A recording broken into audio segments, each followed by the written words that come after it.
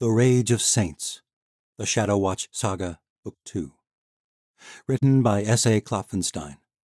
Narrated by Stacey Krejci. Prologue. The year 323 NW. Sixth year of the reign of Cyrus Morrow.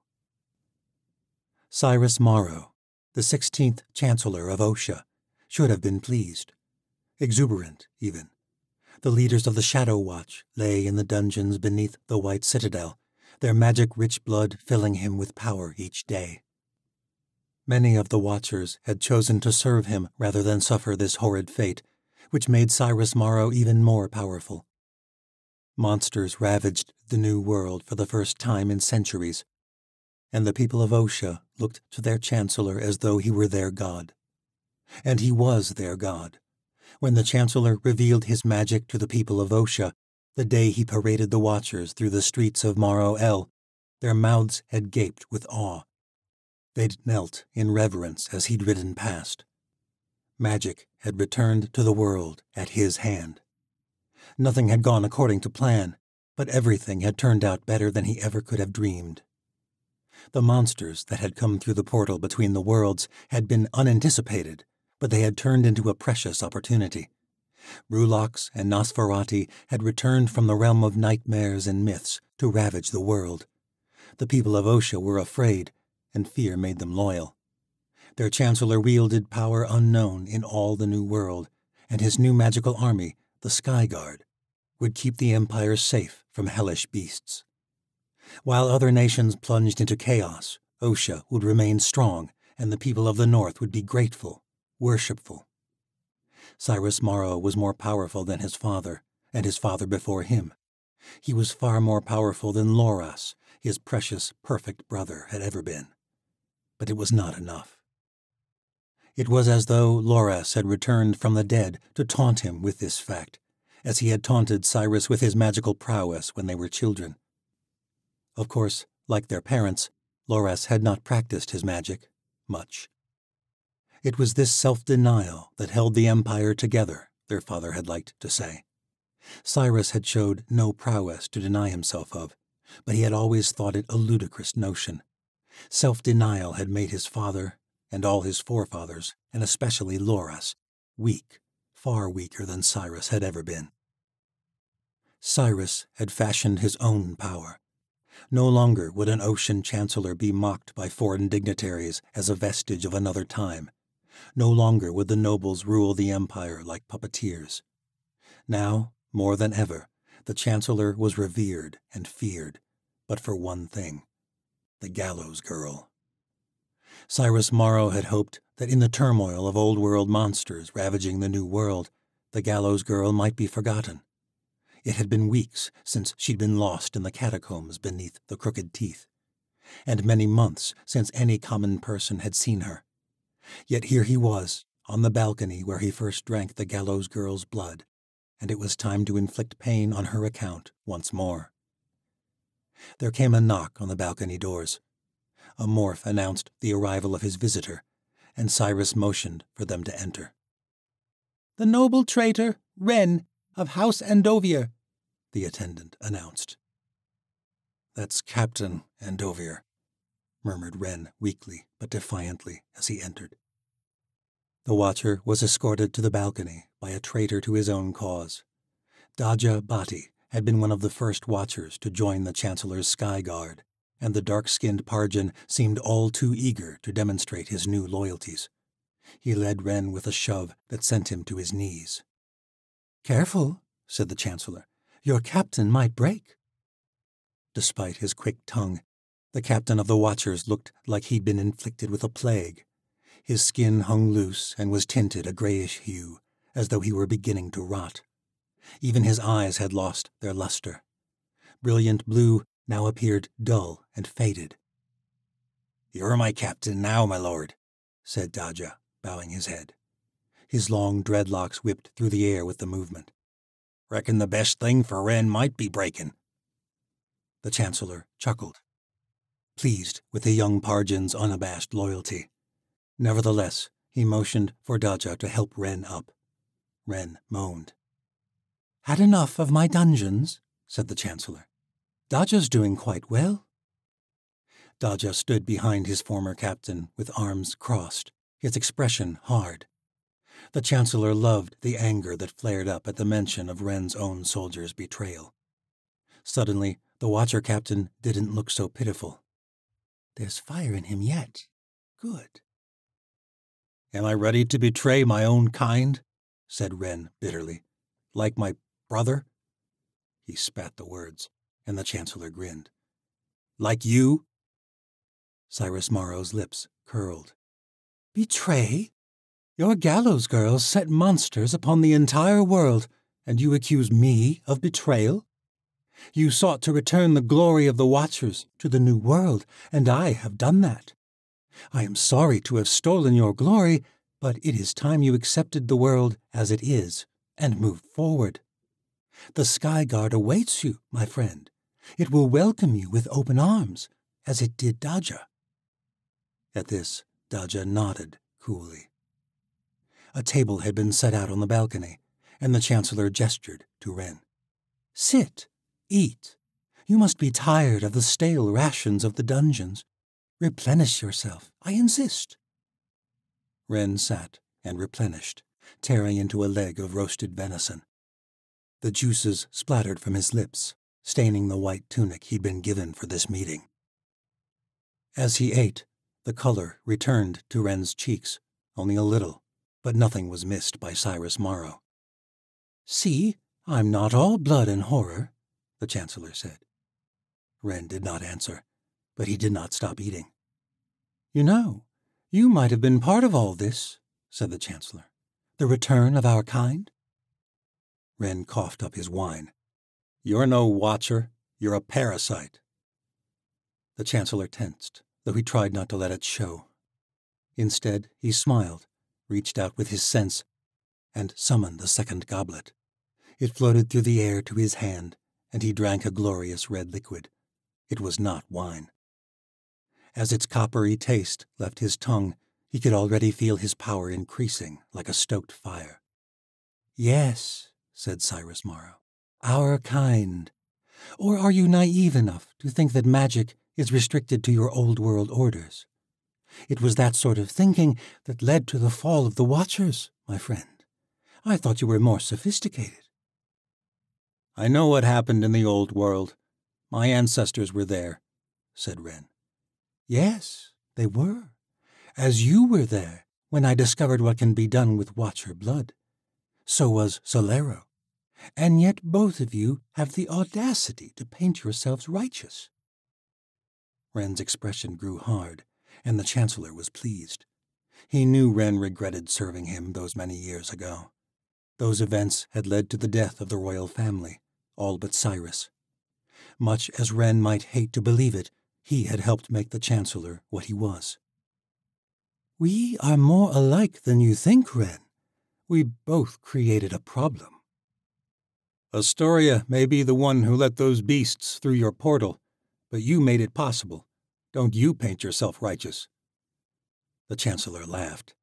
Still bantering, even after weeks of bloodletting. Your strength is returning. Good. Why are you treating me so well? said Wren bitterly. I'm reminding you of the finer things, the things you have longed for ever since you fled the city. You may have spent the last few years out in that God's forsaken tower in the woods, but you are still a true noble of Osha. I'm trying to seduce you, of course. For a moment, Wren looked taken aback. The Chancellor enjoyed surprising people with the naked truth. Wren recovered and took a loaf of bread. It steamed as he broke it open. And why else are you treating me well? Wren said. The Chancellor was pleased. Nothing got past Wren Andovier. There's something I need you to do for me, and for that you will need to be strong. The Chancellor procured a parchment from his robes. It was such a little thing, found in the pockets of a mere servant boy. But if Tori had taught him anything, it was that servants could pose a considerable threat, even to him, especially to him. Wren unrolled the parchment. Inscribed on the crumpled paper were no letters or words, Servants were rarely literate. No, there was only one symbol, small in the bottom corner of the page. So small it might have easily gone unnoticed, mistaken for a scribble by one of the scribes. The symbol was that of a gallows, the overhanging beam cleft in two. Though it was not his writing, Wren's face betrayed horror at the sight of it. What do you want me to do? Commander Redvar, you may enter. The servant boy, who had been brought up from the dungeons, did not tremble when the commander of the Chancellor's Sky Guard forced him into the Chancellor's presence. The boy was expressionless, and this infuriated the Chancellor, though again he tried not to let it show. Here is your insurrectionist, my lord, Darian said, shoving the servant boy to his knees. Sparing the gallows boy had turned out to be one of Cyrus Morrow's greatest decisions. When the Chancellor appointed Darian Redvar as commander of his magical army, the people of Osha had been in awe. The Chancellor had proven cunning even in his own apparent grace. The gallows boy, who once had defied him before all of Osha, who had triggered the gallows girl's very demonstration of forbidden magic last year, had turned into his most feared servant. Darian's expression was cold as he stood over the defiant little rebel. This will be interesting. The Chancellor smiled at the boy, offering his hand, and the boy looked dumbly at it. I am helping you stand, Cyrus Morrow said. Like Wren, the boy was dressed in a fine spun tunic, better than anything the boy had likely worn before. He took the Chancellor's hand and stood. What's your name? the Chancellor said. Me name's Liam, the boy said, his low-born accent thick. A Morgothian, said the Chancellor, noting the boy's sun-specked pale skin. But it would seem one not so blessed by your god. Red hair was seen as a blessing from Nafta. Halstead had been thus blessed, and yet Nafta had not spared the rebel king at the hands of the gallows boy. Cyrus Morrow mussed the boy's plain, tawny hair. He gestured to Wren. Show Liam what we've found. Wren's expression was visibly pained as he regarded the boy, but still he obeyed and handed over the treacherous parchment. Liam clenched his fist around it, crumpling the poorly drawn gallows into a ball. You do not deny it is yours, said the Chancellor, amused. Liam's knees weakened a little, but he stood tall for one no older than thirteen summers. He shook his head without hesitation. I don't deny it, don't regret it neither. The Chancellor chuckled darkly. You realize that the gallows girl is a traitor, a dark sorceress who brought back the terrors of the old world? She's a saint, Liam said obstinately, and she's coming to save us. Save you? A horde of Rulocks march toward the city as we speak, at her behest. The Chancellor grew cold, gripping the boy by the collar of his tunic. Despite his bravery, little Liam was shaking, and this pleased the Chancellor. I saved you. My armies keep the beasts at bay. No, said Liam. You ain't no savior. You're a tyrant. His grip tightened on the boy. A part of him admired his brashness. It was such a spark that had prompted him to spare the gallows boy not so long ago. But this boy would receive no such grace. Yes, well, we become what we must, my boy, and you are about to become exactly what you must. That symbol is a sign of treason. Do you know what happens to traitors, boy? The boy swallowed, but nodded. You're going to kill me? The Chancellor released his grip on the boy. Actually, Wren here is going to kill you. He's a traitor, too, and it's time you both understood what that entails. Wren backed away from the boy. I won't, he said. Ah, now that is just charming, said the Chancellor. After all that's happened, Wren, you still believe you have a choice. The sorceress Medea appeared behind Wren, stepping from a sudden rise of mist, the path of the Godstones. Before Wren could react, her pale, tendril-like fingers extended from billowy silks and latched onto his skull. You don't want to serve me again, said the Chancellor. Wren, I am afraid you have no choice. The Chancellor took hold of Liam by both arms and held him still. This is the fate of those who hope in the gallows girl. At Medea's command, Wren began channeling his conjury power in a way he had never done before. First, the boy's tunic was wrenched from his chest, exposing his torso, and then the incision began, starting at the center of his scrawny chest. The cut ran slow and deep, compelled not by a blade, but by pure, unadulterated magic. It was the cleanest cut the Chancellor had ever seen. The skin split open so smoothly, it was as though the image were being painted on a canvas rather than carved from flesh. It was beautiful. Throughout the process, the servant boy screamed in agony, crimson life gushing from the growing wound. By the time Wren had finished, the boy was dead, his life poured onto the balcony floor. The Chancellor turned the boy over so he could examine the finished product. The image carved from the little rebel's chest had come out perfect. An exact likeness, a piece of art. Etched into the dead boy's chest was a broken gallows, the symbol of the gallows saint. Part 1 Mouth of the Gods Little was known about the Great White North, nor the people that inhabited it. What was told of the Aleut was mostly legend. Wild men, ancient savages, harsh people befitting such a harsh place. No one knew because no one ventured into the north. It was a place even the gods had forsaken. From Dawn of the Third World. Chapter 1 The north stretched out like a great frozen sea, powerful and infinite, beyond the mouth of the gods. Between two mountain ranges, the northeastern reaches of the Crooked Teeth and the westernmost peaks of the spine of the north, stretched a gaping glacial valley of ice and crevasses, known to have swallowed many who dared venture through its treacherous passage. This was the mouth, and it was the only way to the Great White North.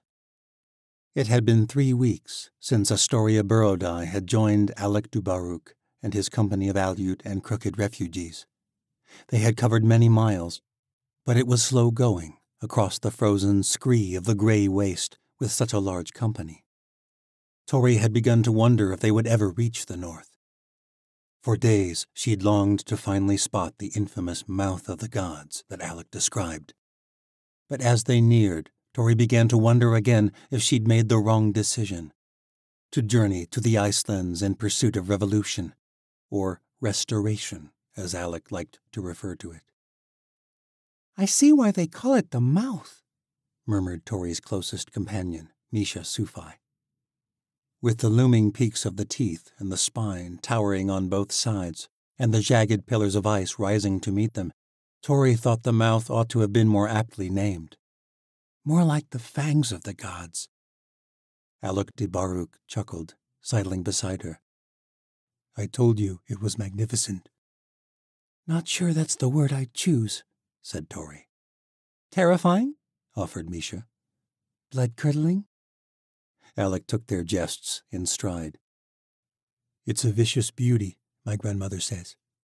The north is cruel, but there's wonder too, if you've eyes to see it. We'll work on our squinting then, said Tori, smiling. It was strange to smile at such a time. Great storms would soon be approaching, but it felt good to joke and laugh, and Alec had a way of bringing this out of her. Alec shook his head. My people resented being forced to flee to such a harsh land. Some still do, but I see magnificence. I see a place that's made us resilient. Then why go to war against the Chancellor? For some old bit of land? Misha asked. Alex smiled. Tori had quickly been growing to appreciate his incessant grin. Despite the weathered countenance of a hard existence, his smile shone with childish genuineness, a smile of wisdom and persistent hope. For some, it is revenge, justice, but for me, it's spiritual. The heart and soul of my people lies in Osha. I love the North, but I feel like a part of me is missing as long as I live anywhere else. Have you ever been there? asked Tori. Few living Aleut have. I've heard the tales of the traders in the Ice City. But no, I have seen Osha only in my dreams. Yet I still feel its absence. It is my home. Guess I've never felt that way about a place, Tori muttered. I'm a bastard. No place has ever felt like home. What about you, Misha? asked Alec. Misha had grown quiet. Her short black hair whipped up in a gust of wind. She gazed off at the massive forms of rock and ice known as the Spine of the North, the natural barrier between the known world and the mysterious Great White North. I miss the islands, Misha said eventually. The sand and swimming in the silver sea. I miss the scent of flowers, the taste of citrus and salt kisses. But not the castes and the code of my people or my parents and their damned honor. It's the people that make a place. I never want to go back to Melanesia. Alec's expression softened. Well, you will both just have to trust me. Nothing is more sacred to the Aleut than our homeland. Some day maybe it can become home for us all.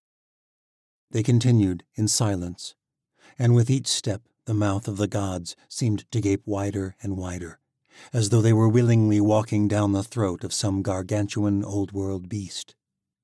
Tori had already seen enough of those to last a lifetime.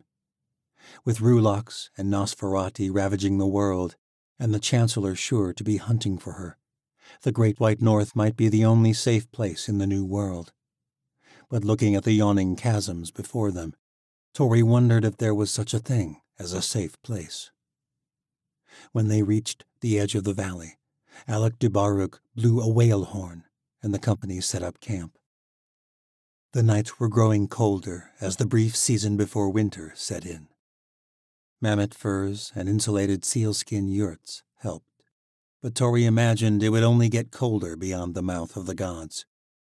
As the sun fell behind the crooked teeth, the jagged shards of glacial ice that formed the mouth glowed with a bloody hue. A vicious beauty, said Tori. She sat down beside Misha as the Aleut set fires and prepared supper. Misha nodded absently, staring after a young crooked girl attempting to ignite a pile of kindling for the evening fires. Yeah, uh, beautiful. Tell you what, Tori went on. I'll sleep a lot easier once we get past that ice maze. Misha was troubled, Tori could tell. There were worse things going on, and Tori knew her friend would never bring up her own anxieties. But Misha had been solemn ever since Alec had begun speaking of homelands. Misha never spoke much of her life before the watchtower. She came from a high-born Melanesian family, judging by her lighter brown skin and her ability to read and write. Tori assumed Wren and Kale Andovier had stolen Misha away without event. So Misha let it seem. But Tori realized there was more. She felt it, as though a dark storm hovered over her friend's past life. Tori kept talking, trying to distract her from her troubles, but Misha didn't respond, her attention fixated on the crooked girl and her failing fire. The wind rushed and doused the third attempt. What do you think Ikkala will be like? said Tori, more to herself than anyone. I don't imagine the Ice City can truly be made entirely of ice, do you think? Suddenly, Misha shot to her feet without so much as a grunt in answer. She hurried to the fire and knelt beside the crooked girl. Let me help. Misha held out her hand as though to block the wind. Strike your flint again. The girl did, and this time the flame roared to life with a flare of Misha's fiery power. The kindling hissed and then the rest of the wood caught. Misha patted the girl on the shoulder. Nice work, she said, and returned to Tori. The crooked girl followed. It's all right, you know, the girl said. I know you did it. You're magic too. Am I? Sure. You came with the gallows girl, so you must be. Anyway, I seen you tending the fires the other night when we were running out of timber before you reached the Everwinter forest. Those fires should have burned up by midnight, but in the morning they were still burning, and you were still tending them. Magic. Misha could not hide a smile. Maybe that was the gallows girl. The girl rolled her eyes, but dared a questioning glance at Tori. Tori shook her head. Afraid not. I don't know the first thing about fire. What's your name, little lady? The crooked girl could not have been more than ten or eleven summers old, but she was already growing into long, gangly limbs. Tesla, and I'm no lady, she said, unfazed at being addressed by the gallows girl. My brother thinks you're one of the old gods, but I don't really think so. You seem too normal. Normal? said Misha, chuckling.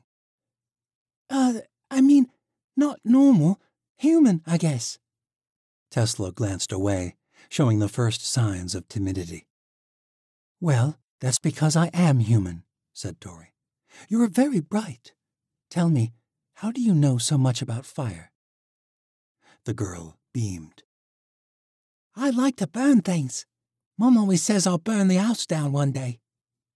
At this, her expression turned. But I guess she don't have to worry about our house no more. Tori was filled once again with fierce shame for the destruction she had caused in the crooked teeth only a few short weeks ago. You're home. The Rulocks, said Tesla. Crushed it to pieces. Killed my papa, too. I'm so sorry, Misha said, clasping the girl's hand. Tori could tell Tesla was holding back tears, and she could not help but admire the girl's strength. Me and my brother do all right, but my mom, she's torn up something awful. She tries to hide it and tells us to keep strong, but I seen her at night crying all alone. It ain't your fault, though. It's the Chancellor that done it. But is that true? Tori could not convince herself it was. She had been weak. She had let the monsters through the Chancellor's gateway between the worlds. She had stirred them up in her failed resistance, and who knew what destruction lay ahead? A nagging question returned to eat at her gut. Where did the Nosferati come from? Had they come from the old world as well? And if so, had Tori been the one to let them through? Some byproduct when the portal had been opened? Don't worry, said Misha to the crooked girl. We'll deal with the Chancellor soon enough. A smile returned to Tesla's lips. That's why you're here, isn't it? she said to Tori. Before Tori could answer, they were interrupted. Hey, Tess! A woman with a weathered face came hurrying over and took Tesla by the wrist. You ain't got time to be bothering our gallows saint, and you know it. Oh, no, she's fine, said Tori. The woman scowled. She ain't fine. She's supposed to be helping her brother fix the stew. The fire's going just fine, Tess. There's meat to mince and taters to skin. Get on. Gods, Mom, I'm sorry, cried Tess. I must have forgot. Hmm, yes, well, I forgive your forgetfulness, but your brother may not. Now get. Yes, Mum. Tesla turned to Misha. Thanks again for the fire. Then she turned to Tori, the firelight flashing in her hazel eyes. And thank you, too. For what? said Tori. For coming with us to the north. Tess scampered off to find her brother. I hope you pardon my daughter. Afraid she takes after her papa. Her papa must have been a fine man, said Misha, still watching the little girl run off. She was no bother at all. The woman smiled, though there was sadness in her deep brown eyes. Well, in that case, you both best be hurrying off yourselves. Ma'am? said Tori. Didn't you hear? There's food that needs cooking. Tessa's mother shook with a laugh. Misha and Tori laughed along with her. For days they had tried to help the company with preparations, but everyone refused to let them assist with trivial duties. Of course, said Misha, the normal lightness returning to her voice. We'd love to help. There was a darkness looming over Astoria and Misha, more threatening than the mouth of the gods. Death guilt, betrayal, fear. But for a few moments, they both felt light again. The woman's name was Gwyneth Falzen, and together with Tesla and her brother Geordie, Misha and Tori prepared a fine stew of hare, potatoes, and a strange spice bark, which fed nearly half the company. It felt good to contribute for once. So many saw Tori the way Tesla's brother Geordie saw her, like a god. It was a relief to be treated as a human again. Gwyneth reminded Tori of old Mary, which filled her with a strange combined sense of sadness and joy. The woman was sharp and snappy, yet Tori could easily see the love she bore for her children. When dinner had been served and cleaned up, the fires were stoked, and an old Aleut man began telling ancient stories of frost giants and magic stags and dragons of the sea. Tess led Misha by the arm to the fireside, and together they listened, enraptured. Tori stayed back and observed. She was glad Tesla had managed to distract Misha from her haunted memories, though every time Tori saw her, she thought of the godstones and the rulocks, and pangs of guilt surged anew. She was responsible for what happened to Tesla's village, and who knew what else? Though out here in the wild, even those recent horrors felt like something from a dream. Tori loved the simplicity of their company march, eat, and sleep.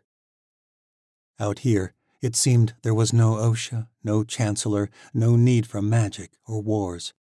She was not sure she believed Alec, that a land could be worth the bloodshed that would inevitably come with a revolution. Suddenly, a hand grasped her shoulder from behind, and she leapt, barely stifling a shriek. Alec chuckled. But Tori did not. The unexpected touch took her back to the catacombs beneath the crooked teeth to dark chambers where the soldier, Jujin, had shoved her against a damp cave wall and very nearly had his way with her. In all the chaos and mourning that had followed, Tori had thought little of the terror and helplessness she'd endured in those moments, but at Alec's touch it returned in full force. Jujin's twisted gaze roared to life in her memory, and she could feel his wiry hands again, clawing at her clothes, searching for skin and tender places. Tori jerked away, instantly feeling foolish. Tori, it's okay, Alec said, confused. It's just me. She tried not to reveal how shaken she really was. He touched her shoulder again, reassuringly, and she forced herself not to pull away in spite of herself. Alec seemed to sense her uneasiness and quickly withdrew his hand. I'm sorry I startled you. Tori sighed. Gods, no, I'm sorry. It's just, I keep going back to the catacombs. She had told no one of what Jujin had nearly done, not even Misha.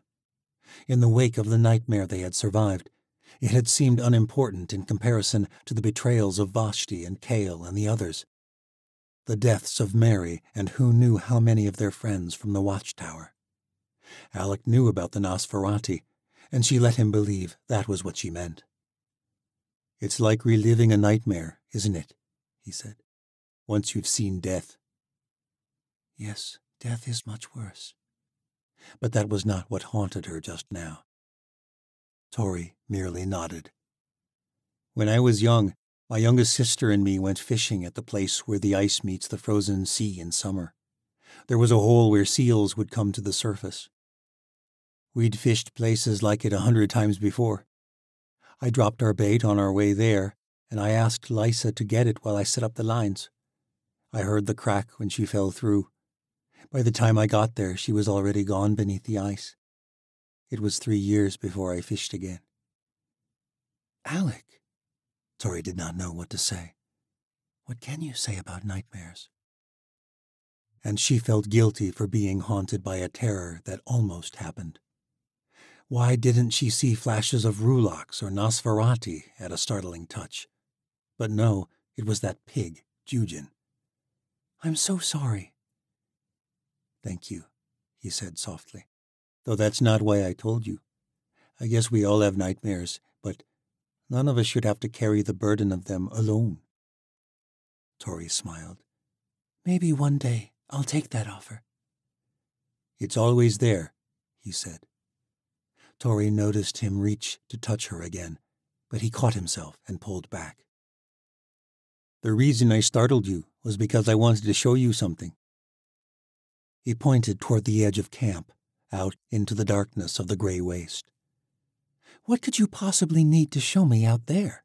she said skeptically. Well, technically, you'd probably see it inside camp, but the fires tend to pollute it. Pollute what? The lights of Inora, goddess of the northern sky. We're far enough north, we should see them, even this early in the season. Tori followed him out past the circle of yurts, beyond the ring of light emanating from the evening fires. Twice in her life she had seen traces of the lights, but only in the deepest winter upon the northern steppe. In Osha, there were too many lamps, and they were too far south. But even traces were extraordinary to behold. Alec led the way across the frozen scree, never faltering, and soon the camp was but a flicker in the distance. He found a large boulder that suited him, and he sat with his back to it, the rock blocking out the light of their camp. Tori sat beside him. She enjoyed the young Aleut man's company, and she trusted him, even though at times it felt foolish. But it was those times she reminded herself that Alec had almost killed her, with his blade and his strange shaman's power that negated her own. But when he realized who she was, he had saved her life. She could sense his kind heart and see it in the way he treated the people in his company, the way he did not pry but was willing to share about his own tragedy and hardships. And so, her flashback to the catacombs fading from her memory, Tori scooted closer to him so she could feel his warmth through the furs of both their parkas. They sat in silence for some time, waiting to see if the lights would come out. Finally, Tori broke the silence. Do you really believe revolution is the answer? Don't you? he said softly. Can more darkness bring light? Night comes before day, doesn't it?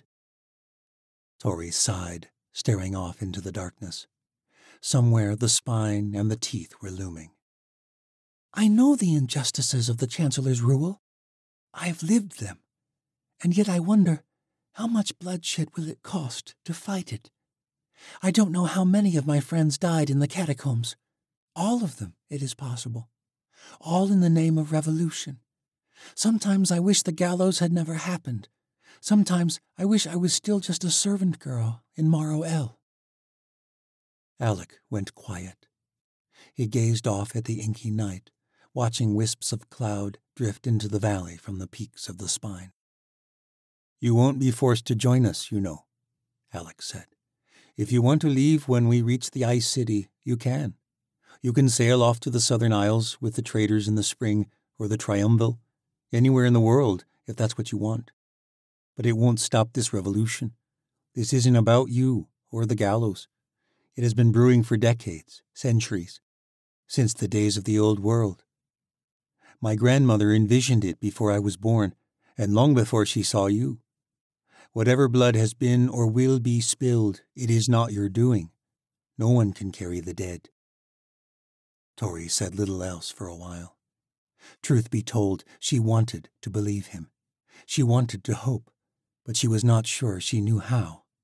There was too much darkness in her mind to dream of a better world. Suddenly, Alec nudged her, and she looked up. It was subtle at first, like traces of dye dropped into a bucket of water. But then the colors spread. The sky lit up with magnificent waves of purple and green threading across the northern sky.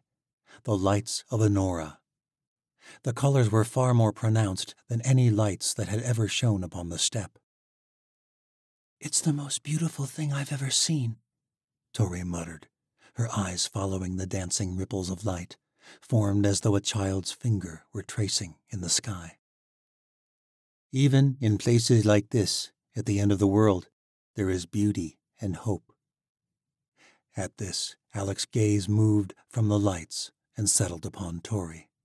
His brown eyes twinkled with the colors of the sky, and his olive skin flushed slightly. Tori suddenly realized how close the shaman was to her, and realized that she did not mind his nearness. But quickly they broke apart. From beyond the great shards of ice towering over them, a sharp, groaning sound filled the night, reverberating off the peaks of the teeth and the spine, building. It sounded like a dozen great beasts roaring to life. And then the sound faded. What was that?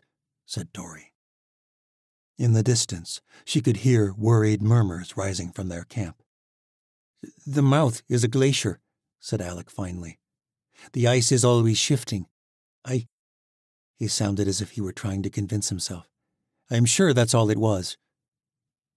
Nevertheless, they both hurried back to camp. The lights of Honora rushed now, with violent shifts of color across the sky, as though a storm were raging. A vicious beauty. Chapter 2 The mouth of the gods gaped wide in the soft dawn light and swallowed them up as they passed from the gray waste into the jagged valley of glacial ice that spanned between the mountain ranges of the Crooked Teeth and the spine of the north. The mouth stretched north for miles before tapering off into the icelands beyond. The groans of shifting ice had lasted less than a minute before quickly waning in the too still northern night, but still Misha Sufai had slept lightly. In truth, she had not slept well since the fall of the watchtower, since Zaya's death and Vashti's betrayal. Stings that buried themselves into her mind and even her dreams. Every day she became more accustomed to the foggy existence of sleep deprivation and night terrors. But Alec de Baruk and the Northmen, along with the girl, Tesla, had rekindled vanished hope in her. Tess bounded through the snow like a hare with endless energy, pausing often to marvel at the towering pillars of ice looming around them. The girl distracted Misha from the memories of nightmares, living and imaginary. Still, Misha longed for a cup of the bold coffee of Melanesia to rouse her in the bitter morning. Her family's kitchen master had once brewed some of the finest in all the islands. But she did not want to think of home either. Those memories haunted her as well. Tess came running up, grinning. She'd disappeared for a short while, exploring the maze of ice. And now she gripped Misha's gloved hand and pulled her along. You've got to come see this! Tess shouted for a few of the other children to follow, and they wended through a narrow cleft in the pillars of ice, which towered over them like giant fangs. Tess, you shouldn't be wandering in here, said Misha, regarding the sharp drop of a crevasse on her left. It plummeted for thirty feet at least. The ice moves. Didn't you hear it last night? Tess laughed. It's not far. She ran ahead with one of the other crooked girls. What does it hurt? Misha thought, hurrying after them. Tori and Alec were up ahead anyway, leading the company through the mouth. The way was narrow, and so the line of Aleut and crooked folk stretched long and moved slowly. The children were not likely to stray far enough to get lost from the group, but they needed looking after, and their joy lightened the burdens Misha carried. It seemed impossible that, at seventeen, it had only been six years since Misha had been a similar young girl, with endless wonder and energy.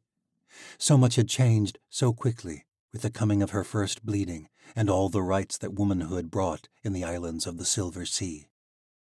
Misha's first blood had occurred during her thirteenth summer, and by fourteen she had fled for the trade cities of the Triumvil. A scream jolted Misha alert. Tess and a pair of crooked children had just disappeared around a boulder of ice. Misha raced to them, praying she would not be too late, but before she turned the corner, she heard Tesla chortling. The screaming stopped, and there was more laughter. Around the corner, the children gathered around a gap in the ice. Protruding from the glacier was a frozen human arm, jutting out from an invisible body. Emerged nearly to the elbow, its fingers stretched out like icy daggers, grasping for something just out of reach. Tess grinned at the disgusted expressions of the other children. Ew! cried a young boy, no older than seven. Is it real? asked a girl, who proceeded to poke at the fingers. Alec says the mouth can swallow people whole, Tess informed them enthusiastically. I bet this one died a hundred years ago. But it's still got skin, protested her brother, Geordie. Can't be that old. Don't matter if it's in ice, said Tess. The skin will stay forever. It could be a thousand years old. Afraid she's right, said Misha, mussing Geordie's shaggy locks of dark hair. This far north, I doubt it ever gets warm enough to thaw out, let alone decay. Tess shoved her brother playfully. Told you. What are you kids doing all the way out here? It was Alec de Baruk, and the kids all shot to attention at his stern voice. The group's moving on. So should you. We found a hand, said Tess boldly. Alec knelt to examine the frozen limb. An ancient Northman, Northwoman, actually, judging by the hand, might be a thousand years old. Misha noticed his sly smile as Tess's eyes lit up. See? cried Tess again, pointing at her brother. Ah, you just had a lucky guess, said Geordie. A thousand years, said Tess. And you might join the frozen people down there for another thousand if you keep wandering off. We're nearing the end of the Valley of Ice. I want you all marching with your families until we're clear of the mouth. You hear? Alec's face grew stern, and he looked right at Tess. The crooked girl wilted under his gaze. Yes, sir. Sorry, sir. Now get moving, all of you, or you'll have us all wandering out here in the middle of the night. The children ran back the way they'd come, and once they'd gone, Alec laughed. It was my fault, said Misha. I let them come. Don't be too hard on them. Alec smiled. They could use a bit more fear in a place like this. Though honestly, I miss the days I could walk through such a place so fearlessly. Me too. Thank you for watching after them, Misha. The shaman fell in step beside her as they returned to the group. They look to you as well, you know. What do you mean? The children. Tori may be the gallows girl, but you give them hope also, particularly Tesla. You notice much, said Misha. I try to know my people, old and new. I am their shaman, a shepherd of souls. I must know them the way our divine parents know them. The old gods, said Misha knowingly. Few people worship them still, you know. We have not forgotten our past. We still pray to them by their old names, what we called them long ago, before the ocean stole them and distorted them. Shalom is God of the day, and he provides us with food, strength, and peace when it can be found. Anora is goddess of the night. She followed us to the north and gave her lights to guide our way, to give us courage and hope, even in bitter darkness. And I must do the same for my people. You really believe in them, don't you? Don't they have gods in the islands of the Silver Sea? My people believe the gods left this world long ago. The souls of our ancestors remain to protect us, give us wisdom, and intercede with the gods on our behalf. Sounds like the tales of the Watchers of the Old World, said Alec. Melanesians believe the souls of our ancestors spring forth in the trees in our gardens where we sprinkle the ashes of our dead. But I have not prayed in a garden of souls in many years. Your people pray in gardens. In Jerka, they sacrifice doves in temples. The Watchers burn incense and prayed on rugs. I bet we all get it wrong, said Misha. Perhaps, said Alec. He thought for a moment. Or perhaps we all get it a little right, like shades of the same sunset. My people believe the gods are all around us, and so we pray wherever we are. Perhaps it does not matter where you pray. That doesn't sound like a holy man. I suppose I am not like most holy men in the New World. I point others to the great mysteries beyond our world. I don't care if you call them by the same name. You do not seem to care for the gardens of souls, I sense. So, what then? Misha thought a moment. She had given little thought to gods of late, and since the destruction of the watchtower, she had often wondered how any gods could stand by and watch powers of evil continue to rule over the world. In the Triumval, Misha said at last, people pray to gods from many lands, and there are temples and shrines throughout the cities where traders may worship any god they desire from any nation in the New World. But there is a temple at the outskirts of the holy center dedicated to the Unknown One, the Forgotten God. It is said she watches out for strangers and orphans, the people we've forgotten, just like we forget about her. Somehow, she always made the most sense to me. Alec smiled at this. Then I shall thank the Unknown One for remembering you and leading you and Tori to us. Misha and Alec reached the rear of the stream of people winding through the maze of ice. Where is Tori? said Misha. Leading the way, said Alec. I thought it would be good for her to be the one to lead us into the great white north. You told her where to lead them, didn't you? Of course. Tori has never traveled through the mouth, after all, but her followers don't need to know that. Misha laughed. Some gods we watchers make, huh? I imagine even your unknown one was young once. Misha never had the chance to respond. The ice trembled violently and sent Misha to her knees. A jarring pain shot up her thighs. From the depths of the mouth came a horrendous groan and a boom like thunder, and suddenly the ground disappeared from beneath her feet. A crevasse split wide like a massive wound in the earth, rent by some giant invisible sword. Instinctively, Misha caught herself, reaching out with her sense, and flew to the edge of the expanse. Her heart thundered in her chest. The rumblings increased, the crevasse stretched wider, and Alec went plummeting. Misha's entire body tingled as her senses honed in. She caught his wrist just in time and pulled him to safety. They collapsed in the snow. But there was no saving the Aleut and crooked folk ahead. The mouth of the gods swallowed up four that Misha saw, and who knew how many in the maze beyond. Screams echoed from all directions. The rumblings faded, the ice groaning like a dying beast, but the crevasse did not grow any wider. It fell away at least a hundred feet, narrowing into the dark innards of the earth. There was no hope for those who'd fallen. Misha rose to her feet and held out her hand to help Alec up. The shaman stared at her dumbly. His hands quavered as she took hold of them. We have to help the others, she said. Come on. But there was no time to help anyone for no sooner had the thunder faded than it was replaced by a new sound. From the depths of the gash in the earth, there ushered a mighty roar, followed by a horrid scraping sound, like nails upon glass. A great gray hand, which looked to be composed of ice and scree, emerged from the abyss. Another hand followed, and then a great icy head with massive tusks protruding from the sides of its vicious face. The thing heaved itself up from the pit, standing taller than four men. It lifted its mighty head, revealing jagged teeth of ice. A frost giant! cried Alec, suddenly jarring to life. The mouth of the gods fell into madness as the Aleut and the crooked folk tried to flee. Several more fell to their deaths as the chasm yawned wider.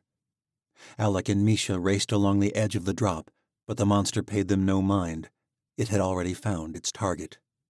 Fifty yards ahead, a girl was pinned beneath a shard of fallen ice.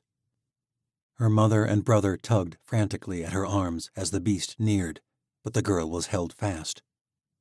Misha realized with horror that the girl was Tesla. Chapter 3 The maze of ice shuddered with the echoes of dying screams. The earth had split wide, the ground falling away beneath the company of Aleut and crooked folk. The world unraveled around Tori, and in the madness it struck her, strangely, how few names she knew of her followers, and how many she would never know. She fought back welling sickness in her gut. These people were helpless. I have to save them. A crooked woman vanished before Tori's eyes, and she was unable to reach her. The woman had green eyes like Tori's own, and they locked for a moment before the end, a calm sense passing between them. Tori seized hold of the woman's young son, but she could not save them both. The mother did not scream when she vanished. Survivors screamed. The woman merely slipped away and was gone. Tori choked back tears. Her son wailed with horror as Tori pulled him away from the growing abyss. Mama! Mama! Tori did not even know the boy's name, yet she was all he had left. An aged, crooked man was pressed against the side of the ice maze nearby. Tori did not know his name either. Where in the abyss is Alec? she thought helplessly.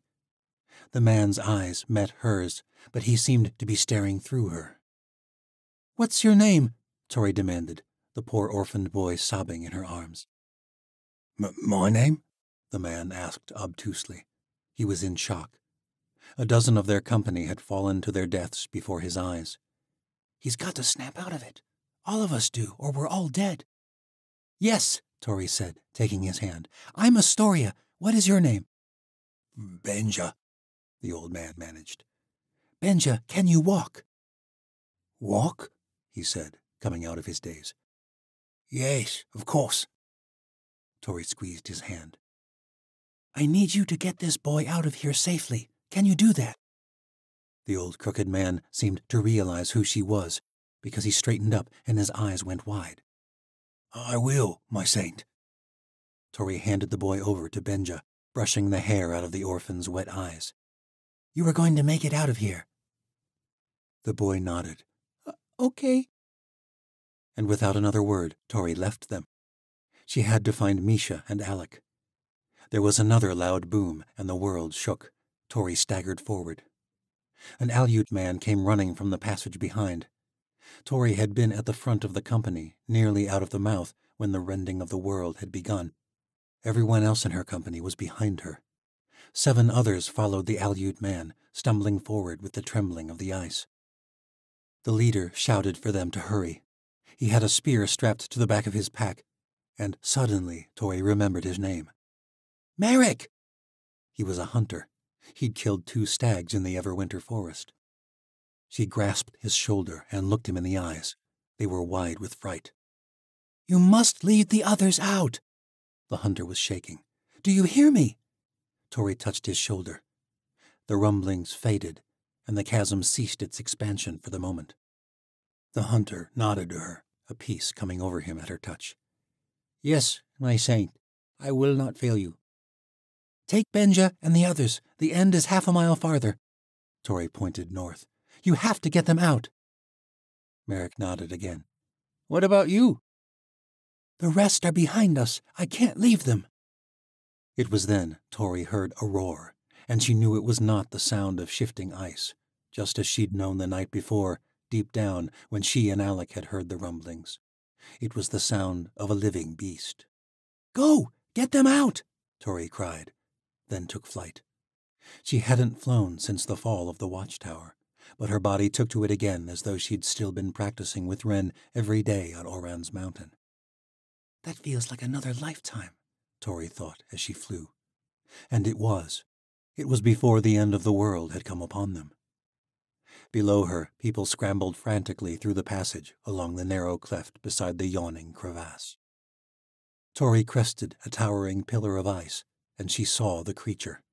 A mighty roar echoed through the mouth of the gods, sending shivers darting across her skin. She knew it only from the old sages' tales around last night's fires and a faded memory of one of her mum's old stories, but she knew, without doubt, what it was. A frost giant. The beast held a woman in its massive hands, and Tori realized with horror that it was Gwyneth, Tessa's mother. Below, Misha launched a gust of flame at the beast, but it was of little use. There was nothing to ignite. The giant's skin was frozen solid, and the flame was doused in a great rush of steam. Alec stood beside Misha, jabbing desperately with a useless spear. Gwyneth looked like a doll in the giant's grasp. With its free hand, it launched a chunk of ice at Misha and Alec, who leapt aside just in time. My daughter, please, cried Gwyneth. Tesla was trapped beneath a fallen shard of ice at the giant's feet. Geordie tugged helplessly at her arm, but she was pinned down. Misha let fly another ball of flame, distracting the beast. It spun away from Tess to face her, and Tori seized the moment and landed. The ice flew free of Tess's body with a flare of Tori's Conjuri power, and Tori helped Tess to her feet. The girl's leg gave out, crushed beneath the weight of fallen ice, and she screamed. Geordie gave the support of his shoulder. Get her away! Tori shouted. No! My mom! cried Tess. A shard of ice came flying at them, missing Geordie and Tess by a foot and exploding against the side of a pillar. Now! Tori commanded. The two hobbled feebly along the narrow ledge. Tori turned back just in time. A great icy arm the size of a tree trunk swung at her, and Tori leapt aside. The monster roared. Leave me! cried Gwyneth, still in the giant's clutches. Get my children out! But there was no way Tori could leave her. She had already lost Mary and the Watchers and probably half their company here in the mouth of the gods. Tori reached out with her sense, and everything seemed to slow. She could feel the makeup of the world, the tiny frozen droplets that composed every grain of ice. Her heart filled with rage at all the death, all the suffering. A massive shard of ice broke away, with a twinge of Tori's sense, and launched into the giant's legs. It dropped to its knees, but it was not enough. The shard of ice she'd thrown came flying back at her from the giant's hands. She dodged to the side, tumbling in the snow, and in that same instant the giant tossed Gwyneth aside, and she disappeared, swallowed up by the crevasse. Just like that, Tess and Geordie's mother was gone. The beast lumbered toward her, ice flying at her like cannon fire. Misha launched another ball of flame to no avail. Tori blocked a few shards with a flare of Conjuri power, but it was too much. The giant launched chunk after chunk of ice the size of boulders. The earth trembled again, and Tori stumbled to her knees. When the ice hit her, Tori could feel the crunching of her ribs, the collapsing of her left lung, and the rush of blood within her chest. She lay in the snow and tried to move, but her limbs had been rendered immobile. Her head felt light, and she felt herself fading. The giant reached for her with icy paws. Vaguely, Tori could feel the pieces of her body fitting back together, her regenero power keeping her alive, but it was slow, and she had no time. The beast's fingers wrapped around her torso, and Tori was too weak to fight it. Someone behind her screamed. No! High-pitched, like the shriek of a falcon, the sound seemed to build and build, filling every space in the glacial maze. It reverberated off the ice, building louder and louder, louder than any scream Tori had ever heard. Her ears rang and her head pounded. As the horrific shriek built even louder, the mouth of the gods shuddered, the crevasse groaning as it gaped even wider. Ice cracked beneath the giant's feet and it fell backward, taking Tori with it. With every bit of remaining strength, Tori reached out with her Conjuri sense, and the great icy fingers released her. She leapt to safety, collapsing in the snow, and the frost giant disappeared into the abyss. The scream echoed for some time before dying away. When Tori turned, she found Tesla standing at the edge of the passage, her fist clinging to her brother's cloak. The crooked girl's chest heaved frantically. The scream had been hers. Slowly, Tori's body healed, and Misha and Alec helped her to her feet. When they reached Tesla, the girl collapsed from exhaustion. My mom, Tess murmured, tears welling in her eyes. Misha knelt by the girl's side, brushing the hair out of her face. Shh, you're all right. No, I'm not. She's dead. The ground trembled again at Tessa's scream. Tess broke into sobs, and Misha held her tight and rocked gently. What did I do? Tess whimpered. Tori took the girl's hand, realization dawning on her. That scream was magic awakening, just as it once had in Tori so long ago on the day of the gallows. You saved us, Tess, Tori said. You saved us all. Part 2 The Unraveling of the World. There was a saying that arose after everything was over. The world must be undone before it can be remade. But no one believed that in those days. There was no hope, no world to come, no world to remake. To those who lived through the unraveling, it was the end of the world. From Dawn of the Third World. Chapter 4 Kira Fane was in a constant state of anguish, and therefore so was Cale Andovier, for he felt responsible for what the Chancellor had done to her, and there was nothing he could do. For weeks they had been secluded in the den of the Ilya, buried deep beneath the Yanavi capital, Vliani. But this time not as prisoners. Cale had not seen Sala Burodai, the newly crowned Great sultan, since he had been chosen in the twisted game of power that was masked as the choosing of Arayeva. But it seemed his old friend bore some guilt for Kira's physical state, for Kira was attended daily by the Burodai family's very own Thrasi, an elderly tribesman named Azrahi, who administered an array of herbs and healing spells. Still, Kira's eyes were irreparably disabled, and she lived in that strange limbo between pain and sleep, death and life. The severe burns she'd sustained under the Chancellor's distortion of her own Lumeni power had rendered her eyesight useless and scarred the right side of her face beyond recognition. The tender, swollen skin was dressed with linens and oozed with pus. The room reeked with the smell of death. But Cale hardly noticed, nor cared. Kira was alive, if barely, and that was all that mattered. A few days ago, she had shot up in bed, shouting and cursing, seemingly unsure what was dream and what was reality. It had taken the Thrasi and Cale both to keep her from harming herself. Afterward, she slept a full day before waking to violent delusions. Cale feared she might never recover. Each time Azrahi tended her wounds, he said, She is marred by fierce magic, stronger than my own. Some days Kira looked to be improving, and other days she thrashed about, plagued by dark fever dreams. Truth be told, Cale feared what would happen if she did recover. What would they do? Where would they go now that he'd betrayed all their fellow watchers? Betrayed her.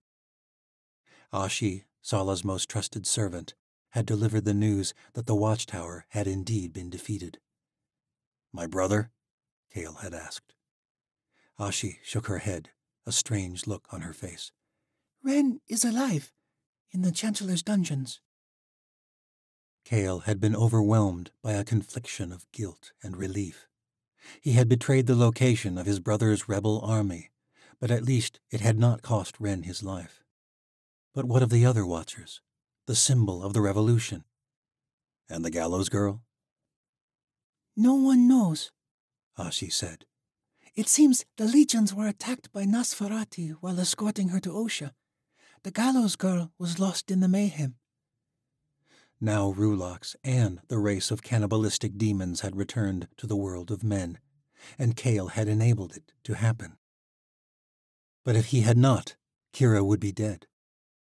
The Chancellor already had the Godstones, so it would only have been a matter of time before Cyrus Morrow discovered the watchtower. At least, that was what Cale tried to tell himself. It had been nearly a month since her encounter with the Chancellor when Kira began to stir. She was soaked in sweat and clammy to the touch. Cale fetched a bowl of water, took her hand, and helped her drink, uttering a prayer that she would not slip into another violent hallucination. She coughed as she tried to swallow, but the next sip went down easier. She leaned back and sighed.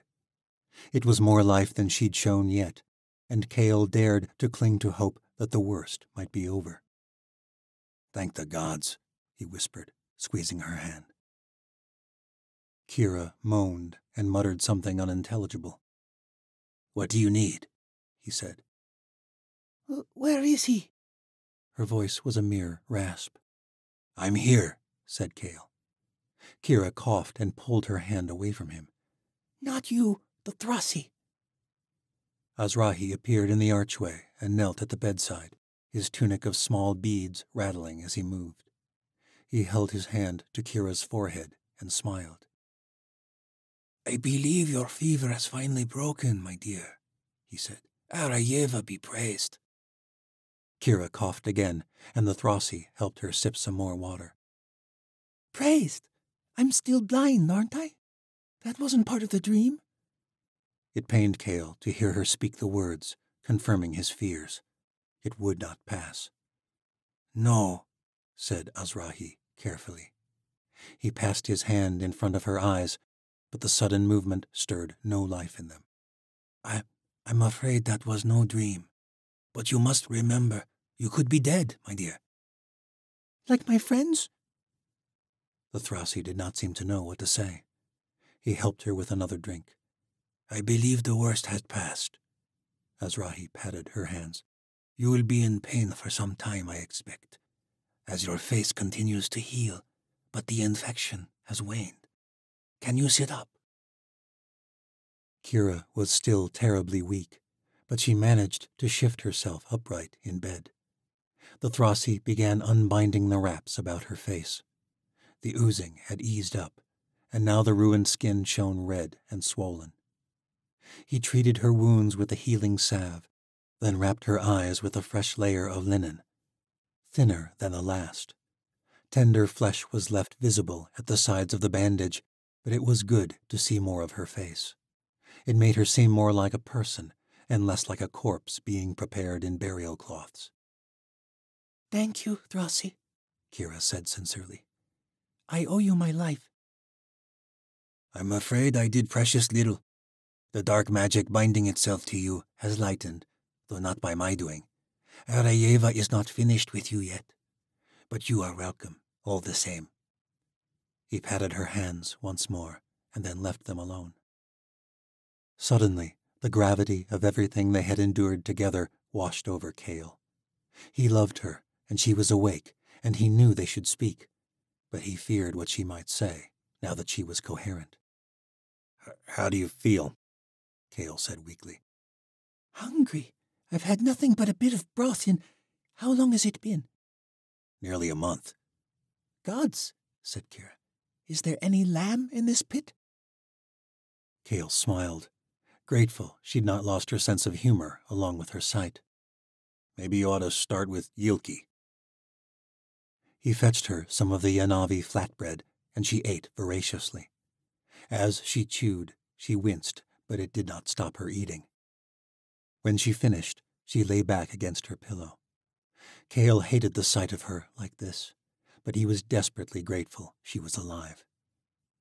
Is she grateful? he wondered. You hardly left this room, she muttered. All the time I'd been out, I could sense you, even when I was lost in some terror.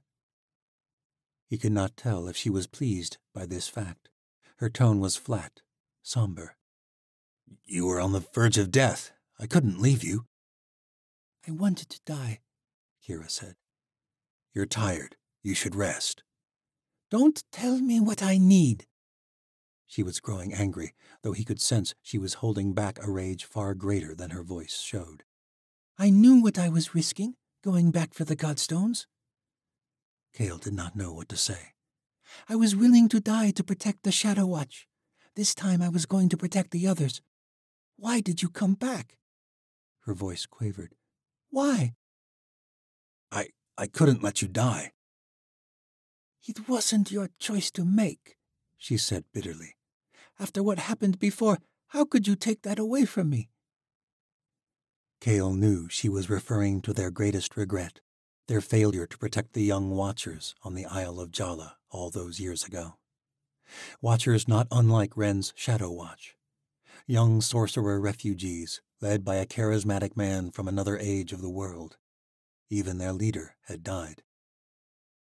How many are dead at the watchtower, Cale? The Chancellor didn't kill them, just as he promised. I heard, said Kira, her anger subsiding into sadness. I may have been half delirious, but I heard when Ashi came to tell you about the Nosferati, the gallows girl, all of it. However many died this time, However many are being bled dry in the White Citadel, that blood is on you, Cale. All of it is on you. Kira trembled with sobs, her ruined eyes unable to produce tears any longer. You stole my sacrifice. Kira, please. I. I. He reached for her hand. All he wanted was to hold her, but she pulled away. A chasm greater than Jala, greater than the span of the great canyons of Dim, opened up between them, and Cale felt she was back in the other world, where Medea had taken her with the Godstones. Kira had never seemed so far away. Leave me, she said hollowly, and let me grieve in peace.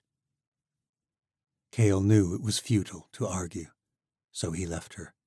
When he returned an hour later, she had drifted back to sleep, though this time it was not in fits. And for this, Cale thanked the gods. Kira improved more each day. A week later, she was able to get up and move about the room with Azrahi's assistance. She would accept no help from Cale. He remained close, but often found himself in the main room of the Ilya den when she was awake. At times, he would reach out for her mind, wishing for some connection, but she had walled herself from him more than ever.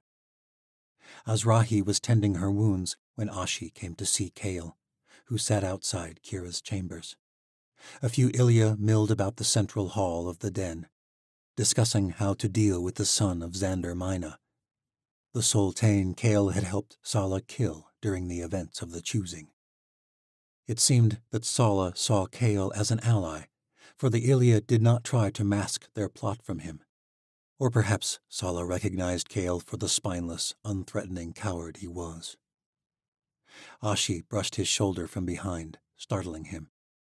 For someone who gave up everything for love, she said, you look like Shenza, Skyblood. She took the seat beside him at a round table bedecked with platters of roasted lamb and rice. Ashi was dressed in black Ilya garb, her hood drawn back to reveal a bronze face and curly dark hair pulled tight behind her head in a braid. Cale should have been appalled to see the Yanavi slave. Ashi and her master had betrayed him, after all, and yet he was relieved to be spoken to without revulsion. He and Ashi had formed a curious bond during the events of the choosing. Despite her betrayal, she was about the closest thing he had left to a friend. A miserable truth. Kira despises me, and I don't blame her. I betrayed my own kind, betrayed her. The Chancellor gets what he wants, said Ashi. I imagine he'd have gotten the information from Kira eventually, even if you'd abandoned her like she asked. She'd have died before she betrayed them. Perhaps, said Ashi. Even if she had, he'd have found your watchtower in time. Spoken like someone defending their own betrayal. Ashi glared at him. You don't pick up on apologies, do you? Your list of allies is small, it seems to me. So don't act like you have any place to judge me. I did what I did for the good of my people. So did Sala. Cale sighed. Why are you here, Ashi? She rolled her eyes, her lips drawn tight. To make a peace offering, Skyblood.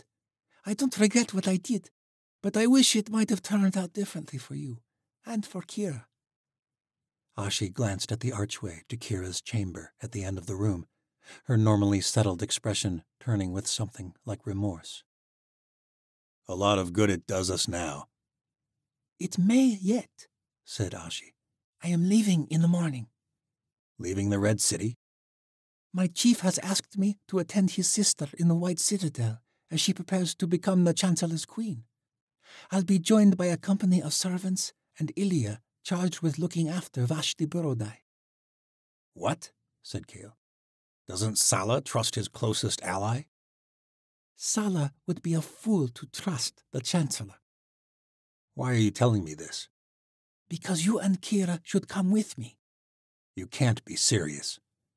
I saw what Vashti could do before her father tried to burn her at the stake. I know how she healed. Your healers could help Kira. Cale longed so very much to be able to help her. It is not too late to ally yourself with the Chancellor, said Ashi. You already gave him the Shadow Watch. If you join him, he will heal her Skyblood. I am sure of it. Besides, Sala says several of your Watchers have already joined him. Your brother's revolution is over, but Kira's sight need not be. My brother is there. All the Watchers I betrayed, said Cale. I couldn't face them. His dreams were already tormented by Wren, his mother, and the dead Watchers from Jala. It was like the ghosts of Gen, ever dwelling in his nightmares to remind him of the countless times the exiled lord had failed those for whom he cared the most. Not even for her? Ashi whispered. She would never go, not even to regain her sight. Ashi held up a vial. You know this draught? Cale did.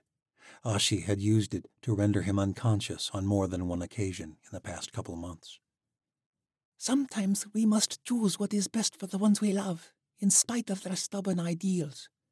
Neither of you can do anyone any good down here. Cale took the vial and stowed it in his cloak.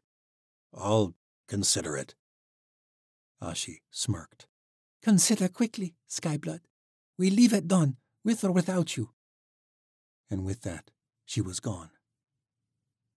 When Cale returned to Kira's chambers, he found her sleeping again. Her wraps had been removed entirely, and her wounds were beginning to scar. The Thrasi applied a salve twice daily to aid the process. Her right eye was nearly closed over with scar tissue. Her left eye was intact but clouded over. It still moved, but saw none of the world. The thought that all this could be undone was nearly more than Cale could bear. Perhaps Ashi was right. What good were they down here? What good was Kira in such a pitiful state? Cale eyed the vial. He held it up in the soft lamplight and considered the crimson liquid. Kira would never go to Morrow El willingly. He knew her too well for that. Her blindness was the curse of a failed sacrifice, and she had accepted it. Perhaps she thought it was her punishment for her failures, just as Cale saw it as punishment for his own. Should he accept her desires, then? Was that best? For her? For the rest of the Shadow Watch? For himself? There, he knew, was the truth of it. To take her to the White Citadel would be to temper his own guilt. It might restore her sight, but it would not bridge the chasm between them. To drug her would be to betray her all over again. That night, Cale did not sleep. Into the waking hours, he watched over Kira. It was the one time she seemed at peace with him there, and if he tried, he could catch glimpses of her dreams. Her subconscious was not lined with the walls she constructed when she was awake. But he quickly withdrew. With his cerebro magic, he sensed she was dreaming of being able to see again, and this pained him beyond his capacity. It was all he could do not to slip the Ilya draught into the bowl of water beside the bed. It was what she longed for deep down to see, to be able to help the others. But no, he could not do it. Scarred and blind though she was, he still found Kira beautiful, so strong, so fierce. He stroked her hand tenderly as she slept. How he loved the feel of her smooth olive skin. The touch brought back torturous memories of the night he'd beheld her in all her beauty, before the world had filled with horrors and guilt, when his entire world had been nothing but her lips, her skin, her love. The night on the Isle of Jala. So many times he had wished to return to that night and never leave, never go beyond it, but never more than now. The space between them was filled with blood and nightmares and betrayal. But once they had been as close as two people could be. Back before the night of the slaughter. The night they were both trying to redeem, both trying to forget. And now, because of Cale, they had one more night to regret. Their chasm was expanding wider and wider. It was said the great canyons of Dim, which spanned miles in some places, had once been mere gullies carved by rain, but over time they grew.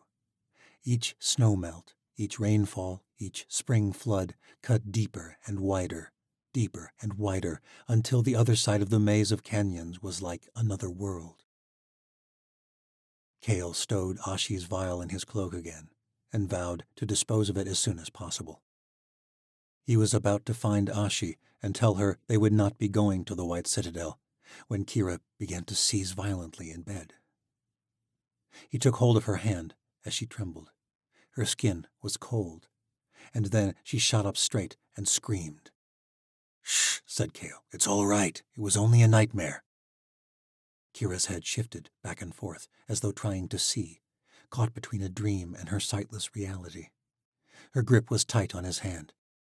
Cale, you need to get the others, she shouted. What others? It was only a dream. Everything is fine. No, she shrieked. Can't you hear them? Chills pricked his skin like hornets at the sound of her voice. He had never heard such terror. Kira, hear what? She shoved him away. Get Ashi! Warn the Ilya! We have to get out of the city now! They're coming! Now it was Cale's turn to tremble. Who's coming? Kira's voice was firm and steady, fully awake now, and there was no mistaking the dread in her words. The terror of the wandering dunes, she said. Zarila!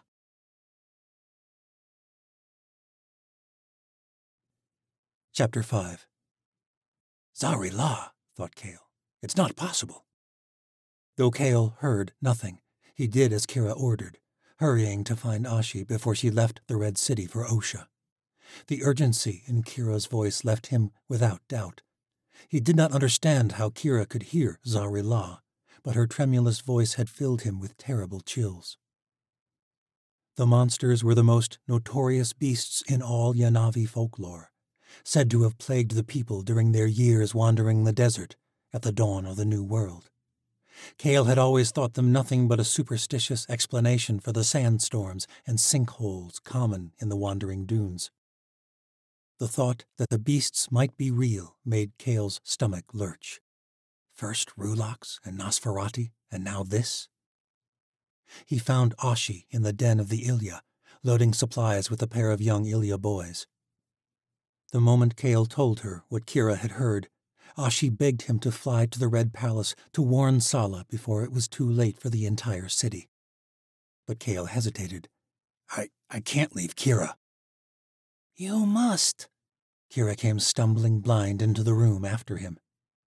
Ah, Ashi took hold of her hand and led her to a table for support. Cale, hurry, please, Kira murmured, clutching at her temples. It's getting louder. They are almost upon the city. I'll get her out, said Ashi, or I'll die by her side, but only if you can get to Sala in time. I don't know the way from the den, Cale said. Ashi took his hand fiercely. Her skin was searing.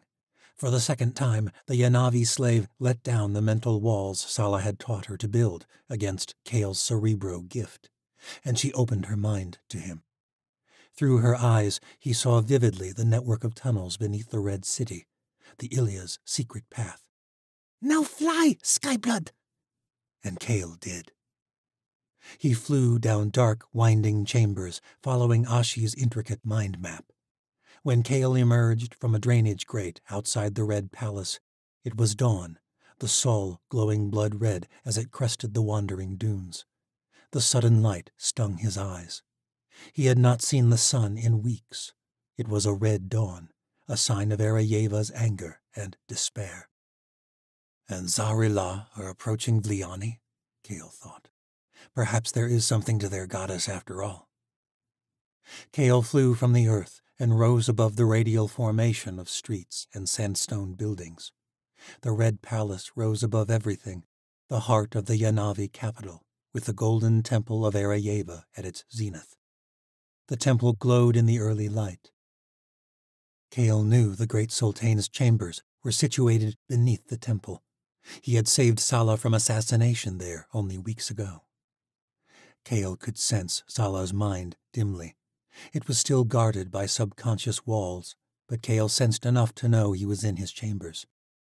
Cale flew to a ledge on the western side of the palace and entered through a high window.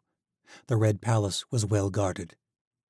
Through normal entrance, Cale would have had to pass through seven gates and several companies of guards, but Sala's window surmounted a sheer wall of sandstone, which towered 200 feet over the awakening city. Even if someone could fight through all the security below, it would be nearly impossible to scale the smooth stone tower. Cale flew the distance with ease and landed softly in Sala's chambers. Set before the western window was a statue of Arayeva, a beautiful sandstone woman, naked but for the flaming saul held at her waist. Outside the eastern window, the saul crested the dunes, and Sala knelt in prayer before a second identical statue. Odd, considering the man's lack of fervor toward his people's faith. He wore only a plain white tunic. His dark hair was unkempt, and his face unshaven. A stark contrast to his normally well maintained appearance. His lips moved with inaudible words, and he was apparently oblivious to Cale's arrival. But then Sala spoke aloud. Have you come to kill me, Skyblood? Sala sounded at peace, despite the potential threat. Or perhaps he was simply not afraid of Cale. No, he said. Sala chuckled strangely. I would not blame you if you were. A red sun rises just as it did the day I killed my father. Was that regret in his voice? I'm not here to kill you. I'm here to warn you. Zar-Rilah are descending upon Liani. Sala breathed heavily, rendered silent by the vile name. That can't be possible. His voice rang hollow. You don't have time to find out. If you hesitate, it may be too late. Sala was still kneeling. He seemed almost in a trance. How could you possibly know Zar-Rilah coming, old friend? Kira heard them from the den, said Cale. She, she heard them? He stared out the window, perhaps listening for them himself. But the morning was as still as the uninhabited valleys of the crimson mountains of the Far East. Cale was baffled as well. How could Kira possibly hear them? Cale had heard nothing in the den. At first, he'd thought she was hallucinating, caught in the remnants of a nightmare. But Ashi believed her and so must he. I don't know how, but Kira heard them approaching. We have to go. He took Sala by the arm, firmly, and jerked him to his feet. At this, Sala came back to life. Sala cursed, took one last glance at the rising soul, and murmured another prayer. Jeshu, Davin! He cried out, and two Ilya appeared immediately through the immense Socha doors to Sala's chambers. When they saw Cale, they drew their sabers. Filthy Skyblood! At ease, Sala said, raising his hands. Davin stammered. But, my chief, how could he? We have not left your chamber doors all night, I swear it, pleaded Jeshu. He flew, said Sala simply. And now, so must you. Sound the horns. We must evacuate the city. The bane of our people has returned. At the mention of Zar-Rilah, both guards nodded fearfully. My chief, said Jeshu. What about you? I am with the Skyblood. Now hurry.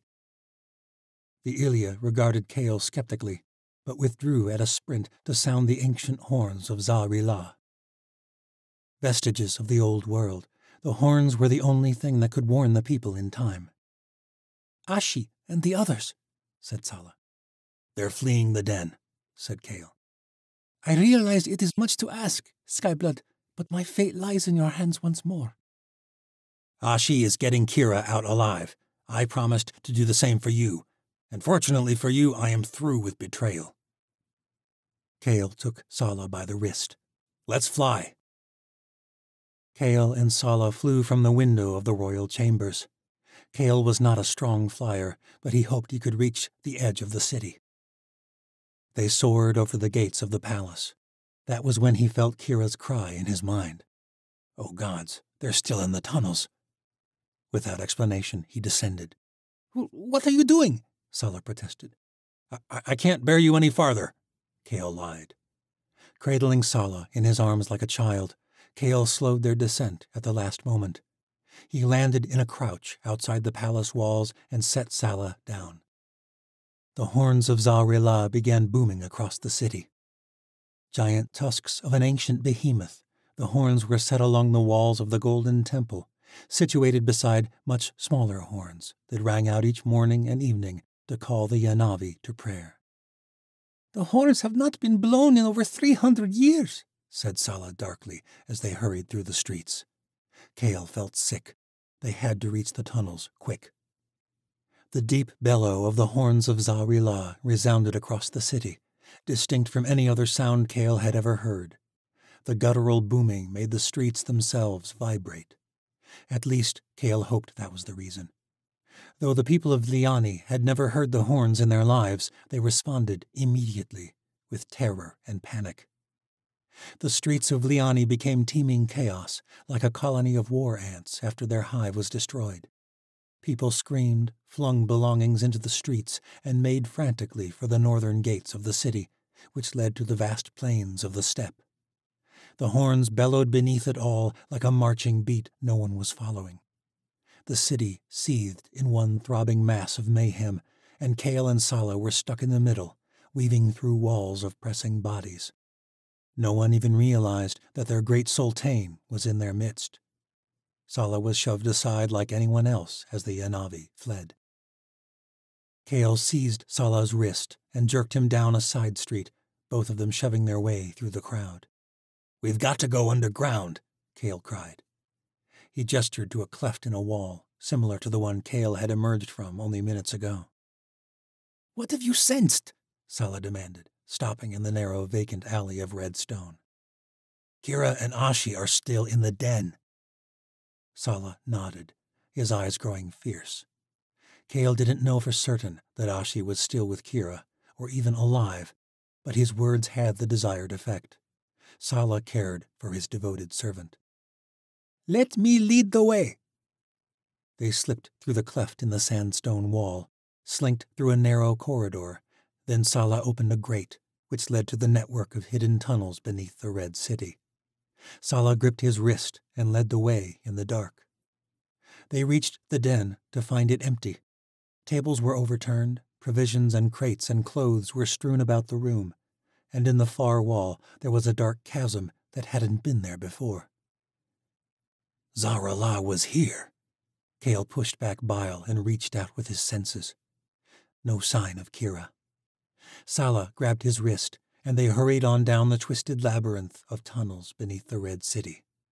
The noise of the fleeing masses faded, and Cale finally heard what Kira had somehow sensed from afar a horrid grinding sound, like soldiers marching upon a field of skulls.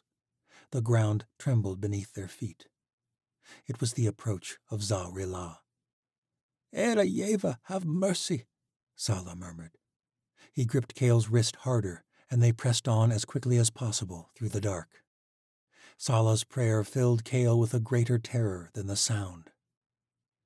The grinding grew in intensity the deeper they ventured. Soon it was a mighty roar, and the ground roiled beneath their feet as they staggered forward. Without warning, Sala shoved Cale to the ground. The roar reached a fever pitch. There was a great rush of air, and a horrid stench permeated the chambers and then, all at once, the roar ceased. The monster was directly ahead. Cale could sense its mind, or rather the mind of the many Rila. He could not tell whether they shared one mind or were simply tethered together by some mysterious telepathy. But in one glimpse, he unraveled a mystery that centuries of myths had only guessed at.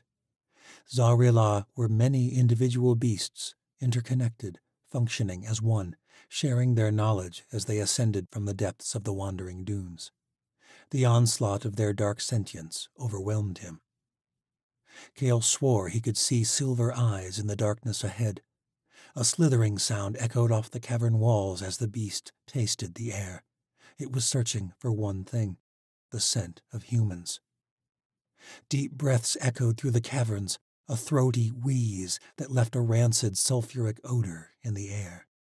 Cale and Sala held perfectly still, but Cale felt the foul breaths, hot and humid, upon his face, as though a wall of stench were pressing in on him. The beast sensed them. The slithering sound grew until Cale could taste the Rila's stench. His stomach churned. But then he sensed an awakening in the shared mind of Zarila. Some of the horde had reached the surface, where a delectable human feast awaited, all gathered in one place for the slaughter. And in a moment the grinding sound returned, the stench faded, and Cale's sense of Zarila drifted, until it was but a vague anticipation of blood and violence. He let out a long-held breath of relief. Sala was trembling. I thought we were dead, Skyblood. Let's pray the others are not, was all Cale said. He felt nothing in his senses. They were too overwhelmed with the countless dying minds in the world above, mixed with the bloodlust of Zari-La. He and Sala pressed forward once more. The beast left a yawning chasm in the tunnel, just as it had in the den. It had burrowed straight through the earth, cutting a brand new channel. Cale wondered if Zarila had cut the passage they were in now, centuries and centuries ago. Cale flew them across the gaping space, and they surged on into the dark. It took what felt like hours of weaving through the winding maze of tunnels, but eventually Cale and Sala reached the end of the depths. He knew they were close and let out a deep sigh of relief when he felt Kira's mind open to him. They came to the end of the tunnel. A large stone shifted forward at Sala's behest, and they emerged in a red sandstone tower a league outside the city walls. Ashi and Kira and the other Ilya were waiting for them. Cale rushed to Kira and took her in his arms, beyond grateful that she was alive. And for once she returned his affection. Kira gripped him tight. You took so long, she said. I worried you didn't make it out of the city in time. Why did you go into the tunnels? I heard you cry out. One of the beasts attacked the den. We barely made it out alive. Cale held her tight. Ashi and Sala greeted one another in the way of the Yanavi, clasping forearms. It was the formal greeting of equals, not of a king and his servant. Thank you, Skyblood, said Ashi, glancing over at him, for saving my chief. Cale nodded his own thanks, grateful to have Kira safely in his arms. Chapter 6 the Red City roiled like a den of serpents, whirlwinds of sand and debris rising from the streets and shrouding the infamous Zarila as they consumed the city. From a distance, atop the sandstone tower at the edge of the steppe, Cale and the others watched helplessly as buildings crumbled and the sky filled with screams. After many hours, it seemed like the Red Palace would survive the onslaught, but then it too was shrouded in whirlwinds of sand and when they had settled, half the palace had fallen away. And then, just as suddenly as it had begun, the crumbling of stone and the wails of the dying ceased. The attack was over. A stream of survivors poured onto the plains. That night, Ashi lit a beacon at the peak of the tower to guide their way to refuge. Thanks to Kira's warning, many had escaped the city before Zarila arrived, and soon there were thousands of Yanavi gathered at the banks of the spillway, before the outpost tower where their great sultan resided safe and sound. Over the next few days, Sala sent out teams to search for more survivors, and miraculously, there were some found in the debris. Cale's gift proved vital in locating them. With his cerebro sense, he found many under piles of rubble and lost in gaping crevasses left behind in the sandstone. The city was riddled with a thousand such holes, making it look like one great corpse after a firing squad had done its dark deed. The search was slow work, and it was many days before Sala called a council of the surviving sultanes to declare an end to the search, to anoint successors for the dead chieftains, and to decide their next move as a people. Five of the sultanes had been safe on the steppe with their tribes at the time of the attack, of those in the city, three were lost, and it fell to their eldest sons to rise up in their late father's steads. When the anointing ceremony had been completed, the great sultan gathered the chiefs of the twelve tribes in the commander's quarters in the sandstone guard tower. Cale and Kira were not invited. They waited by a cook fire outside, amidst the large refugee camp that had formed on the banks of the river. The great spillway was the life source for the Yanavi, the mighty river formed from the runoffs of the Crooked Teeth and the Spine of the North, weaved and built for hundreds of miles across the gray waste to the steppe. The spillway ran all the way to the Bay of Triumph at the southwestern edge of the continent. It was the largest river in the New World, and without it the steppe would be an arid wasteland, and the herdsmen would be able to maintain no livelihood upon the steppe. Littles were playing at the shore of the river, boys and girls running naked and splashing one another as their mothers washed clothes on the bank. They were squealing with laughter. It seemed absurd after so many dark days. It's amazing, isn't it? said Kira, how littles can find such joy even at a time like this. Childish ignorance, said Cale. Their world is in shambles. Their chieftains meet to decide how the tribes will survive this travesty, and they laugh and play, oblivious. It's a gift. What would the world be without laughter? Cale could not remember the last time he had laughed out of such pure joy. But he remembered a world before this darkness. He held on to the memory, though he did not dare entertain the notion that its world would return to him. He was grateful Kira was speaking to him again. It was joy enough for now. Cale squeezed Kira's hand briefly. She flinched ever so slightly at his touch, whether from surprise at the contact or subdued disdain. He did not know. It would be a world without littles, he said at last. A world with no future, one not worth fighting for. Gods. Kira's face turned toward the children's squeals. I wish I could see their faces. I've always thought it was one of the most beautiful things, the eyes of a child. Cale did not know what to say to this. Kira's blindness was still such a strange concept to grasp. He could not imagine how hard it must be for her. She had not spoken of it since she'd awoken, at least not to him. Your sight could be returned if we went to the White Citadel. But he did not say it. Ashi paced nearby, muttering irritated curses, but she soon grew tired of it and joined them around the cook fire. Well, you were right after all, Skyblood, weren't you? Ashi said, taking a seat. About what? That Sala's alliance with the Chancellor is in shambles. It just did not show until after the choosing, until after he'd gotten what he'd wanted from my prince. How so? How else do you suppose Zari-La rose out of the desert to attack our city for the first time in over three hundred years? The Chancellor brought back Rulaks to the north, and now this.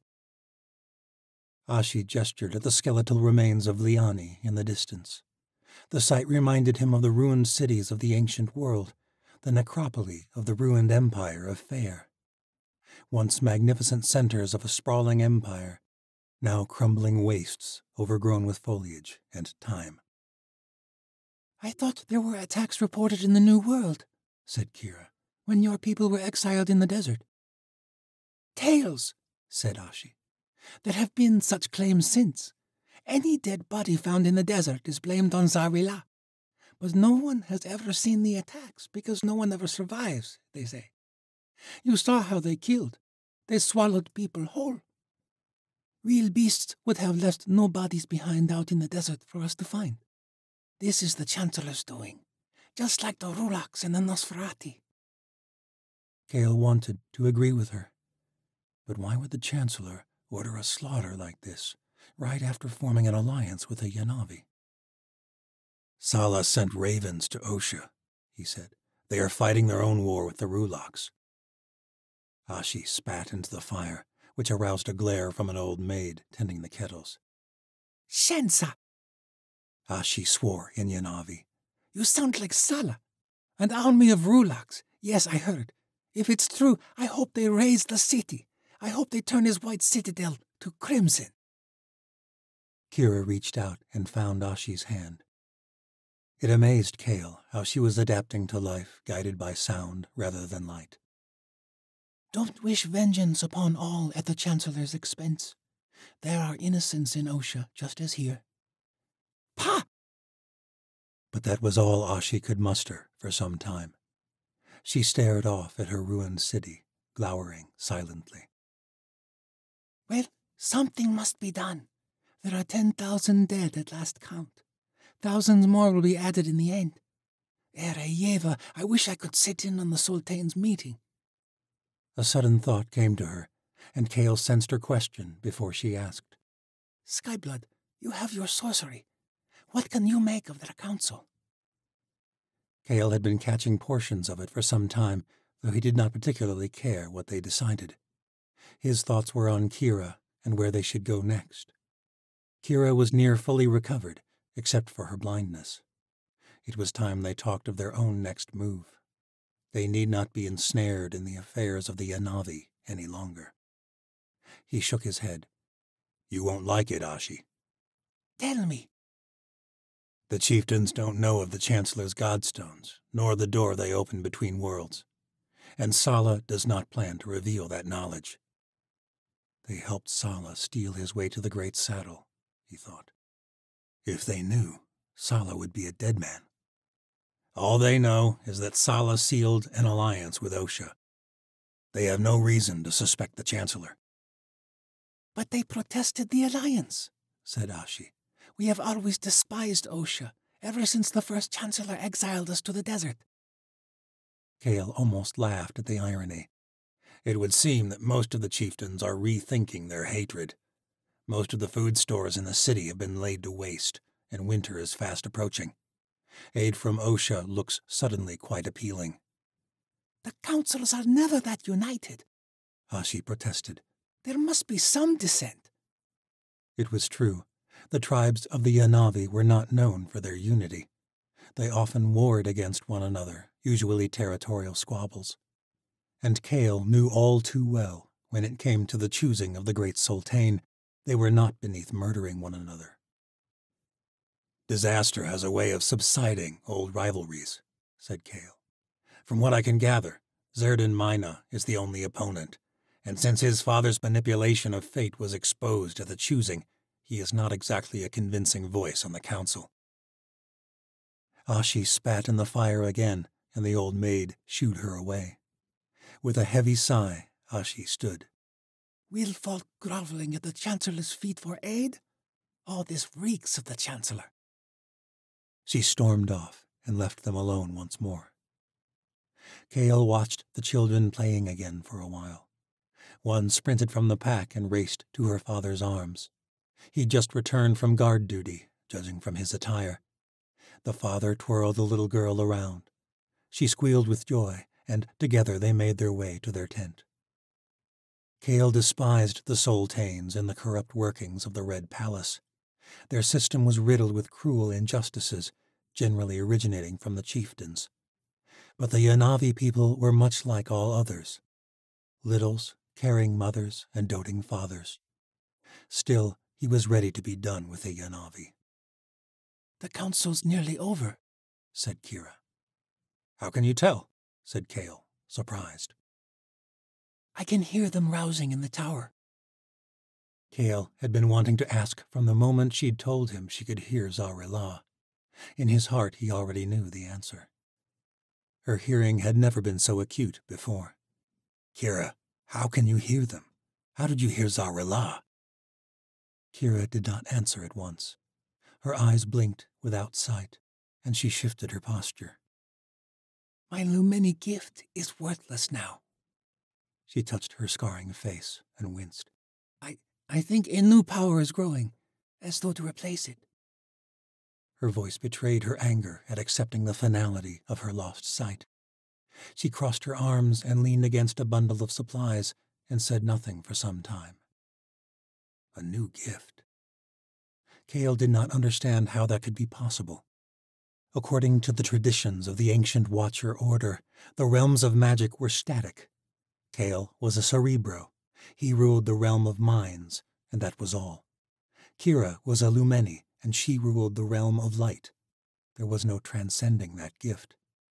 Kira had never shown an affinity toward any other realm of magic before. There were some who did. The Magi, those with more than one affinity. His mother had told him tales of such sorcerers. They were reviled by most leaders of the old Watcher order. They were seen as unnatural, too ambitious, but they had always fascinated Cale as a boy. Perhaps it is true, what Mother said, that magic has no limit. How else could it be explained? Kira had never shown it before, but with her Lumeni gift rendered useless, she was showing sure signs of the Sonara, who ruled the realm of sound. And Kira was right about the council being finished. Moments after she'd heard them, the Sultanes emerged from the tower and returned to the camps of their respective tribes. How is that possible?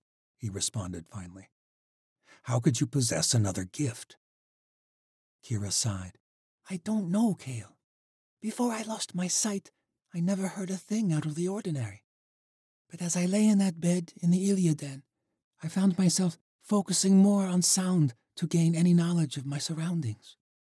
I could tell when you entered by your gait, by the timbre of your breaths. Azrahi was distinct by the soft rustle of his beads.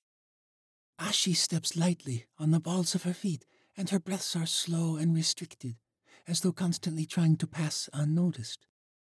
The more I focus, the more acute my hearing grows. Subtle shifts of clothing, footsteps, heartbeats all betray movement. I can't see it, but the world is alive with sound. That's incredible, he said. Kira was not smiling. I know I should be grateful, but I find myself resisting it, trying not to hear things, as though if I do, I will accept the fact I will never see again. You saved us. Kira was silent for some time. She bit her lip, and he could tell she was fighting tears. Lumeni power has always been part of me, just as much as my eyes themselves. This hearing feels like a pegged leg, a sorry excuse for a replacement. I'd give anything to be a Lumeni again. When the council was finished, Sala adjourned to confer with the Burodai elders, but not before Ashi accosted him with inquiries about the meeting. She came away disappointed and stamped off to the edge of the camp. Cale and Kira ate with the Burodai tribesmen, and it was during dinner that Sala approached them. Despite residing within the safety of the tower, Sala Burodai still ate with his tribe, a trait Cale respected about the man. He was smiling as he took his seat. Cale offered some rice and roasted kela, but the great sultan waved it away. No, eat well, old friend. You both have offered more than enough already. Have we? My people owe you a great debt for warning us, for helping us locate survivors in our ruined city. The tribes have always been suspicious of the Skybloods, who wield magic without spells, fly without wings but you have shown them that all the horrid tales of the old world are not true. It was known that the Yanavi bore no love for the Watchers. They blamed them for the war between the worlds and the ensuing fall of the old world, the events that led to their exile. There is honor among Skybloods, and I hope we all may put aside past differences. Like an alliance with the Chancellor, said Cale. Sala smiled resignedly. I'm afraid we need the aid of Osha more than ever, old friend. The chiefs are unanimous on this matter. We will cross the steppe and seek refuge at the city of Pendra. As soon as affairs are settled and provisions are secured for my people, I will journey to Maro El, and my sister will be wed to the Chancellor as promised. The sister your people believe dead, said Cale. The Yanavi were superstitious when it came to the dead. Vashti had been publicly burned by her father because of her watcher magic. For her to apparently rise from the dead now would be seen as grossly unnatural. The Zora tribe lives on the southern steppe, near the great canyons of Dim, only one hundred leagues from the Triumvir. Fair Zora's daughter, Sheva, is pledged to a great merchant in Vel Karen and has spent the last five years in the city being trained in the customs and languages of the Triumph. Now she is a grown woman, and her people have not known her looks since she was but a young girl. Fair Zora is an ancient ally of my family, and he has agreed. In the eyes of my people, a marriage between Sheva and the Chancellor will seal our alliance. And what will become of the real Sheva? asked Kira suspiciously. She will marry the merchant as before. She was to be lost from the tribe anyway. Fair Zora may even go to see his beloved daughter when they journey to trade in the Triumphal. Sala always had a plan. Cale couldn't deny that. Then all is well, isn't it? said Cale pointedly. My city is in ruins, Skyblood. Do not make light of what we have lost. Why are you telling us all this, Sala? Because while all may seem well with this alliance, I fear it stands at the edge of a cliff. And right now, my sister is all alone in the White Citadel. You're still sending Ashi to attend her, I trust. Sala nodded. She told you. And you want us to join her? Cale finished for him. Yes, Skyblood. Ashi is strong, and there will be other Elia in her company, but we know little of Watcher magic. I need you to see that Vashti is treated well until the wedding. Cale could not believe the man's audacity. We may have aided your people in the middle of a cataclysm, but we are far from allies. You will make me beg? So be it, said Sala. He clasped Cale's hand between both his palms. I wish it might have happened another way, Skyblood. My sister, one of your kind, needs you. Forgive me if I'm not sympathetic, but your sister betrayed her kind. And you did not? We all do what we must with what we are given. Then why must we help you, Sala? What are we being given? Cale's eyes bore into the great sultanes. He was through with the man's manipulation. I think you know, Skyblood. Did you think Ashi's proposal came only from her? What proposal? said Kira. That was your plan all along, wasn't it? said Cale, disregarding her. To get us to go. Now more than ever, said Sala. What proposal? Kira demanded, grabbing his wrist.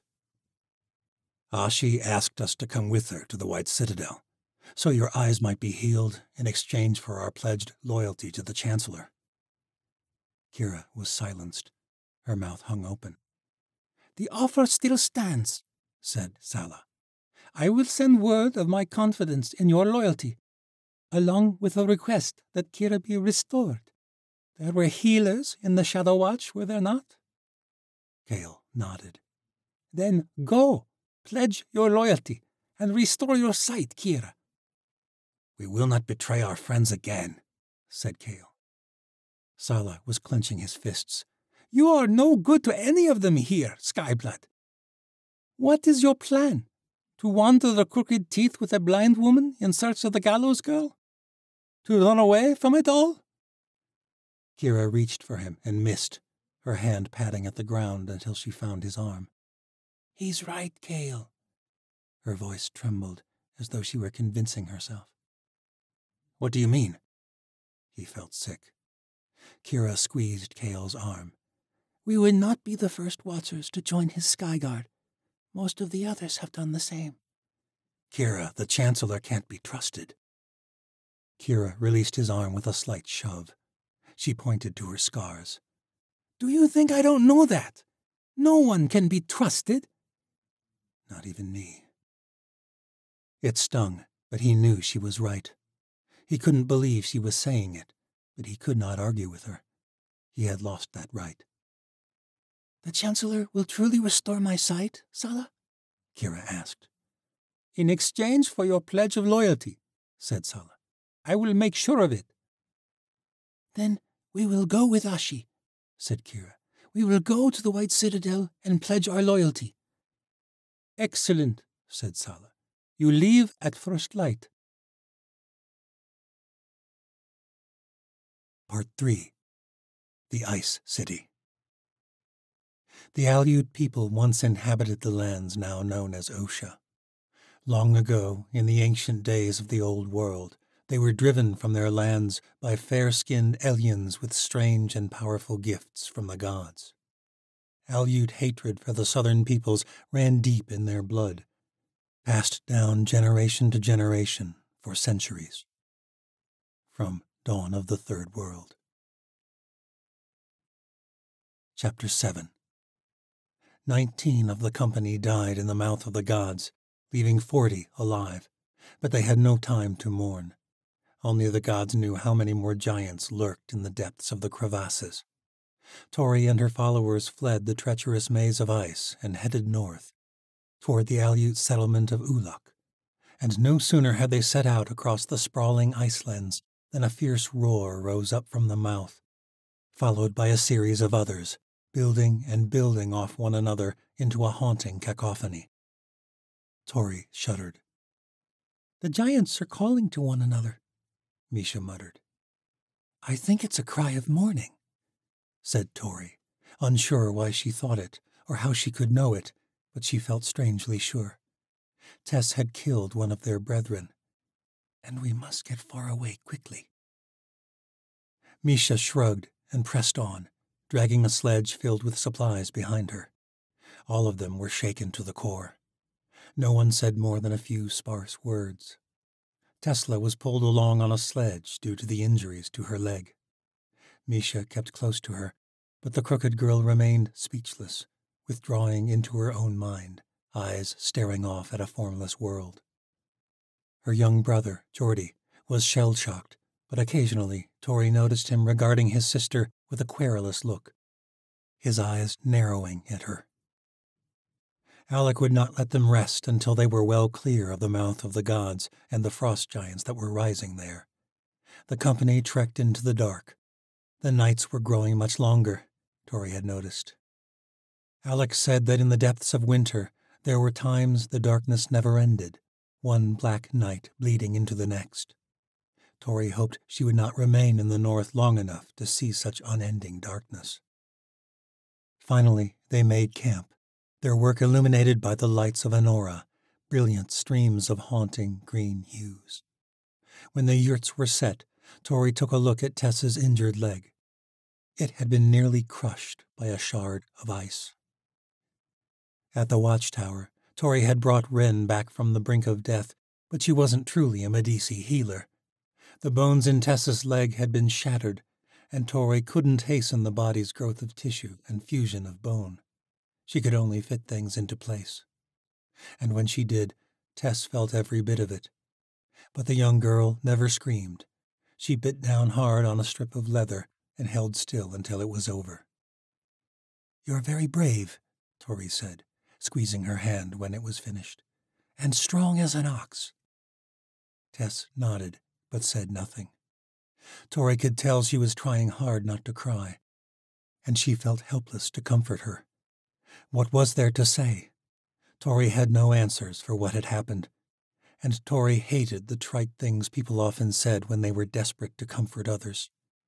The gods have a plan. We all have a time to sail on to the next world.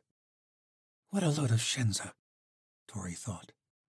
If the gods were real, they had lost all control over their plans for the world. Or perhaps we were wrong about the benevolence of the gods. Perhaps death and destruction was their plan all along. After all Tori had seen in the past few weeks, it was difficult to see the world any other way. Yet Mary's last words stuck deep in her mind. Keep believing there's good left, in Darien and in all this world. But Tori could not bear the thought that the gods would allow a lovely girl like Tessa to lose both her parents in a matter of weeks. Using pine from a damaged sledge, Tori fashioned a splint for Tessa's leg and a crutch to help her walk. This'll have to do for now, until that leg heals properly. Thank you, my saint, said Tess feebly. You can call me Tori, she said, touching the girl's cheek. We're no different, you and me. You're a watcher. Okay. Tess stood, supporting herself on the crutch. I'm sorry I can't do more, Tess. You'll need to ride in the sledge until we reach Ikkala, but the crutch will get you around camp. Don't try to use that leg, you hear? Tess nodded. Tori wanted to talk to her. Surely she was full of questions about the meaning of her gifts. Tori had certainly been when her own powers emerged, but she sensed that it was all too overwhelming for the young girl. She needs to mourn. There will be time for questions later. They both went to join the others, but Tess left the supper fires without touching her food and hobbled to the outskirts of camp, alone. Tori knew she was continuing the late night morning ritual her mother had begun for their father. Now Tess had both parents to grieve, and the confusion of an unknown gift arising moments too late. Misha watched her go and quickly rose to follow. Mish, perhaps it'd be. I'm just going to be sure she doesn't wander off too far. You heard the Aleut. Giants aren't the only things we have to fear this far north. Rogue Aleut clans wandered these plains. They had raided more than one trading company on this route, according to Alec. Even in this bleak world of nothing, there was war and betrayal. A fact that had Alec more on edge than Tori had ever seen him. Geordie watched his sister leave as well, his face tightening with visible anger, then softening to the point of tears. She might have saved her, Geordie whimpered. Her mom. Tori squeezed his hand, overwhelmed with sorrow for the boy. He was little older than she had been the day her own mother abandoned her. I'm afraid it doesn't work that way. There's nothing Tess could have done. But could I have saved her? The thought had been nagging at Tori's heart the entire trek from the mouth. If only Tori had reacted quicker. If only she hadn't been overtaken by the beast's onslaught of ice. She was strong. She could have beaten that monster. But she hadn't been prepared, and it all happened so quickly. Why not? said Geordie, an edge to his voice. She's magic, like you. Tori forced a kind smile, in spite of the guilt rising within her. She thought of the ghosts of Gen. How many would haunt her now in that place? The boy should be blaming me. You've heard how I first revealed my power, haven't you? Geordie nodded, wiping freezing tears from his cheeks. You destroyed the Chancellor's gallows in front of the whole world. Did you know that was the first time I ever used magic? It was a subtle lie. Tori could not truly remember a time before then she'd used magic. She simply knew there had been a time. But those memories had been taken from her. The boy's eyes went wide. Really? My magic was revealed to me much as it was your sister. I was trying to save someone too. Who? The boy they were hanging on the gallows. He was my friend, but I wasn't able to save him any more than Tess could save your mom. Tori didn't tell Geordie that the boy had lived, that Tori had saved Darian, only to have him turned into a monster. We both were just a little too late. Tori squeezed Geordie's hand tight. Don't blame your sister. You need to be strong for her. You need each other more than ever. The boy nodded to his saint. Should I go find her? Tori smiled. Right now, I think Tess needs to grieve alone, but be ready when she returns. I will, said Geordie. I'll oh, be strong. Your mum died to save you, Geordie. Never forget that.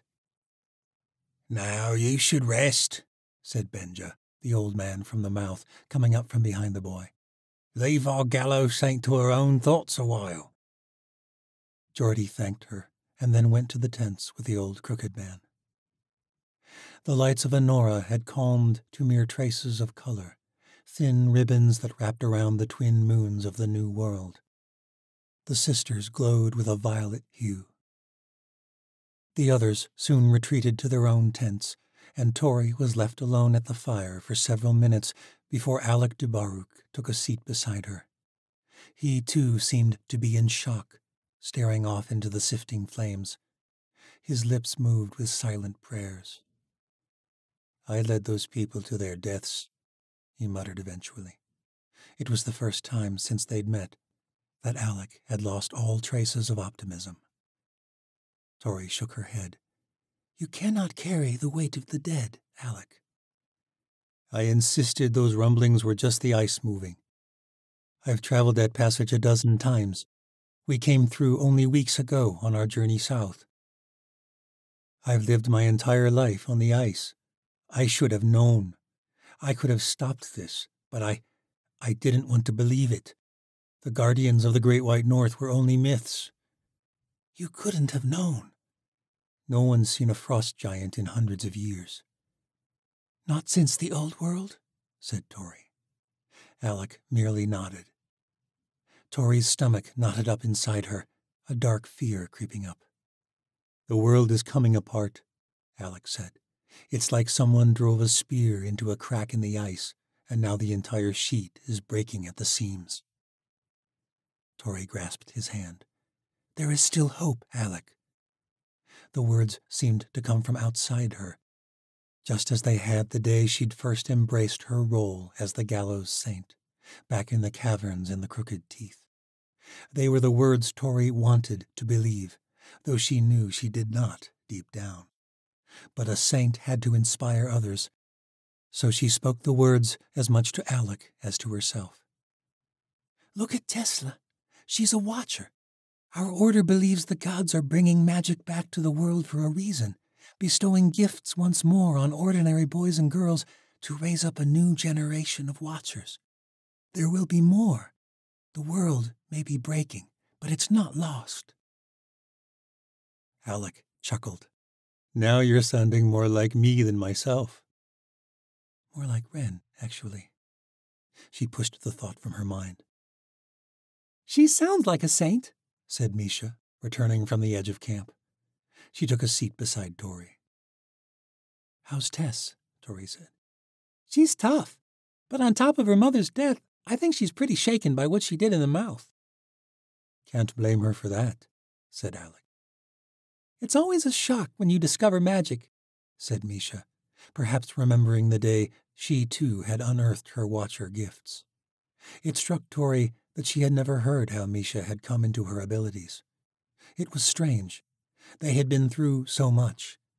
In some ways, Misha felt closer than a sister, and yet there was so much Tori did not know about her friend. I wish it didn't take tragedy to make it reveal itself, Tori murmured. Magic shows when it must, said Misha. That's what Wren would say. Gods, is he even alive? she wondered. She hoped desperately that he was, that all of the Watchers were, even the ones who had betrayed them. Alec poked a stick into the fire, stirring the coals. Well, that's good news, considering the state of the world. There should be a lot of magic rising up. The three of them grew silent. The lights of Anora surged in the northern sky, as though the ribbons were trying to choke out the light of the sisters. Misha finally broke the stillness. Tori, where do you think these beasts are coming from? First the Rulocks, then the Nosferati, now frost giants, all the legends from the old world suddenly roaring to life. Tori could tell Misha already knew, the way she touched her arm as she waited for an answer. But even so, it was difficult to muster words to the fear that had been gnawing its way out of her since they'd escaped the Nosferati. I don't know how, said Tori, but I think it happened when I fought the Chancellor in the old world. I think I let them in. Chapter 8 In the village of Uluk, the company of Aleut and Crooked refugees rested for three days to recover from their passage through the mouth of the gods. The isolated Aleut village was situated at the edge of the last forest, a small outcropping of tall, narrow snow pines in the northernmost foothills of the Crooked Teeth. The Tuva clan, tree folk in the common tongue, was glad to house the weary travelers in cabins made of logs and sod. The village was situated within a fort, with a tall and fierce looking wall made of logs carved with points like massive spears. To protect against the rogue clans, said Alec, when Misha asked during their first supper. What happened? Why would they attack their own people? The Aleut are one family, but like most families, it is a dysfunctional one. When we were exiled to the White North, we banded together better than ever. But over time, there were quarrels. Many believe the Ice City is not our way. They say we are becoming like the invaders. The rogue clans left the unified people long ago. They wander in the north, small bands of hunters and warriors. They fight with one another. They fight with us. Sometimes their numbers are small, but they have been growing recently. Rumors have been spreading of a fierce warrior who has been uniting them. The elders have been growing worried. If the rogues ever banded together, they could threaten Ikkala and forever change my people. Even within the walls of Uluk, they were not safe. In contrast to the sealskin tent Misha and Tori had been sharing, the cabins, with their roaring hearths, felt as warm as Melanesia. There, the stilt huts were little more than a thin lining of reeds enclosing a bamboo frame. During the hot summers, Misha would sleep out on the beaches of her village. It was one such night when Misha had first seen Ala Sumai, and it was on that same beach, at the end of that glorious, horrific summer, that her father had discovered their moonlight trysts. After that, nothing could be the same. Here in the north, all hints of summer had drifted away like a morning fog. Despite a year in the crooked teeth, Misha had never grown accustomed to the northern chill, and in the great white north it was even worse. She had never been so cold in all her life as on this journey, and she mourned the day they left the warmth of Uluk's cabins to continue north once more. There are few logs in Ikkala, said Alec, as though reading her mind. It lies beyond the northern tree line, but the walls are layered with firs and the hearths stoked with firestones. You'll be warm again soon enough. Don't worry. Misha smiled. What you and I consider warm are quite different things, I think. Alec clapped her shoulder. Stay strong, island girl. He laughed as he trudged ahead to join their saint. Tori had said nothing more about the beasts from the old world, and Misha had not pried.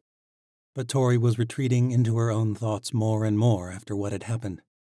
She had begun embracing her role as saint, and Misha knew she hated that she hadn't been able to save the Aleut and the crooked folk in the mouth of the gods.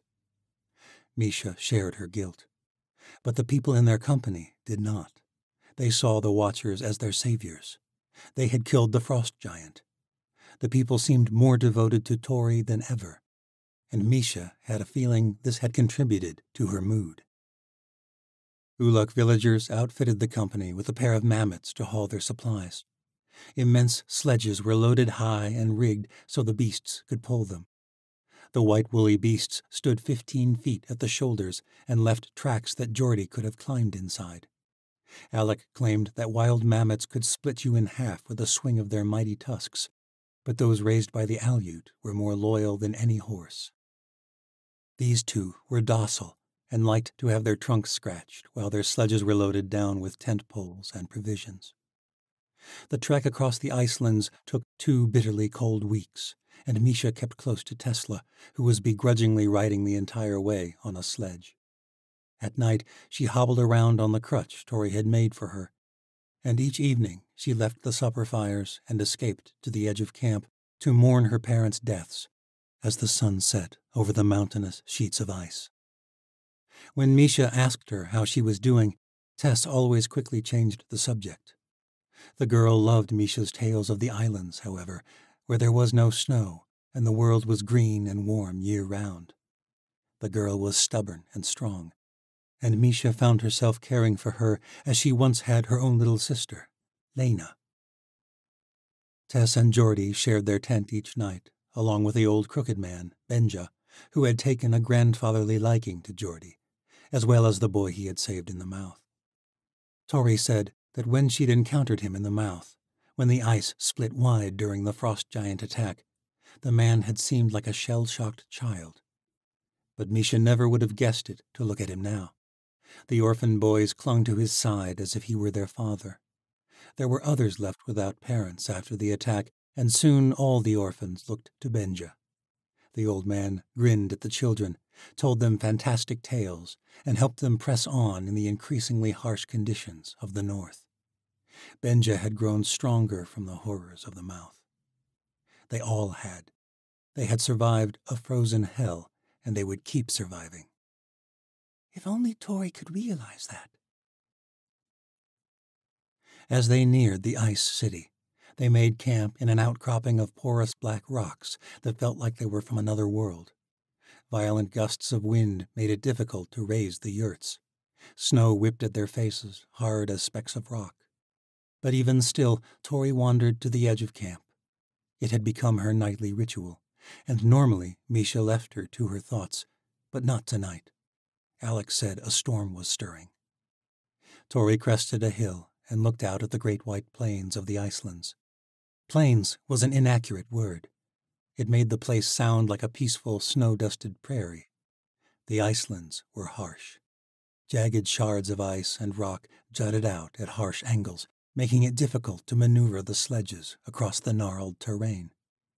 They were forced to weave between the obstacles, and Misha guessed that their twisted path had added days to the journey.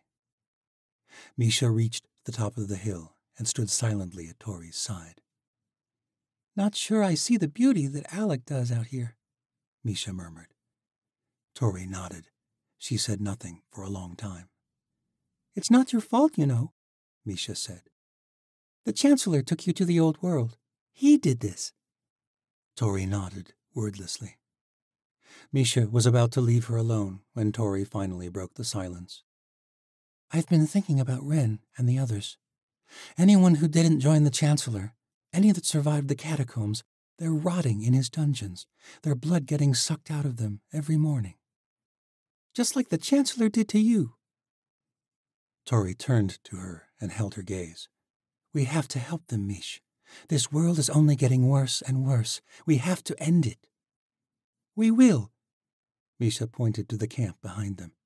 Snow was beginning to fall, darting violently on the wind. Look at them. They will follow you to war. But will the others? Alec says that not all are as eager to. Misha's heart nearly stopped. She grabbed Tori's hand and pulled her to the ground. What's wrong? Tori hissed. Misha pointed out across the plain. Far off in the distance, near the horizon, there were dark shades, figures, a great host of them, riding on strange white beasts. Rogues, Tori whispered. What are they riding? I think they're bears. Shivers shot across Misha's skin. Rogue warriors could tear their company apart. They had been marching for weeks. They were hungry, exhausted, and not equipped for battle. The two held very still, praying they hadn't been noticed. The host was riding in their direction, the shapes slowly growing larger. But suddenly the wind picked up, stirring up whirlwinds of snow that filled the plains beyond. Dark clouds pressed in around the rogues, and the riders disappeared in the storm. Wind and snow cut at Misha's face, making her eyes water. She grabbed Tori's hand, and they hurried back to camp. While the Aleut prepared for one of the legendary squalls of the north, Alec assured them that it was very unlikely the rogue clans would have wandered this close to Ikkala. They were within a couple days' march of the center of Aleut civilization. It might even have been bear rider scouts from the city, but Misha did not fully believe him. Despite his assurances, Alec increased the guard detail that night. The wind howled throughout the night, and the yurt shook as the fierce northern tempest descended upon them.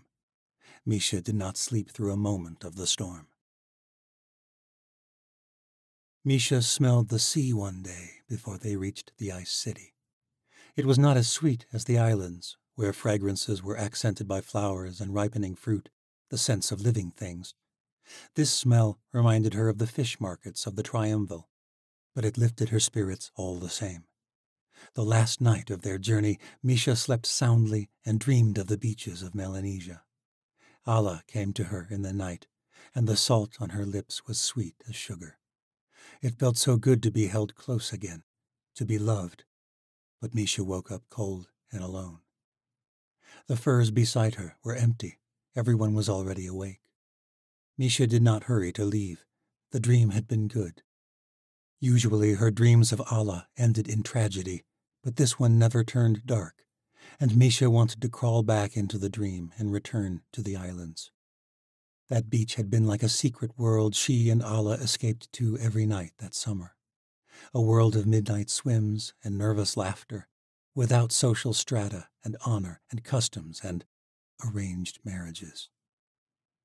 Her fourteenth summer was the last calm before the ensuing storm that had been Misha's life ever since she and Alla were discovered. You are a disgrace to this family. Her father's words still stung, but what he'd done after was unforgivable.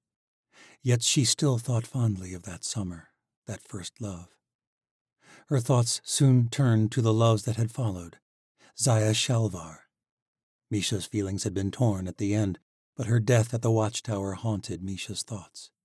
Zaya had been lost in the devastation of the Rulaks, after Tori stirred them to a rage of violence, and Misha's guilt was increased by the fact that she had broken things off with Zaya hours before her death. And then there was Vashti Burodai. Her betrayal still stung deeply. Misha had to believe that it was not permanent, that the Yanavi princess would choose differently when this revolution came to Osha. She had to believe that none of the watchers who had joined the Chancellor were lost. She couldn't bear the thought of fighting people who had once been close as family. Misha was jolted from her thoughts when Tess came hurrying in, nearly tumbling on her crutch. We've reached the Ice City. You can see it from the top of the hill. Come look. Misha followed after, glad for a distraction. Even on a crutch, Tess flew across the ice. Her leg was healing quickly. They reached the top of the hardened drift of snow and looked out across the expanse of white, but white was all Misha saw, though the scent of the sea was stronger than ever. I don't see it, Misha said. Tess pointed north. Look, there near the horizon, where the ice shimmers. I see the shimmers. That's the Ice City. Alec says we'll be there by supper. The company was nearly finished packing up camp by the time they descended the drifts. Everyone's spirits were high as they set out on the last leg of their long journey from the Crooked Teeth. Misha joined Tori and Alec at the front of the company as they neared, and spires of ice began to take form on the horizon. There were four distinct spires that rose from the ice sheets like giant spears. For the four clans, said Alec. The Nukvana, the bear riders, the Tuva, the people of the forest, the Ikuvara, the hunters upon the ice, and the Karuva, the people of the caverns below the world. Which are you? said Tori. Shamans have no clan. We serve everyone. But before I was a shaman, I was an ice hunter. They fish the ice shores and hunt whales and seals from their kayaks. You've met the forest folk of Uluk. They send hunting expeditions to the Crooked Teeth every summer, and they supply what little timber we use here in Ikkala. The bear riders tame the north bears like war horses, and the cave folk mine firestone, the only source of heat in the north. We work together to provide for our people. The four spires, Misha soon discovered, were at least 500 feet high, rising from a mountain of obsidian star rock. Four villages encircled the mountain, the buildings crafted from blocks of ice, and enclosing them all within one city was a wall of ice thirty feet high. When they were a mile from the city, a young woman rode out to meet them, accompanied by a dozen warriors on the backs of shaggy white north bears. The girl was darkly beautiful. In the afternoon sun, she left her hood down, letting her dark hair fly. The left side of her head was shaved to the skin, revealing a vibrant tattoo of red and blue markings that were strange to Misha. That is Skaya, said Alec. Your war chief? asked Misha. My sister. His tone betrayed an air of disdain. Alec murmured something, and then Tori held up her hand for the company to stop. Skaya de Baruk and her bear riders did not slow until they were nearly upon them. Misha noted that all the riders were women, Skaya's eyes went wide and passed from Alec to the two strange young women at his side. You were sent on a hunting party, Baru. Instead, you bring outsiders to our sacred city, Skaya said. Misha did not like the girl's tone. Saru, I bring refugees from the teeth, said Alec, dipping his head in a sort of bow. We have long traded with the crooked folk. Trade, yes, but we have never escorted them straight to the heart of our people, to our only stronghold. Our Madru is far from pleased, Alec, and the shaman sense more than crooked folk in your company. Her eyes narrowed at Tori and Misha. This is the gallows saint of Osha, Astoria Burodai, and her companion Misha Sufi. Misha felt as though the warrior's eyes might bore a hole straight through her. They are our allies, Alec said. There's no need to fear their gifts. Our people have always feared magic, said Skaya. Or have you forgotten why you were trained since boyhood to render it useless in the north? Our people once knew beautiful magic. Or have you forgotten what lies in the temple? Have you forgotten what our great shaman foresaw of the restoration of our people? They are darklings, Skaya hissed. That is all I need to remember. Their magic saved us from frost giants in the mouth of the gods. Skaya's eyes went dark, and her expression hardened. Yes, frost giants and rulaks wander the north once more, and our traders return from their summer voyages with one ship lost, bearing tidings of sea dragons in the Channel Sea. To hear the tales, your darkling is the one to blame for this new threat to our people. Skaya pointed a long tattooed finger at Tori. Tales told by our adversary, said Alec. The Chancellor bleeds lies. Tori is our ally. The High Elder will determine both their loyalties. Tell me, how many died during your journey through the mouth, Baru? Alec's face went tight. Nineteen. Skaya motioned to her riders. Bind them! A pair of fierce looking women dismounted and approached. Each wore a necklace of long teeth and shared Skaya's shaved head and strange markings. Alec went pale, but he whispered quickly, Don't, Misha. It was then Misha realized she'd lost all sense of her magic. Was it Alec? Or another shaman? Misha did not know, but there was no use resisting. The warriors seized Tori and Misha by the arms. No, cried Misha. This is a mistake. Please. But Tori shook her head. Play along, she whispered. That is all we can do. Skaya's eyes went wide as she addressed them. Astoria Burodai, the gallows girl of Osha, you are to be put on trial for the deaths of nineteen of the Aleut people in the mouth of the gods, for the destruction of one of our trading vessels in the Channel Sea, along with all its cargo, and the lives of the forty-three Aleut crew members aboard. Tori did not argue against the woman's claims. She merely nodded in submission. Misha was furious. How can they do this? None of this is Tori's fault. But Misha knew she was fooling herself. Whatever had happened, Tori was at the exact center of all the chaos in the new world. Skaya motioned to her warriors. Take them to the caves. The trial will be held at the sign of the empty moons. May the gods judge the gallows girl justly. The Aleut warriors bound Tori's and Misha's hands behind their backs and led them into the ice city. It was not the welcome Misha had envisioned at all. Part 4 Battle of Gods and Monsters Looking back now, I see it clearly. This was when the world changed. This was when the earth began to break apart at its seams. The last commander of the Metamorphi, as quoted in Dawn of the Third World.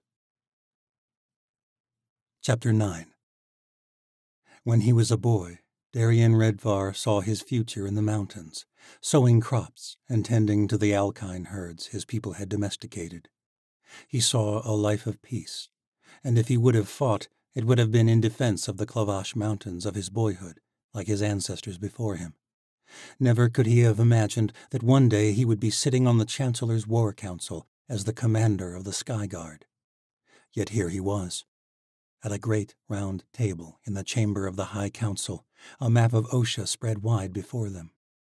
The council consisted entirely of high-born lords and ladies, Lord Fedra, Lady Dragonis, Lord Wallace, Lord Bara, Lady Tindair, Lord Reith, and Lord Zamel, commander of all the Night Legions.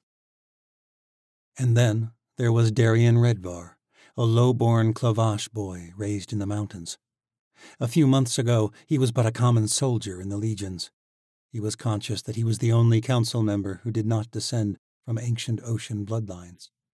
In this room, he was nothing. The families represented here had ruled Osha since the dawn of the New World.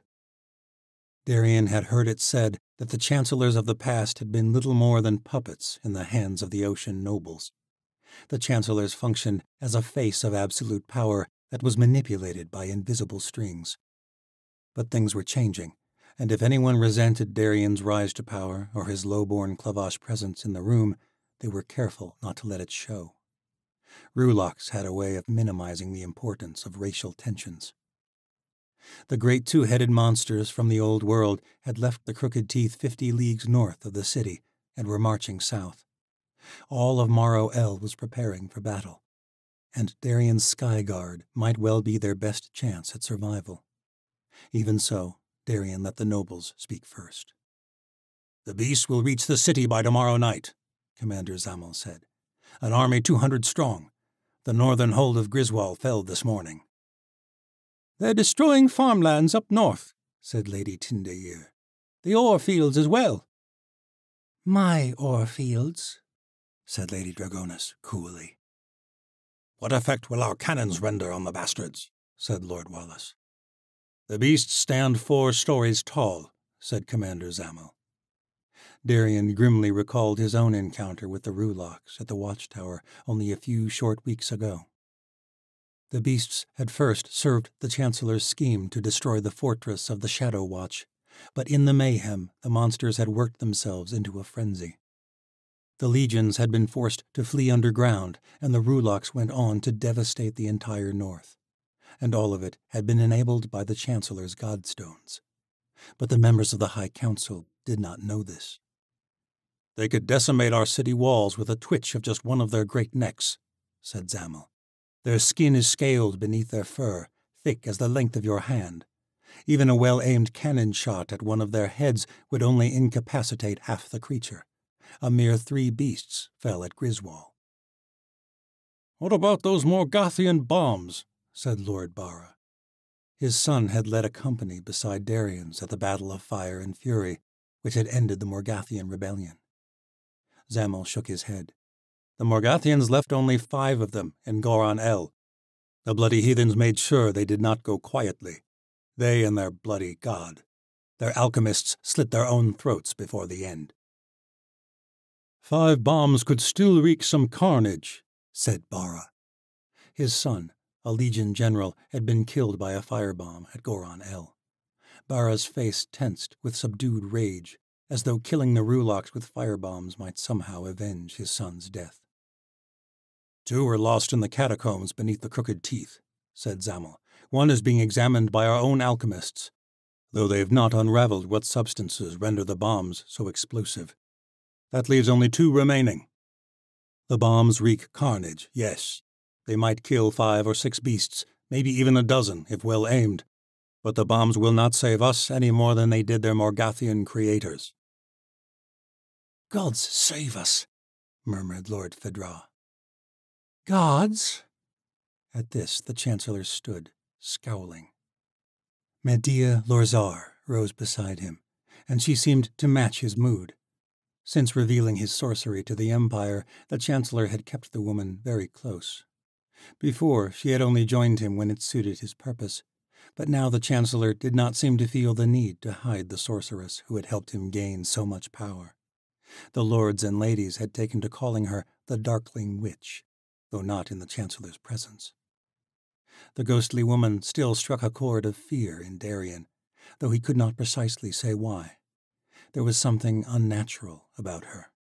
She was powerful, yes, but not nearly so much as the Chancellor. But Medea could see into his mind if she wished. She had probed there once, before Darien had been turned into a morph.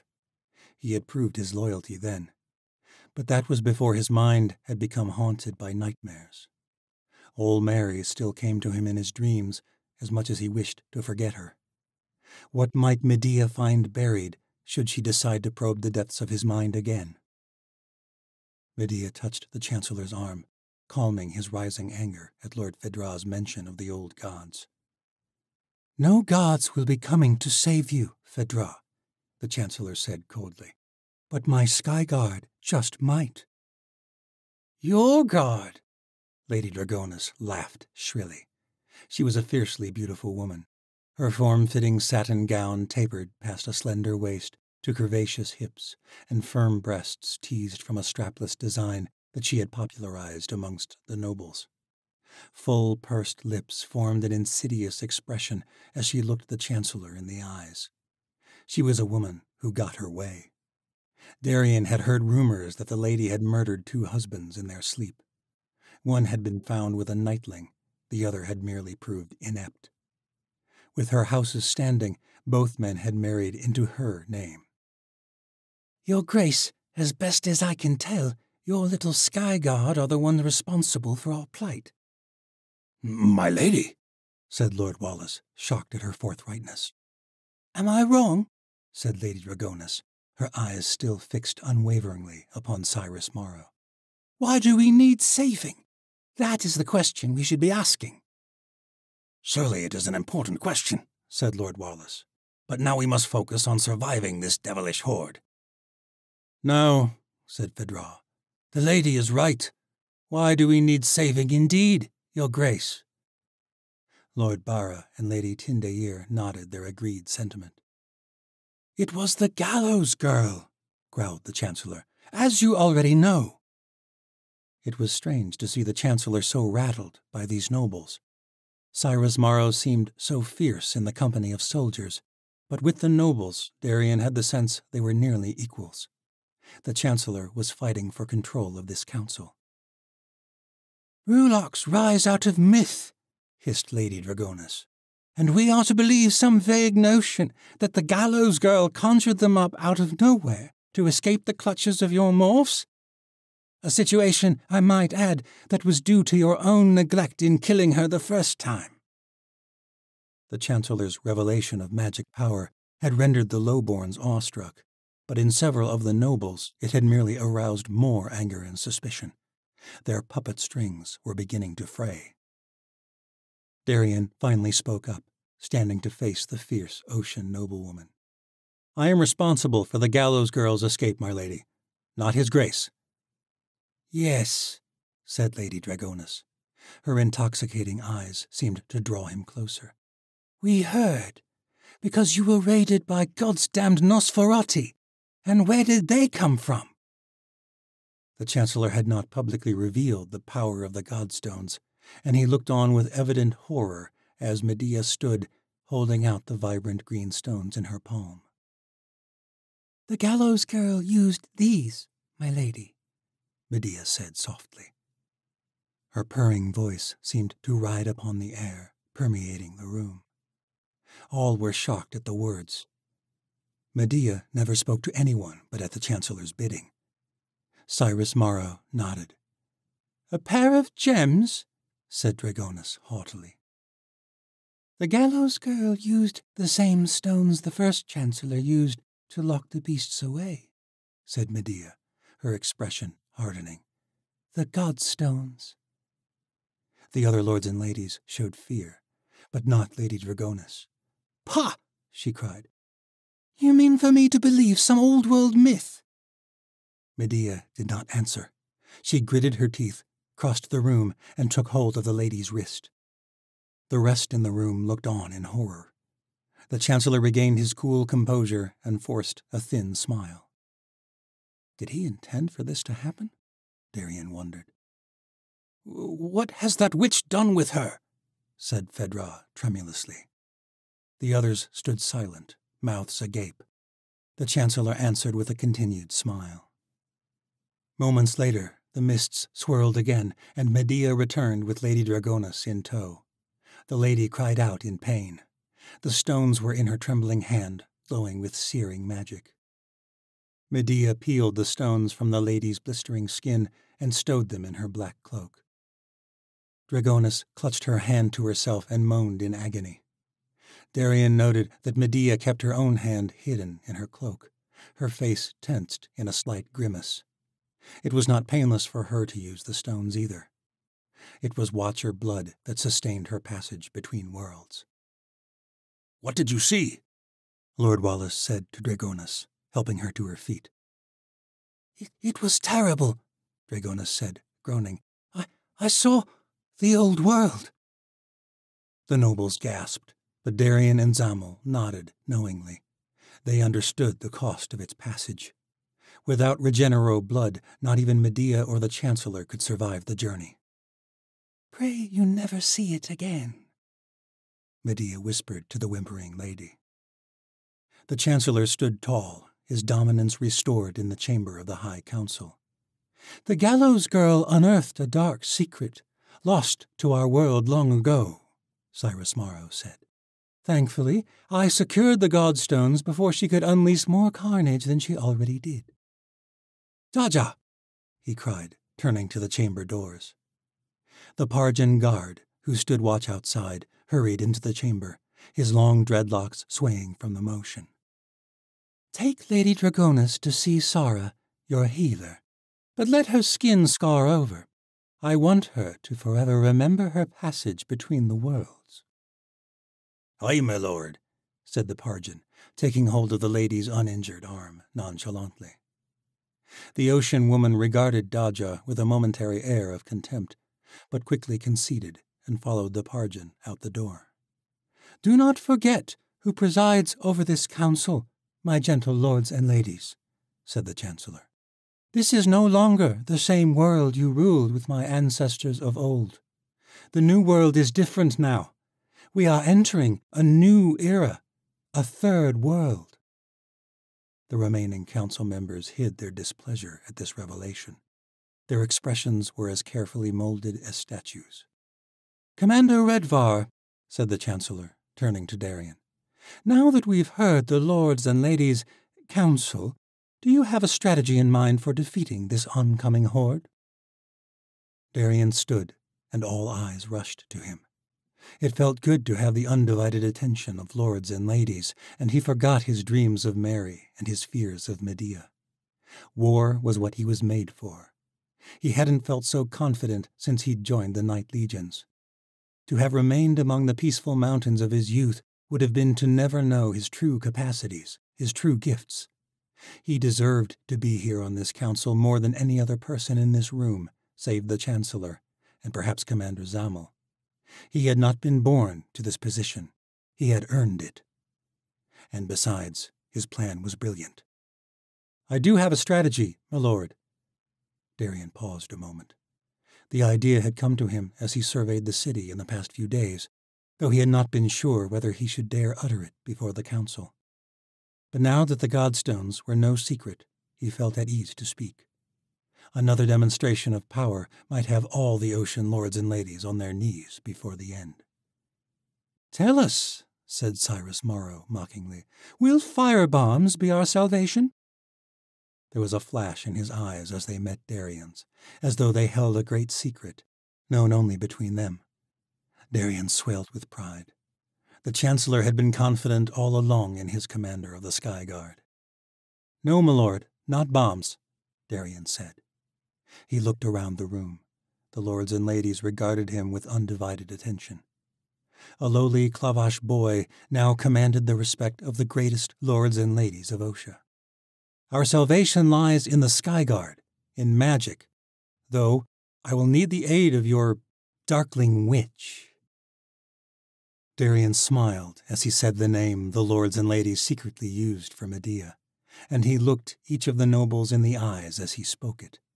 He enjoyed watching them glance away nervously. They were afraid of him, too.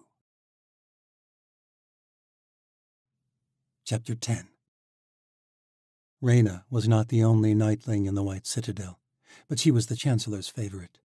A Faerish girl, she had the black eyes and copper skin that signified the remnant race of the ruined empire.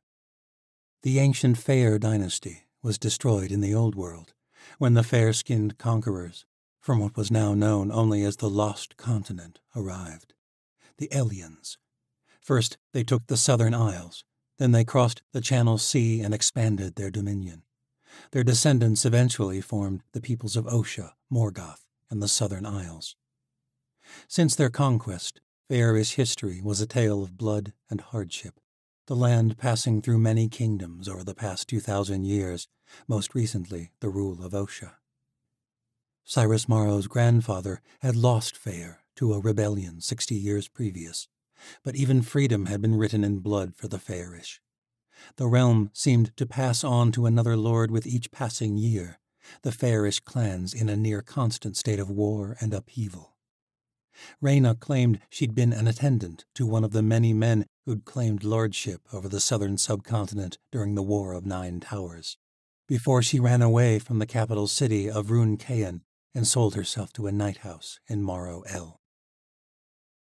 The Chancellor knew Rayna had lied about her past, but it was this boldness that the Chancellor liked about her, along with her effervescent beauty.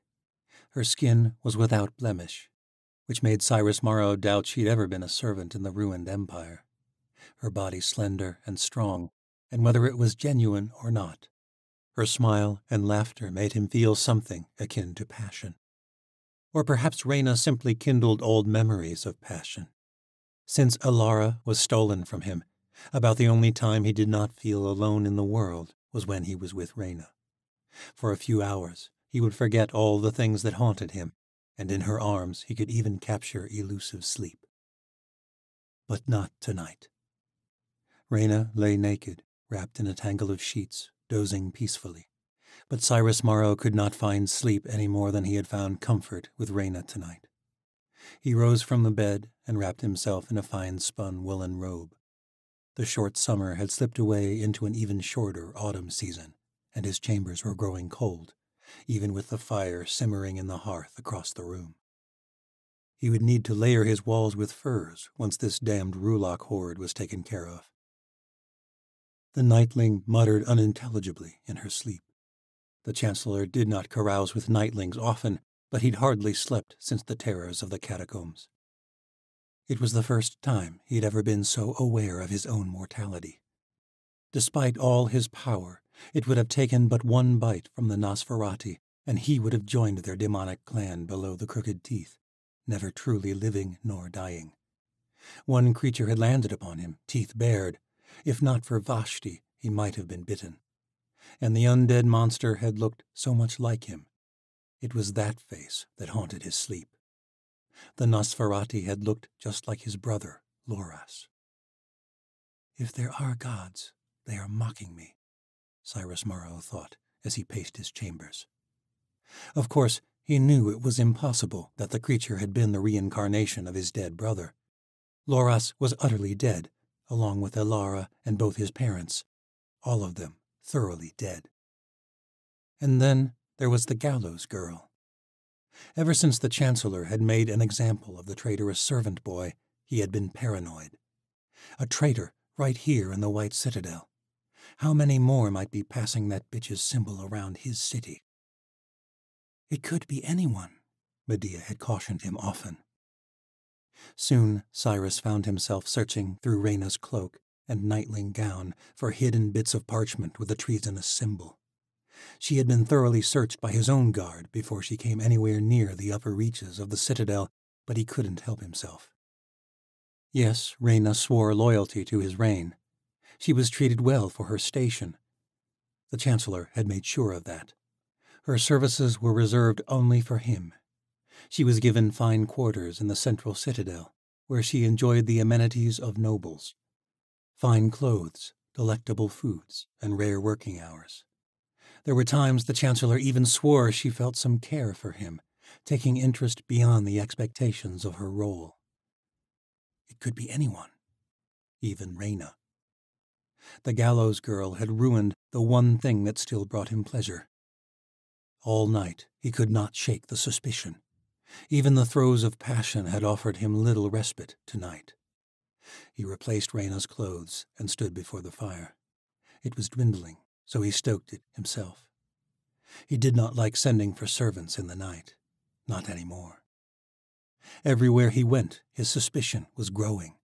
Even the nobles of this very city were not above suspicion.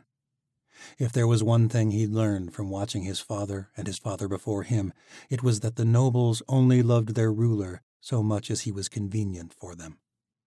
Alexander Morrow had bent constantly to their will, and even then there were some who had all too easily aided Cyrus's own schemes.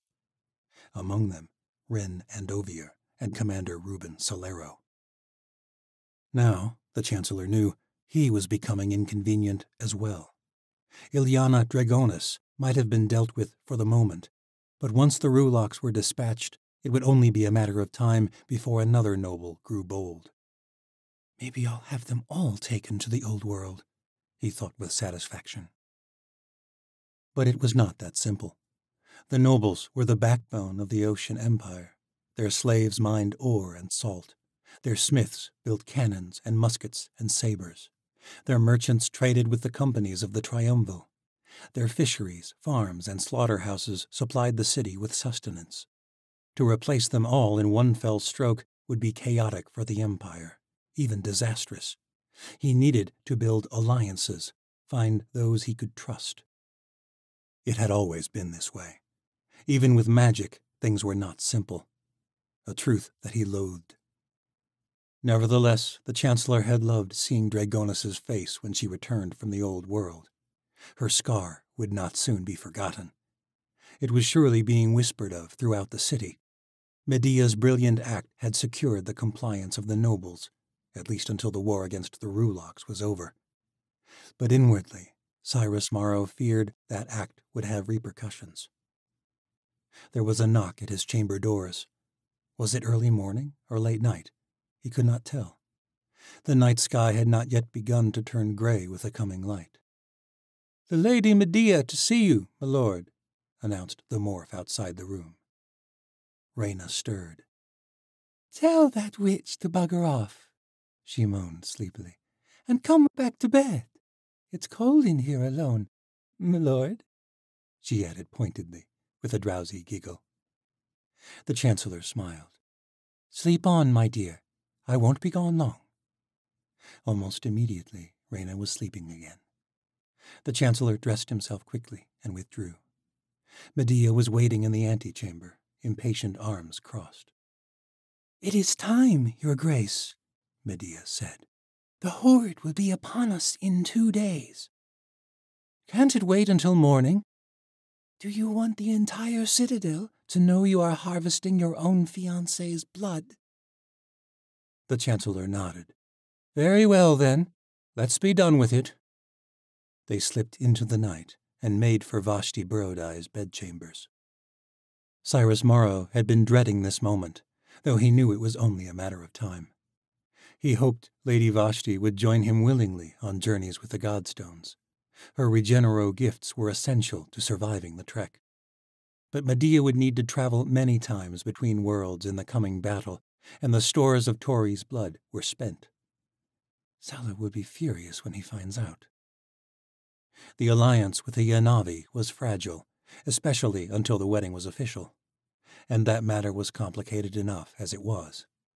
The nobles were not at all pleased with an alliance with the barbaric herdsmen of the steppe. It had been necessary to avoid an attack while the legions were exhausted from the war against the rebel Morgathians but the nobles took the news begrudgingly.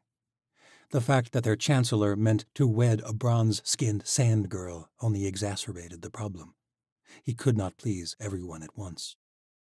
Power is a game in which you please the right people at the right time, Cyrus Morrow thought. Nothing more. Harvesting Vashti's blood might strain the alliance with Sala, not to mention his coming marriage. But right now there was an army of Rulaks two days' march from the city. There was no getting around the matter. Medea led the way to Vashti's chambers. The marriage had not yet been announced outside the chamber of the High Council. To the rest of the city, the Yanavi princess was seen as an ambassador from the Red City. But Cyrus Morrow had restricted her to her chambers until this madness with the Rulaks was over, giving the lords and ladies the impression she was withdrawn and valued her privacy. Vashti was displeased, but he could not risk the uproar that would inevitably occur when the rest of the nobles found out their ruler planned to wed a girl of the Red City. At least, not until his favor was restored. When your union is announced, said Medea. Your knightling will have to disappear, you know. The Chancellor nodded. Of course he knew. Medea was growing bolder lately, and he was not sure that he liked it. When he had first found her, she was grateful to be spared, eager to serve him, and she had remained quiet about the dark taste of his methods. But she was right, as she'd been right to use the godstones on Lady Dragonis today. He ought to have been the one to order it, though, no matter how brilliantly it had subdued the lords and ladies of the High Council. But then he admired such brashness. It was what drew him to Medea, and Commander Redvar. Empires were not built by doing what you were told. His father had learned that lesson the hard way. They found Vashti awake in her chambers. She'd been crying, he could tell, and amazingly he felt a twinge of pity for her. The Yanavi princess had helped him take the watchtower. She had volunteered for her role in all this, but he of all people knew what it was like to feel alone in the world. He pushed the thought away. My dear, we've come. Don't patronize me, Vashti said. I know you've come for my blood, just like all the rest of my kind. You are not like any other of your kind, my dear, he said, touching her cheek gently. The Yanavi princess pulled away. Aren't I? Wren is locked away in the dungeons, and I'm locked away up here. We are both supplying you with blood. Tell me, what is the difference? I assure you, when this war is over, I will announce our marriage, and you will be free to roam the citadel as you wish. You'll have streams of attendants, anything you want. Vashti was silent. She gazed out the window. It faced the southern peaks of the Crooked Teeth, and beyond, across many leagues of mountains and forest, lay the vast plains of the steppe. I heard news from the Red City tonight, she said evenly. I overheard the servants talking. Damn the bloody servants. He thought of the boy Wren had killed and bit the inside of his cheek.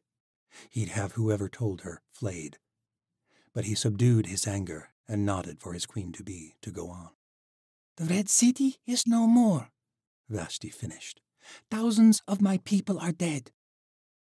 I am very sorry, my dear, truly, but your brother is alive.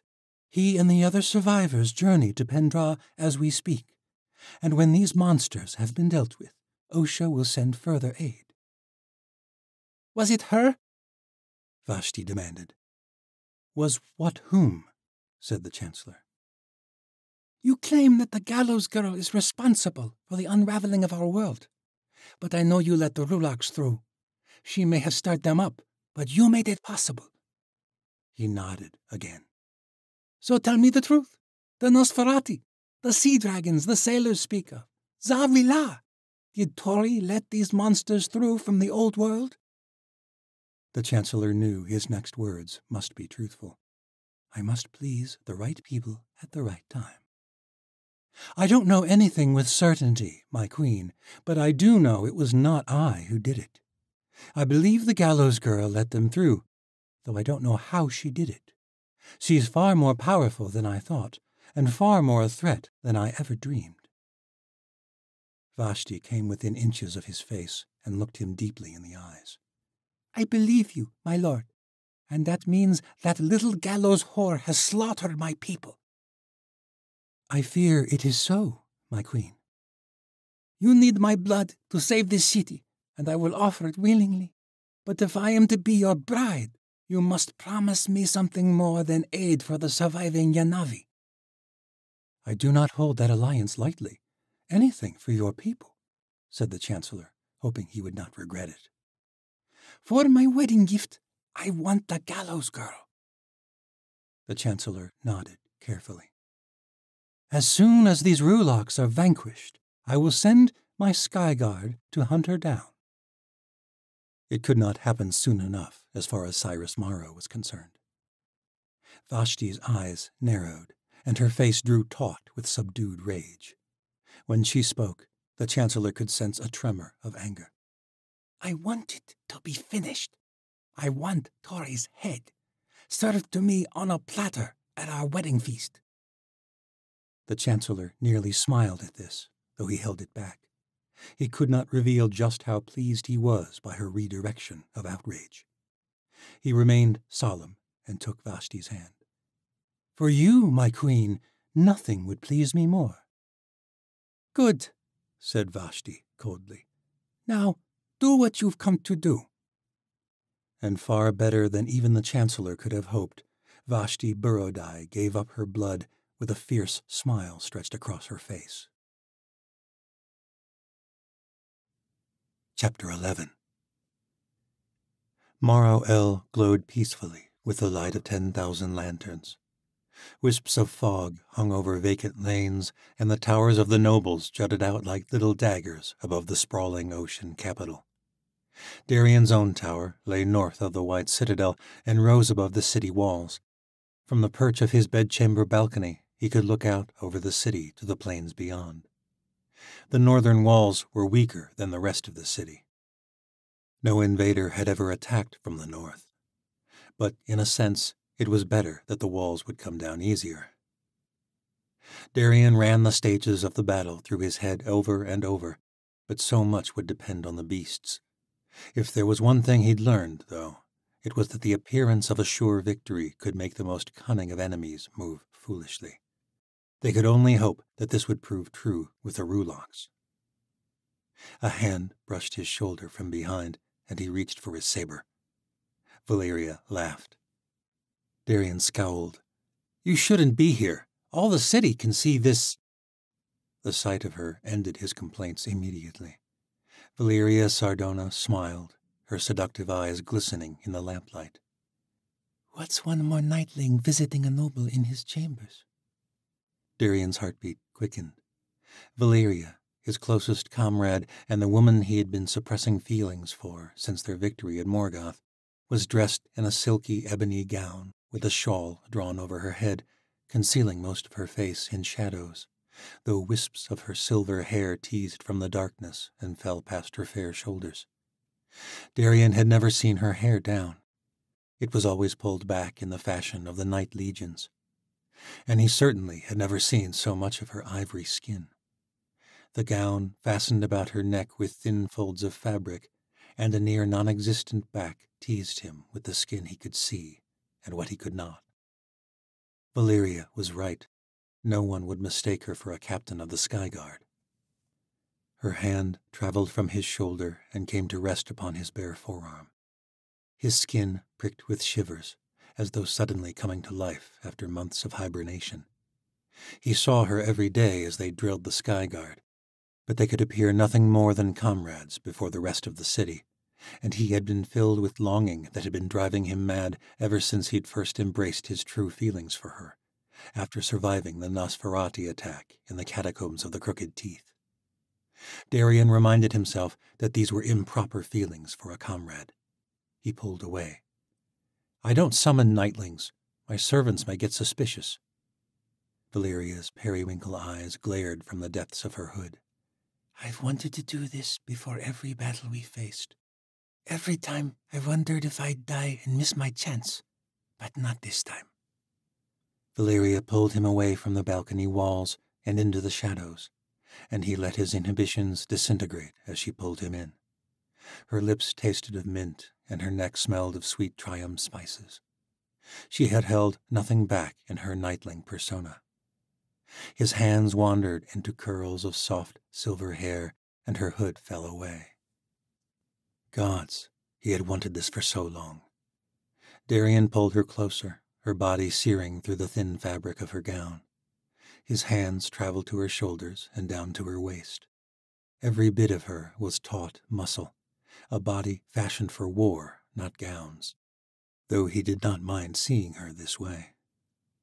When Valeria pulled back, he felt himself longing for more.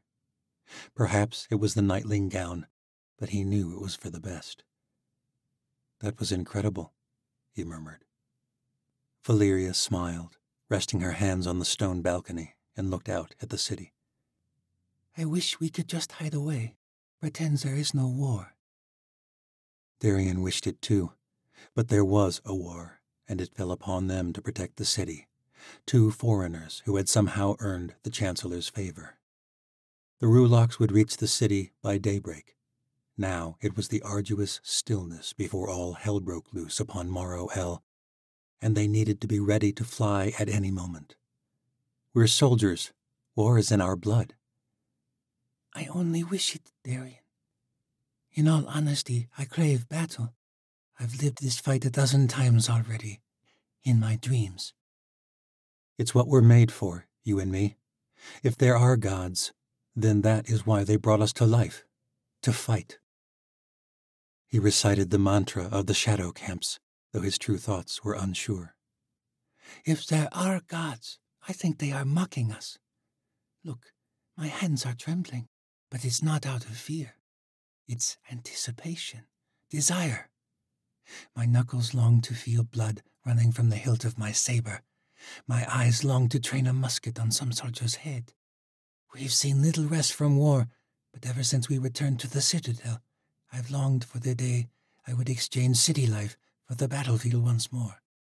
But sometimes I wish I didn't.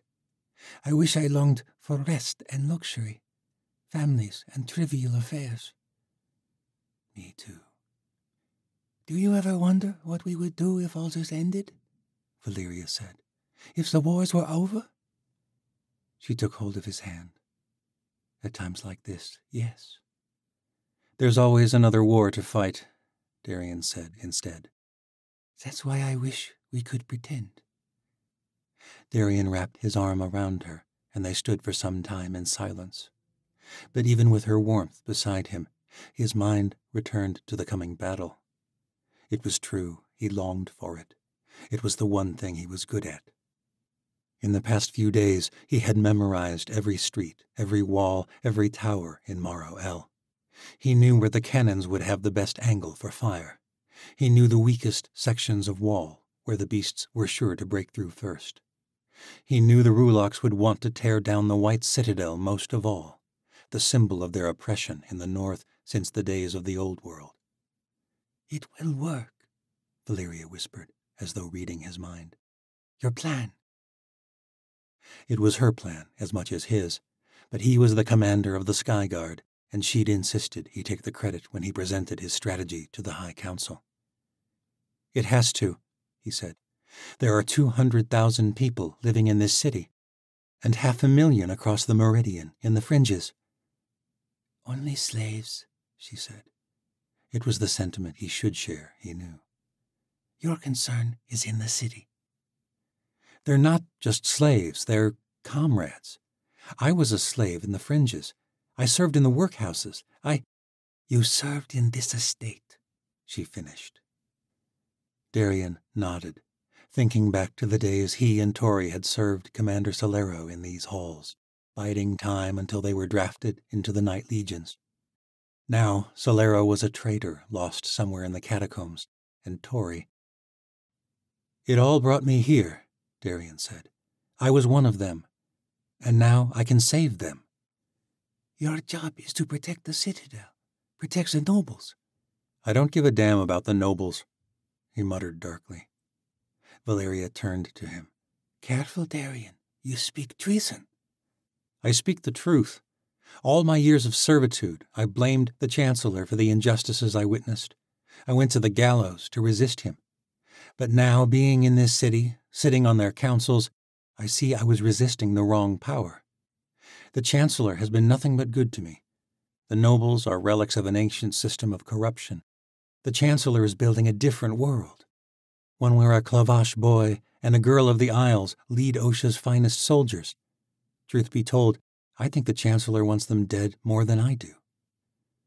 Valeria's hand rested on his own, and it calmed him.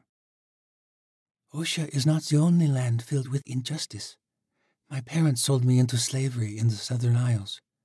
But I made the best of it, and now I'm here. One day, maybe I'll make things better for people like me, but. She turned and pointed at the looming crystal tower behind them. The White Citadel is our only concern today. The Chancellor and the nobles in that keep. We can't afford to consider anyone else. Darien nodded. He never had a chance to say anything further. The night was split by the piercing clangor of bells from the towers upon the walls. The ringing spread as each tower responded to the sound and rang its own siren bell. The towers lit up with torches, forming a wall of fire around the city. Valeria touched his face, turning him toward her. It lasted only a moment, and Darien wished it could last so much longer. This second kiss might be their last, and now, more than ever, he realized he longed for many more. To war, she said, pulling away.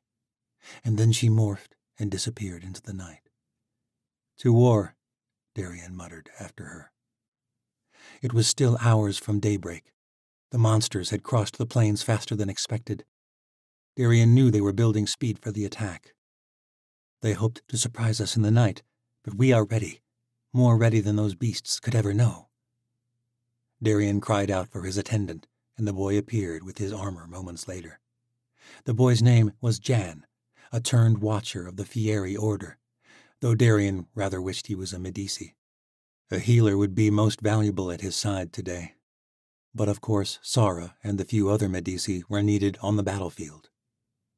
Jan helped Commander Redvar don his thick leathern armor, though Darien knew it would help little if one of those monsters seized him with its fangs. Jan handed him his saber. The blade had cut through Morgothian heathens and undead devils, but it would barely scratch the thick hides of the Rulaks. This is my greatest foe yet. Jan was about to hand over his musket, but Darien stopped him. You keep it. The boy seemed confused. I need someone to cover my ass.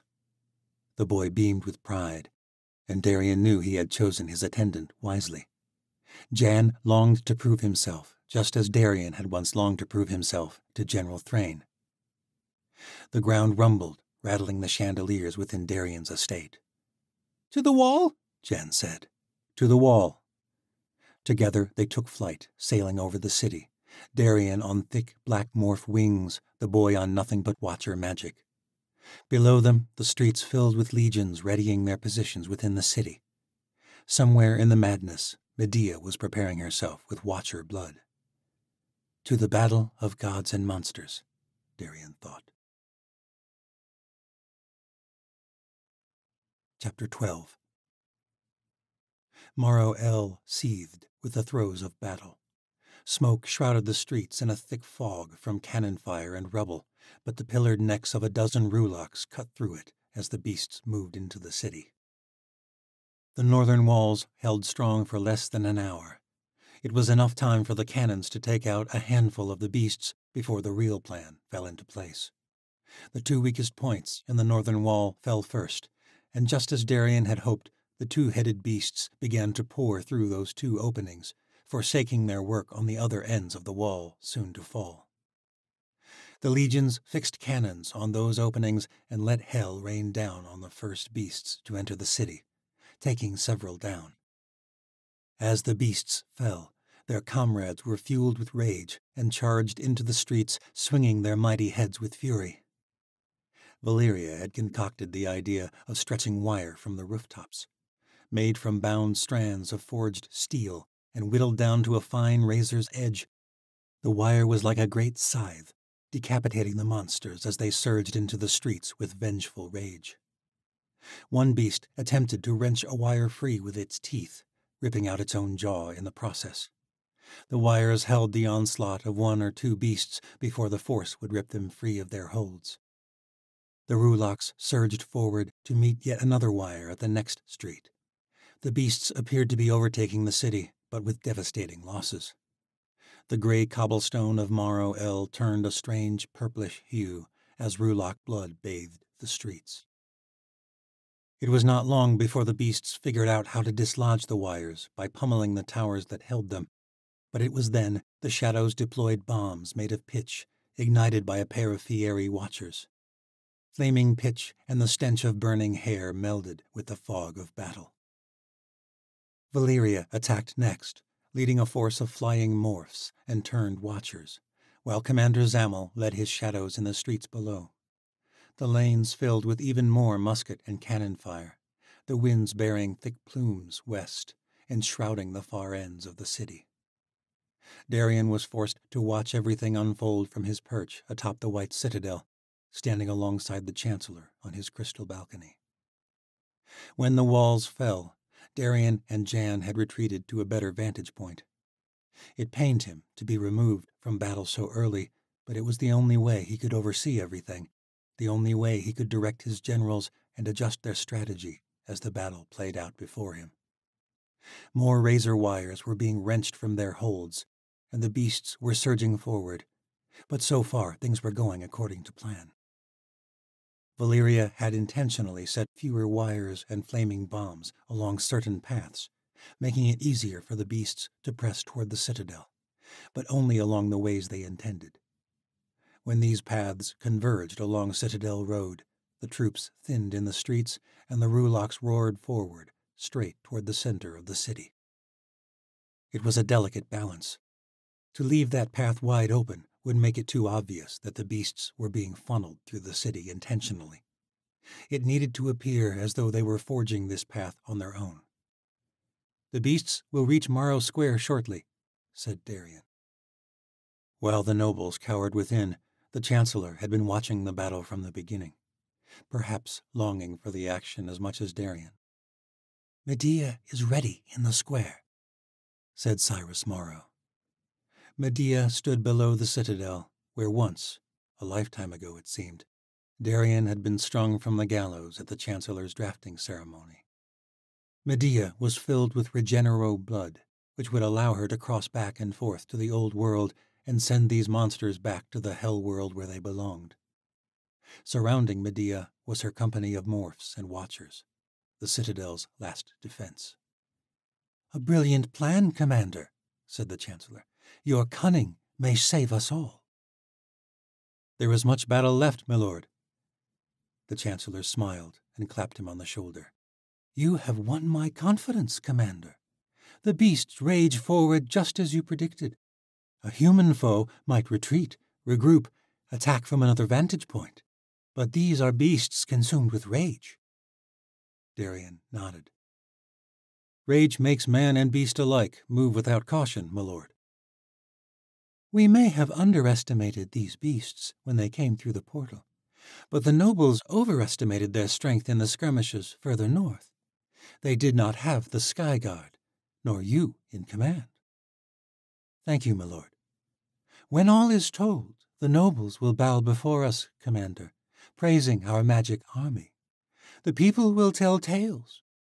The minstrels will write songs about how magic saved them in the battle of gods and monsters. Darien caught himself momentarily imagining Ilyana Dragonis kneeling at his feet in desperate thankfulness.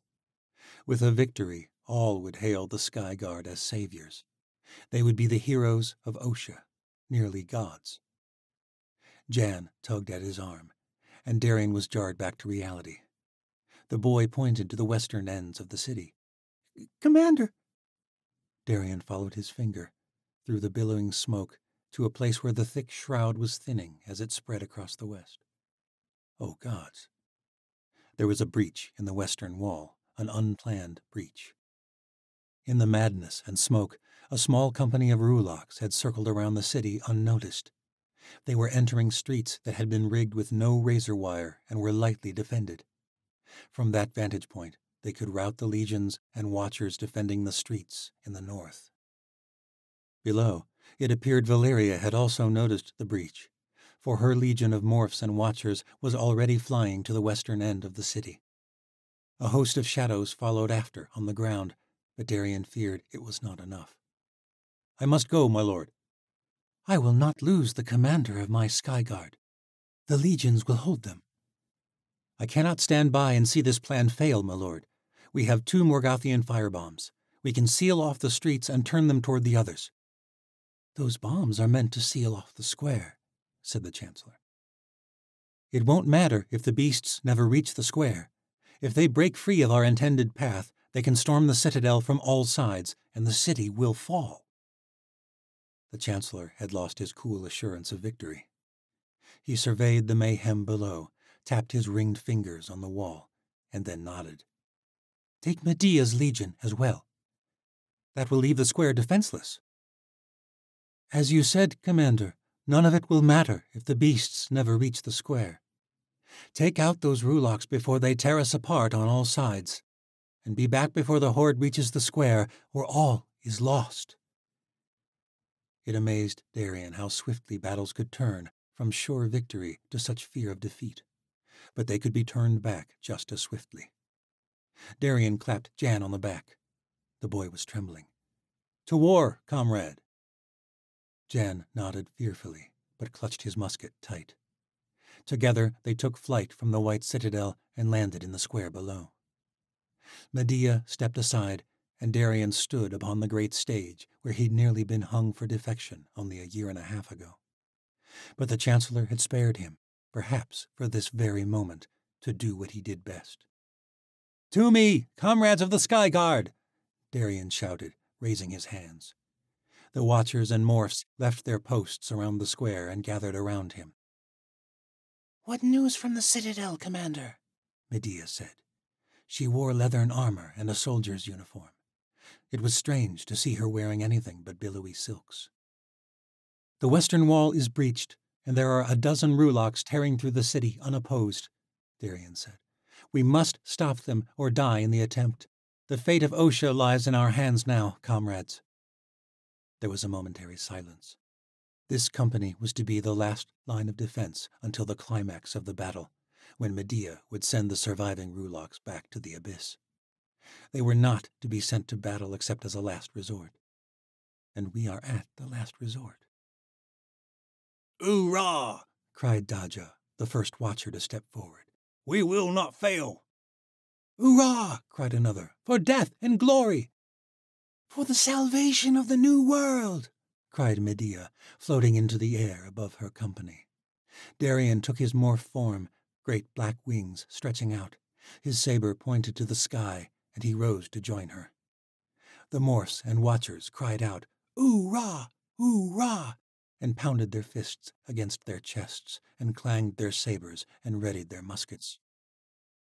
The watchers and winged morphs took flight, and the wingless morphs donned their giant warg like forms bounding through the streets, all following their commander into the heart of battle.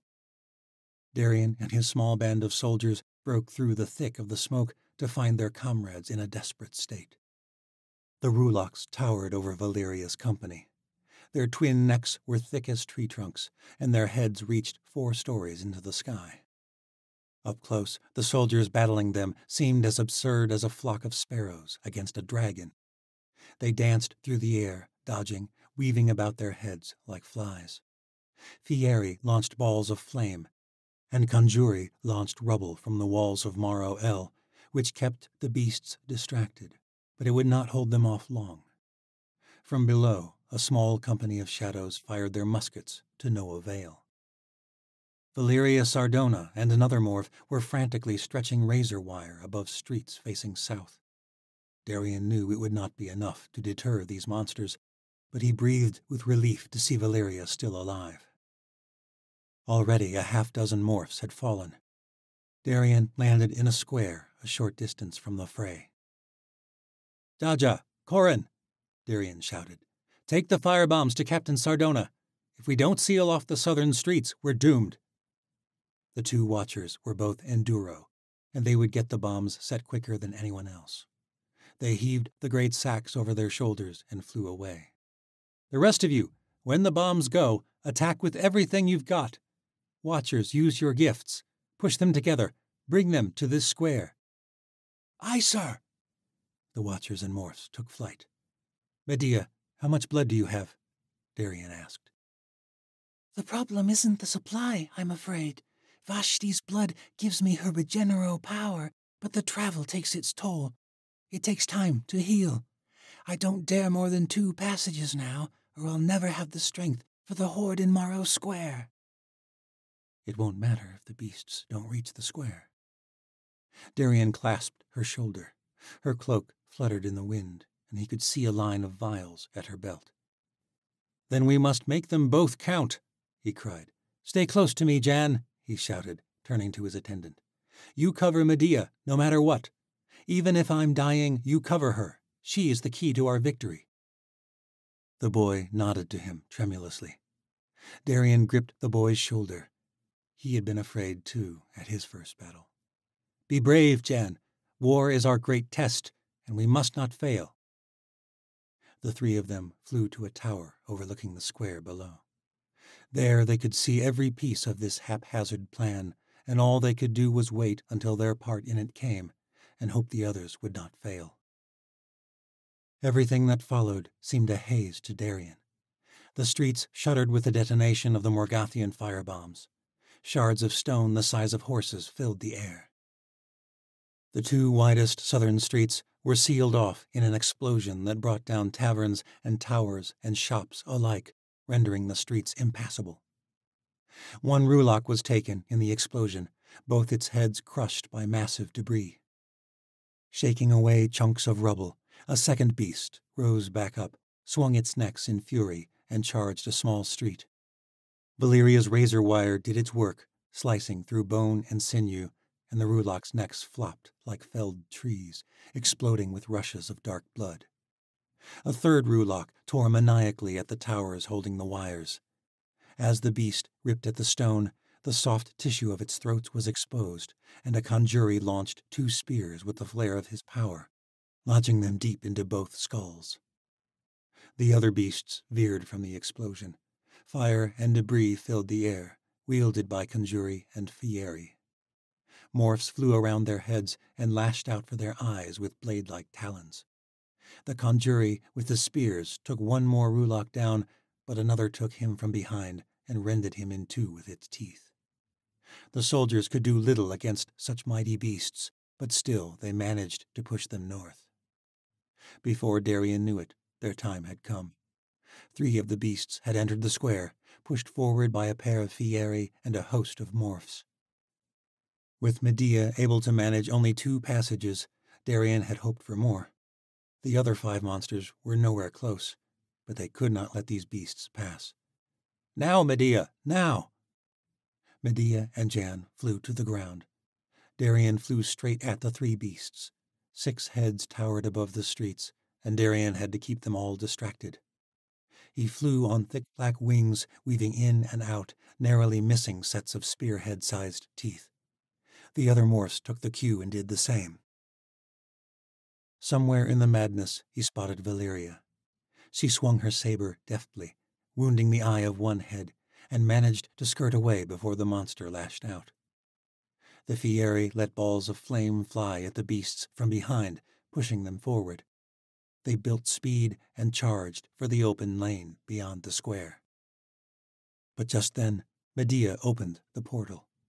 The square opened up, and suddenly beyond the square, rather than a street, there was a dull gray meadow. The Rulaks did not have time to slow their charge. The portal disappeared, and so too did the monsters. A cheer rose up from the sky guard. The watchers and morphs landed in the empty square, a sudden burst of relief and confidence coming over them. Darien felt it as well. We may win this battle yet. Valeria barked an order from the rooftops. This is not over, comrades. In case you've forgotten, there are five more Rulaks to be dispatched. Now fly and bring the last of them here. Oorah! they roared, and Valeria and the others disappeared beyond the rooftops. Moments later, there was a rift in the air, as though a giant invisible door had been opened. Medea staggered back from the old world, and the opening disappeared. But something was wrong. Her face was riddled with pain. She was bleeding from a wound in her shoulder. Jan sprinted to her side and supported her, but still she crumpled to her knees. Darien knelt beside her, morphing to his human form. What happened? She grimaced. Only grazed me as they were coming through the portal. It'll heal. Jan removed the spalder from her shoulder. The leathern armor was tattered and shorn, drenched in blood. The wound was deep, despite the Regenero blood coursing through her veins, and it was not healing quickly enough. Blood gushed like a fountain. Press it down, Jan, Darien ordered. Jan ripped a shred of cloth from his shirt and pressed it hard against her shoulder. The white cloth was soon crimson. Gods, I wish he was a Medici. The wound closed slowly, the blood magic weakened by the passage to the old world and back. Medea went pale with loss of blood before it was done. The air filled with a cacophonous roar. Darien saw one, two, four heads rising above the streets beyond, and then more. The other beasts were being herded into the square, and there was no way Medea had the strength left to open another passage to the old world. She needed time to heal, but they had to stop these beasts. Beyond this square, the streets branched out, and the Rulaks could wreak havoc on the citadel. That left Darien only one option. Jan, get her to safety. No, Commander, protested Medea. I'll be all right. I can open the passage once more. Darien had once feared the sorceress, but now he felt a strange bond with her. Battle had a way of sifting out old differences. It was how he'd grown close to Valeria. In the battle of fire and fury, something had changed, and they seemed to share something new, something that kept them alive. And with Medea, it was similar. The sorceress was brave, cunning, and unrelenting. A soldier he could proudly stand beside, and one he could not afford to lose. He took her hand. Her fingers trembled with pain. Regain your strength. You've a horde of your own to come in Morrow Square. Commander, what do you... He already had the Godstones. She'd dropped them while Jan was pressing her wounds. He showed the emerald gems to her. Give me one of your vials, he commanded. She nodded grimly and squeezed his hand shut around the stones. I see what the Chancellor sees in you, Commander. Medea drew a vial of Vashti's blood from her cloak. When the time comes, close your hand over the stones and open your mind to their power. Think of the old world, and the stones will do the rest. I should warn you, Commander, it hurts like nothing you've ever felt. Darien nodded. Jan, get her to safety in the citadel, now. The first of the Rulaks entered the square. Jan and Medea staggered away, leaving Darien alone to face the beasts. Chapter 13 The Yanavi princess's blood tasted strangely sweet at first. Then it went briny, and then sour. It made his stomach churn, but he held it down. In moments, Darien could feel something coursing through him. He felt warm all over, and he became more aware of his body than he'd ever felt. He had never noticed the warmth of blood in his veins, nor the relieving sensation of each breath as its life-giving air spread through him. Nor had he ever so sharply realized how the intensity of battle managed to mask pain. Suddenly he felt it, like the instant agonizing chill from jumping in an icy pond. His neck rushed with pain. In the chaos, he had not even realized he'd been injured by one of the three Rulaks they'd already sent back to the old world, and now it hit him all at once. Blood desperate to return to his body, skin desperate to be closed off from the world. There was a tingling at his neck. Blood seeped back to its rightful place, and then skin closed over, fibers weaving in and out until all was restored. There was a jarring pain in his back as a bit of shrapnel an old wound from the war against Morgoth, removed itself from his body. Darien felt more whole than he'd ever felt before, more alive, more invincible. It was incredible. All from Watcher blood. And none too soon. The beasts were entering the square. First one, two, then three Rulaks. All of it happened so quickly, Darien did not think through his actions.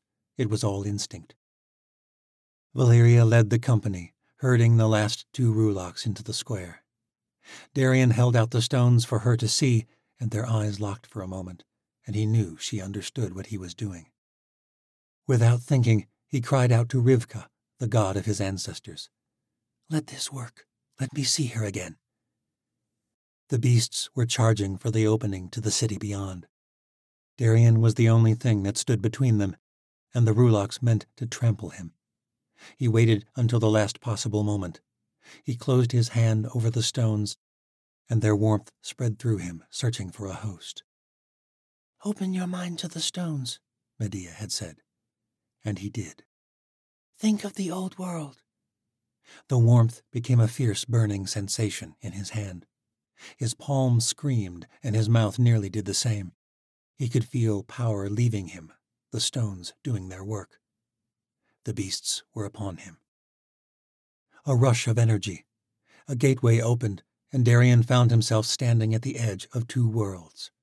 He stood aside as the beasts charged past him. Before they realized what had happened or where they were, he released the stones, and the gateway was gone. He was alone with the beasts in a great gray world. He stood in a vast meadow. The grass was a dull gray. In fact, the entire world seemed to consist of shades of gray, as though all the color had been drained from it. He had been there once before, to help the Chancellor escape when Tori had resisted him at the watchtower, but that had only been a momentary glimpse of the horror of the old world. Realizing where they were, the Rulaks went into a frenzy, rearing up and thrashing their mighty heads around. When one caught sight of him, it lashed out with its neck, and Darien threw himself into the tall grass, narrowly avoiding the attack. His hand was searing with pain, and it wasn't going away. Magic doesn't work here. The ground thudded nearby as the beast attempted to crush him. Even Medea had not escaped their wrath. He clutched his fingers tight, but the stones were gone. Somehow, instinctively, he had released them as soon as he entered the world, his body seeking relief. Gods! He combed through the thick gray grass, looking desperately for the emerald stones. A great fanged head came bearing down, and he dove aside, wishing he had his morph wings. He crawled his way back to where he'd first entered the world. Another attack, and he dove ahead, then scrambled back. There was a subtle glow a few yards off, a light gray glow in the dark gray grass.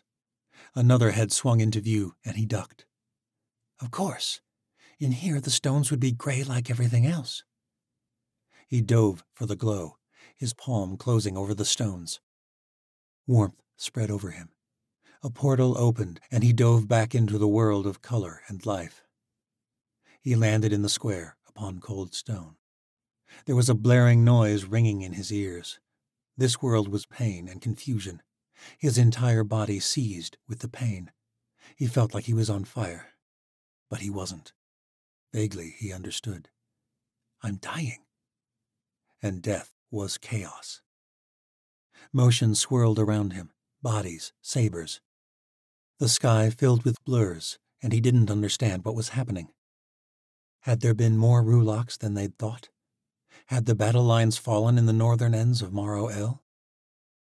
He felt himself slipping away and was unable to resist, as though the gray world was pulling him back. Was he still holding the stones? He didn't know. He closed his eyes to the chaos. His mind numbed his body to the pain that coursed through him. It was a glorious relief. He could still hear the blaring noise.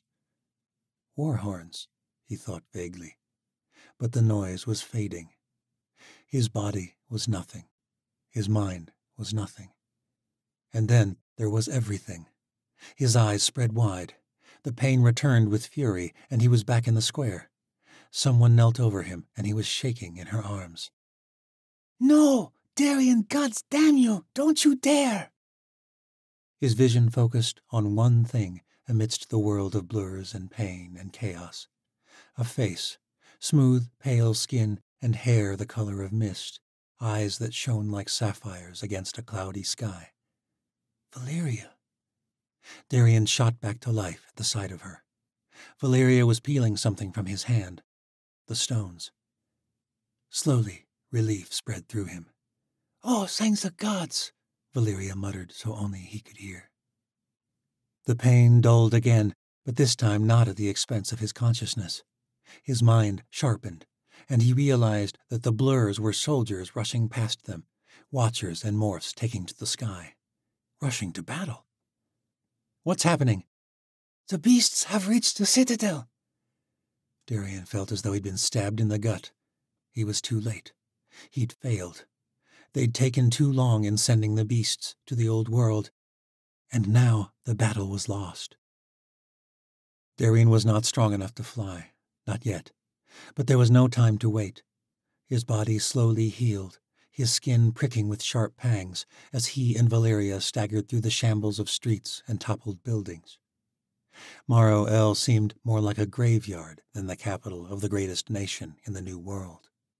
The bodies of comrades littered the streets, good men and women chosen by the Chancellor to defend the realm. Darien had been chosen to lead them all, and he had failed. His side was on fire from running. The Godstones had left him weak, and his lungs ached with each breath.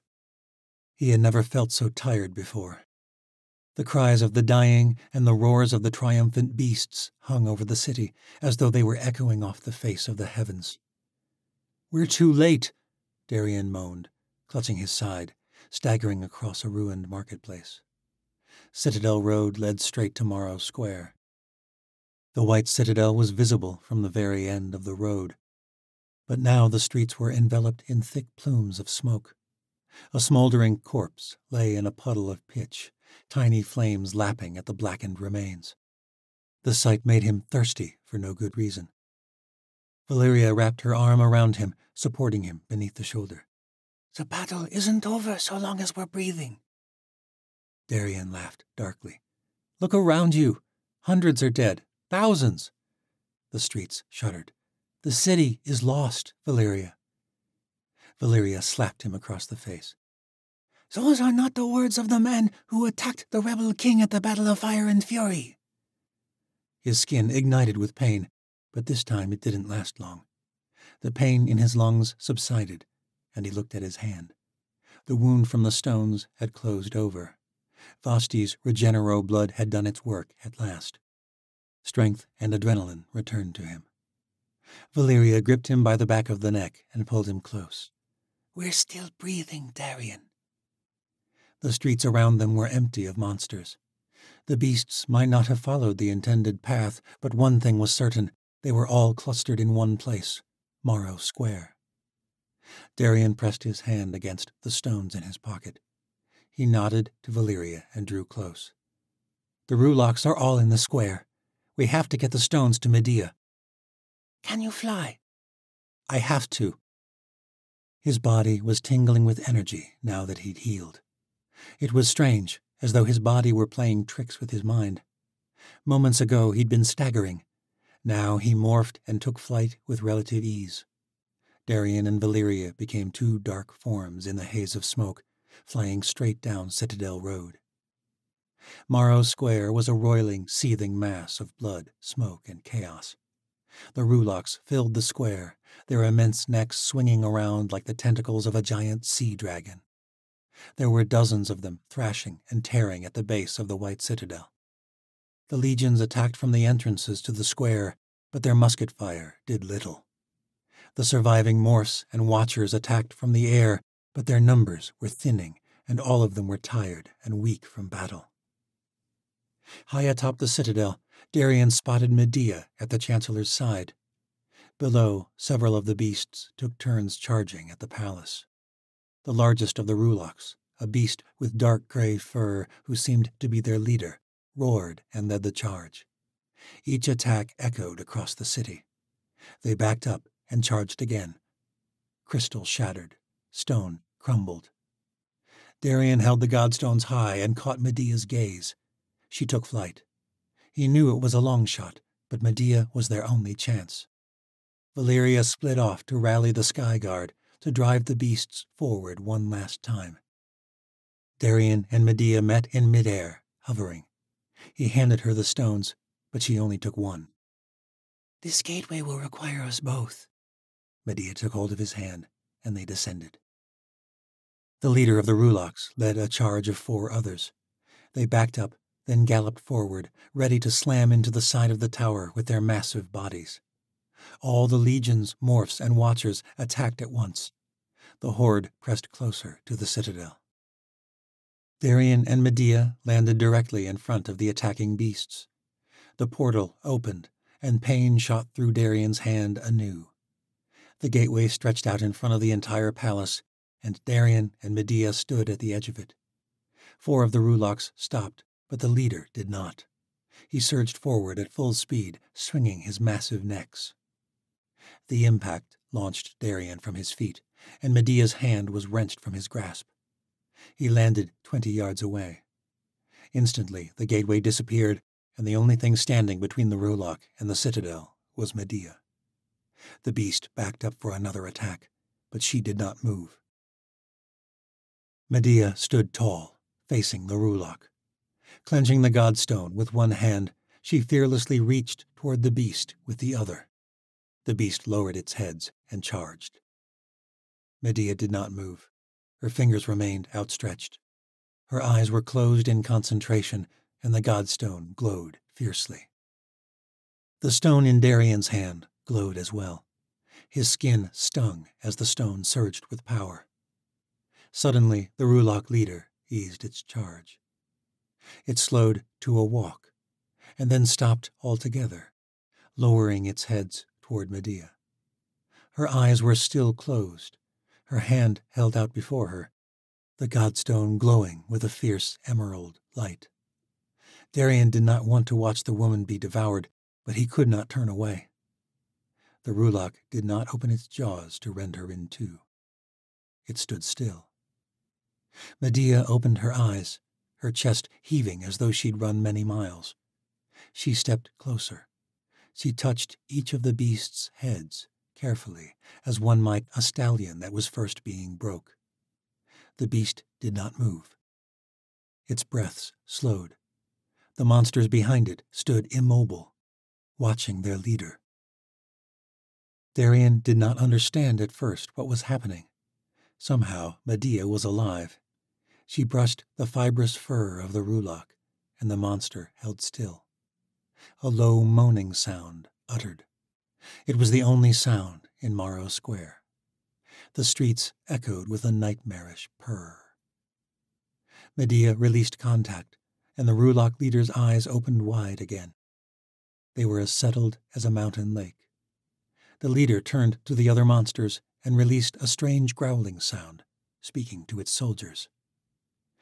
It was then Darien realized the battle had ceased.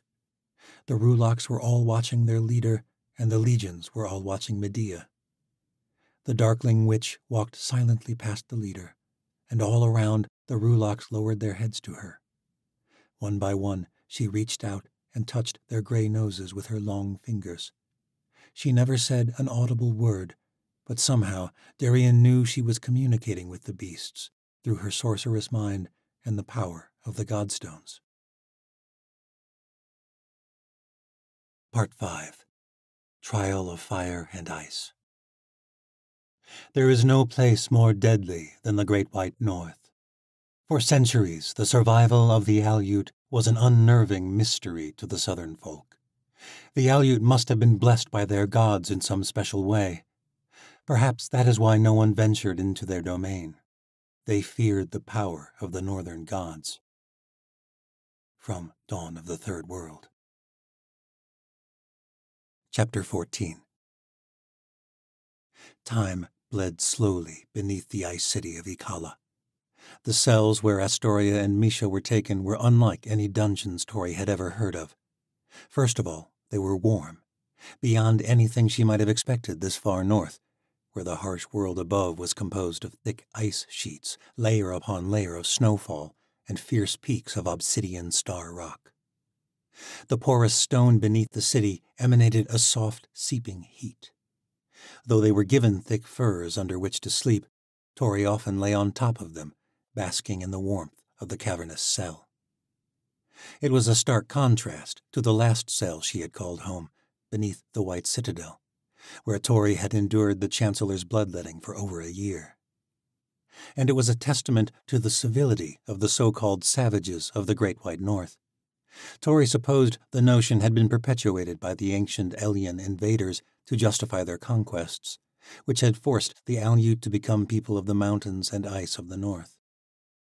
The caricature of the savage Northmen was sustained even by the Yanavi, who were wild by any ocean standard.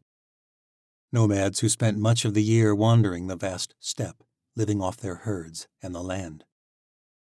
Tori remembered tales told around village fires during her childhood amongst her people. Tales of Northmen pillaging the tribes who ventured too far north, stealing horses and women and disappearing into the blizzards that raged across the northern steppe in winter. None of this eased her mind about her predicament. The fact remained that she was to be tried for crimes she had not committed. Alec de Baruk may have been nothing like the Northman Tori had been told about in her youth, but it mattered little. He had still betrayed her. Tori lay awake upon her furs, tossing and turning. She swore it was hotter than any other night in their cell. Or perhaps it was all her pent up frustration. She stripped off her woolen tunic and trousers and lay in her undergarments. Did Alec know all along? she wondered. Did he bring me all this way under the illusion of revolution? Or was he really that much of a fool? The Aleut soldiers who had greeted her had not seemed the least bit enticed by the thought of revolution, if Skaya Baruk's reaction was any indication. And Alec had once again separated Tori from her connection with the forces behind the world. Her magic was useless in the north from the moment Skaya had greeted them outside the ice city. And who else but Alec could have rendered her so helpless? Misha sat up beside her and lit the lantern that had been given to them when they arrived. Can't sleep either? She chuckled as she took in Tori's lack of garb. Rough night? It's like an oven in here, said Tori. And of course I can't sleep. We've been waiting for weeks. Skaya said the trial would be at the Empty Moons. Should be soon. And not a single person has come to see us this entire time. No one's come to hear our side of these accusations. The only living soul we've seen is that guard who brings our food. She's been pleasant enough, said Misha optimistically. And the food is decent. Where in the abyss is Alec? What is going on up there? Misha sighed. They had been through this before. I trust him, Tori. You should too. He saved you once. After he tried to kill me. From the way his sister spoke, he risked much just by bringing you here. We have to wait and trust he is on our side. Tori sat up, suddenly chilled. She drew the furs over her bare legs. He cut off our magic, Mish. We could have escaped. Why would he do that? Perhaps there are others like him who can obliviate magic. Tori heaved a sigh. Or maybe, said Misha, Alec feared what would happen if we fought back. Tori had considered this. She had been furious when she realized that Skaya Dulbaruk had not come to welcome the gallows girl but to imprison her. A dark rage had filled her. She had fought hard not to let it show. Even Misha hadn't realized it until Tori admitted it later. Tori had reached for her magic, desperate to lash out and flee, but it had been as though grasping for vapor, and all because of Alec. Then he was a fool, and a liar. He told us there was a goddamned army up here. Misha smiled. What? said Tori, annoyed. Your fire is coming back. No more of that shenza about all this being your fault. She hadn't had much time to think on it. She had been a fool, a puppet in the Chancellor's hands, and she wished she could go back and prevent the deaths of Zaya and the others. But the devastation of the beasts was not her fault. The Chancellor had made all this possible. He had tampered with power he did not understand, and he had forced her to use it as well. Nineteen innocent people had died in the mouth of the gods. Who knew how many more had died elsewhere? And that blood was on the Chancellor's hands, just like the blood of low-born slaves and soldiers of Osha. Tori would not take it upon herself any longer, and the longer she waited beneath the ice city, the more determined she was to destroy Cyrus Morrow and free their friends. And that possibility is dwindling the longer we sit in this damn cave. Tori gritted her teeth. It doesn't matter if it's Shenza or not. What matters is that we are down here useless while things get worse all over the new world. Misha smiled again. What? We'll need that fire when we get out of here. Tori glared. If we get out of here. There was a creak as an immense iron door opened across the room. Tori and Misha shot to their feet. Two Aleut guards escorted Alec Dulbaruk into the room. The shaman looked more regal now. He had donned fine white furs and dark breeches. His stubble from their journey north had been shaved smooth, and his dark hair was pulled back. Tori pushed away the fleeting thought that he looked handsome. Well, it's about time, Tori said.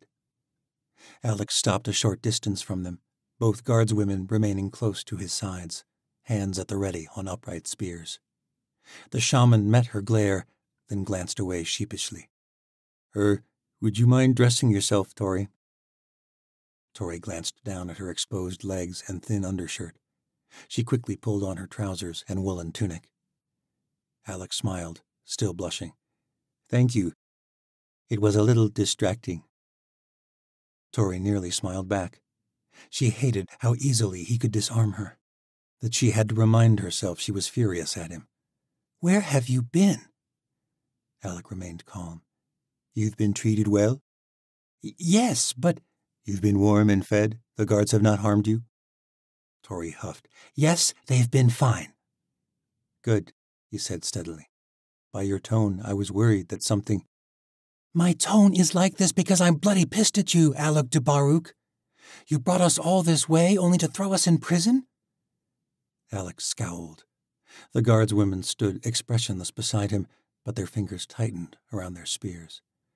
That was my sister's doing, Tori. And yes, this is more complicated than I'd hoped. But I have been working hard to defend you in the preliminary discussions before your trial. Preliminary discussions? You said your people were raising an army. You said they were ready for their restoration. I did. Alec raised his voice, and it made Tori glad. She wanted to rile him. I was not lying, Tori. Restoration has been prophesied for many years among the shamans, but many others are not as ready to seize it as we are. I think they're more than not ready, Tori shot back. I think you're an idealistic idiot. Alec was quiet for a moment. He sighed, and his eyes met hers. They were a warm brown and glowed in the lantern light. Perhaps I am. Tomorrow will tell. But Tori, Alec drew near and took hold of her hands. His fingers were warm and sweaty. He was nervous. I, I need you to trust me. Tori pulled away and crossed her arms. Did you do it? she demanded. Did you take away our magic? Alec's eyes fell. I am not the only shaman with this ability, but yes, I did. At least he's honest, Tori thought, but she scowled all the more. I'm not here to apologize. Then why are you here? said Tori. I have news from Osha. Tori's stomach felt queasy. Misha squeezed her hand. The others? Misha asked. Alec nodded. Many survived your encounter with the Nosferati, it seems, including your captain. Wren, was it? Tori and Misha nodded. But I'm afraid that's the only good news. While we were traveling north, the horde of Rulaks from the Crooked Teeth made its way to Osha. They attacked Morrow El in an attempt to take back their realm. Good, said Tori. I hope they ruined that city. Alec shook his head. I'm afraid it gets worse. Magic is no longer forbidden in Osha. The Chancellor revealed his power, and he has formed his own magical army. He calls it the Sky Guard. They are led by your friend, the Gallows Boy. Darien? Tori could barely utter his name. She had been a fool to entertain Mary's hope for him. Alec nodded. He led the defense of the city, the Skyguard and the Night Legions fought valiantly against the Rulaks under Darien's leadership, but it was a hopeless resistance. The Rulaks broke through the city walls and were prepared to raze the White Citadel, but that is when she intervened. Who? said Tori. They call her the Darkling Witch, but her true name is Medea Lorzar. She subdued the Rulaks. She saved the city. Tori remembered her well from the watchtower. The last she had known, the woman was lost when the legions fled to the catacombs. That would have been too convenient. Subdued, said Tori. You mean she sent them back to the old world? Alec was silent for a moment. No, she communicated with them. Word of it is spreading all across the new world. The Rulaks withdrew their assault on Osha. They made peace with the Chancellor. Tori could not believe it. The thought made her sick. After all the chancellors of old had done to the beasts of the old world. How? Tori finally said. How did she do it? Alec shrugged. They say she spoke to their minds. It was an unparalleled demonstration of power for any age of the world. Medea is being hailed as the savior of the North. People everywhere are spreading tales of the Chancellor and his darkling witch. Gods, said Misha, the Chancellor unleashed hell upon the New World and has managed to set himself up as the bloody savior from that very same hell. He claims you're the cause of all this, Tori, said Alec. And and the people of Osha believe him. There were rumors of lowborns stirring, calling themselves the Saints of the North, but this has lessened since the battle. Tori felt squeamish. This would not help her case before the Aleut elders. Her innocence rested on the claim that the Chancellor was the one who had unleashed the mayhem of the Old World beasts. But with the attack on Morrow El and the Chancellor's miraculous victory, her claims would seem all the more unfounded. You've come to tell me it's hopeless, then, said Tori. Alec's eyes betrayed his uncertainty, though his words claimed otherwise. Nothing's hopeless, but things are not going well. The elders are skeptical as ever, and my Madru is chief among them. Who is your mother exactly? said Tori. Why didn't you ever tell me about her, or any of this? We would have avoided the North altogether. Alec glanced at the guardswomen, and Tori realized they had been sent to watch him as much as the two young watchers. My Madru is Farah Dul Baruk, elder of the Nukvana, the Bear Rider clan. She is also the high elder among the four clans. And I'm afraid she will be the hardest of them all to convince. Her lover was the captain of the trading vessel that was lost in the Channel Sea. Tori wondered if things could possibly get any worse. And even if somehow the others should decide to believe us, with this news from Osha, they are even more wary of any notions of restoration or war. And we have no allies. You have the crooked folk, said Misha. More would join us, I'm sure of it. You spoke of the witch queen of the southern isles, said Tori. Or was that more of your idealistic Shenza? It's not. Alec's face tensed. I saw the queen in a vision, not long before I left for the Crooked Teeth, not long before I found you. I believe she will play a part in all this. But all of those futures depend on convincing the elders of your innocence. Alec would not meet her gaze. Look at me, said Tori. Alec did. What will happen if they find me guilty? Alec gulped, but he held her gaze as he answered. If the elders find you guilty, you will be tried by fire and ice, and unless the gods intervene on your behalf, you will die. Misha gripped her hand. Tori felt weak. Had she really come all this way, only to be sentenced to death in the one place where her regenero abilities could be rendered useless? Then let me speak to them, Tori said, more irritated than ever about being left helpless underground. Alec sighed. You will have your chance to defend yourself at the trial. But you should know our elders do not highly value the testimony of those wishing to defend themselves. It is, by its very nature, self serving. That is the other reason I've come. The trial will be held tonight at the rise of the empty moons. But before that time, they wish to speak with you, Misha. Misha nodded, but she did not hide her grim expression. The guardswomen lowered their spears and stepped forward. Misha squeezed Tori's hand. I'll convince them, Tori. Alec managed a smile in Tori's direction. The guards took Misha by the arms and led her out. Alec followed. And Tori was left alone in the dungeons beneath the ice city. Chapter 15 Alec Dulbaruk led Misha through the winding passages and narrow stairways cut straight into the star rock foundations of the ice city. Their path was lit by pale blue crystals, which glowed with a warm luminescence. Misha had not noticed the strange light the last time she had journeyed down these halls, for she and Tori both had been bound and blindfolded. The guards followed close behind, but Misha was not bound this time, which she hoped was a good omen. These stones are incredible, said Misha, gesturing at the curious sources of light. What are they? The crystals were the size of her fist, held by iron clasps fixed to the cavern walls. Alec paused, and with a gloved hand retrieved one of the glowing stones from its hold and handed it to her. Misha flinched as it touched her skin, expecting it to be hot, but it did not burn her. It's cold, she observed. The stone glowed brighter against her skin. Where does the light come from?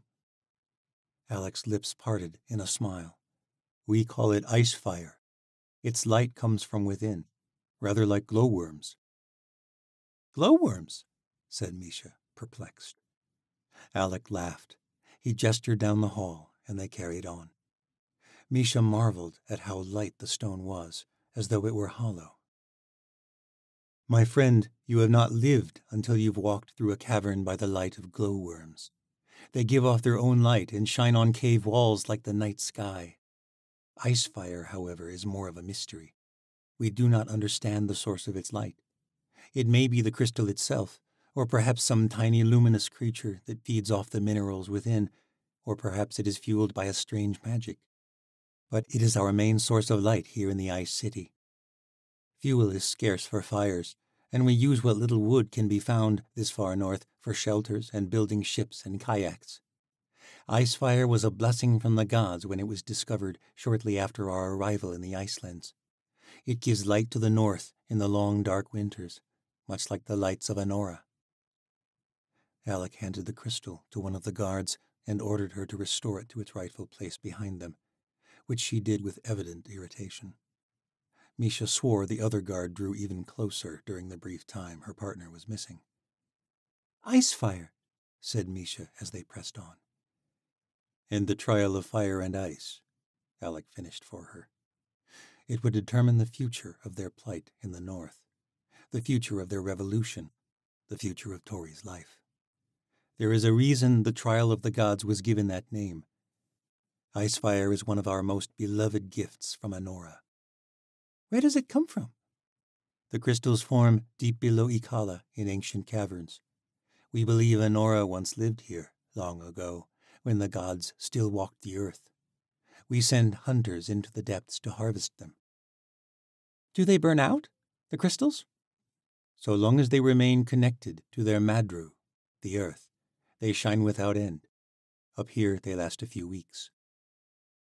They continued on in silence, and Misha tried to steel herself for the interrogation to come.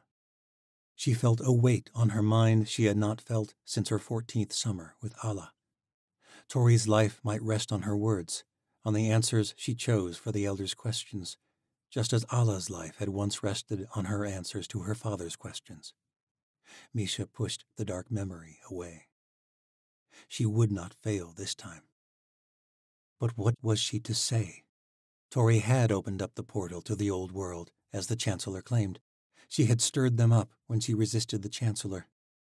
And Alec's mother wanted to believe the claims after the death of her lover by sea dragons. Tori herself feared she had let in those other monsters. The truth was, Misha did not know what to believe. Had the Chancellor done this? Intending to turn the world against the gallows girl all along? Or was it some catastrophic accident? Either way, there was no denying one thing. Tori was involved in this devastation. Should she lie, then? Or would Alec's mother see right through her? When the stone tunnels turned to a massive hall made of ice, the guards lingered behind, standing watch at the iron door to the dungeons below.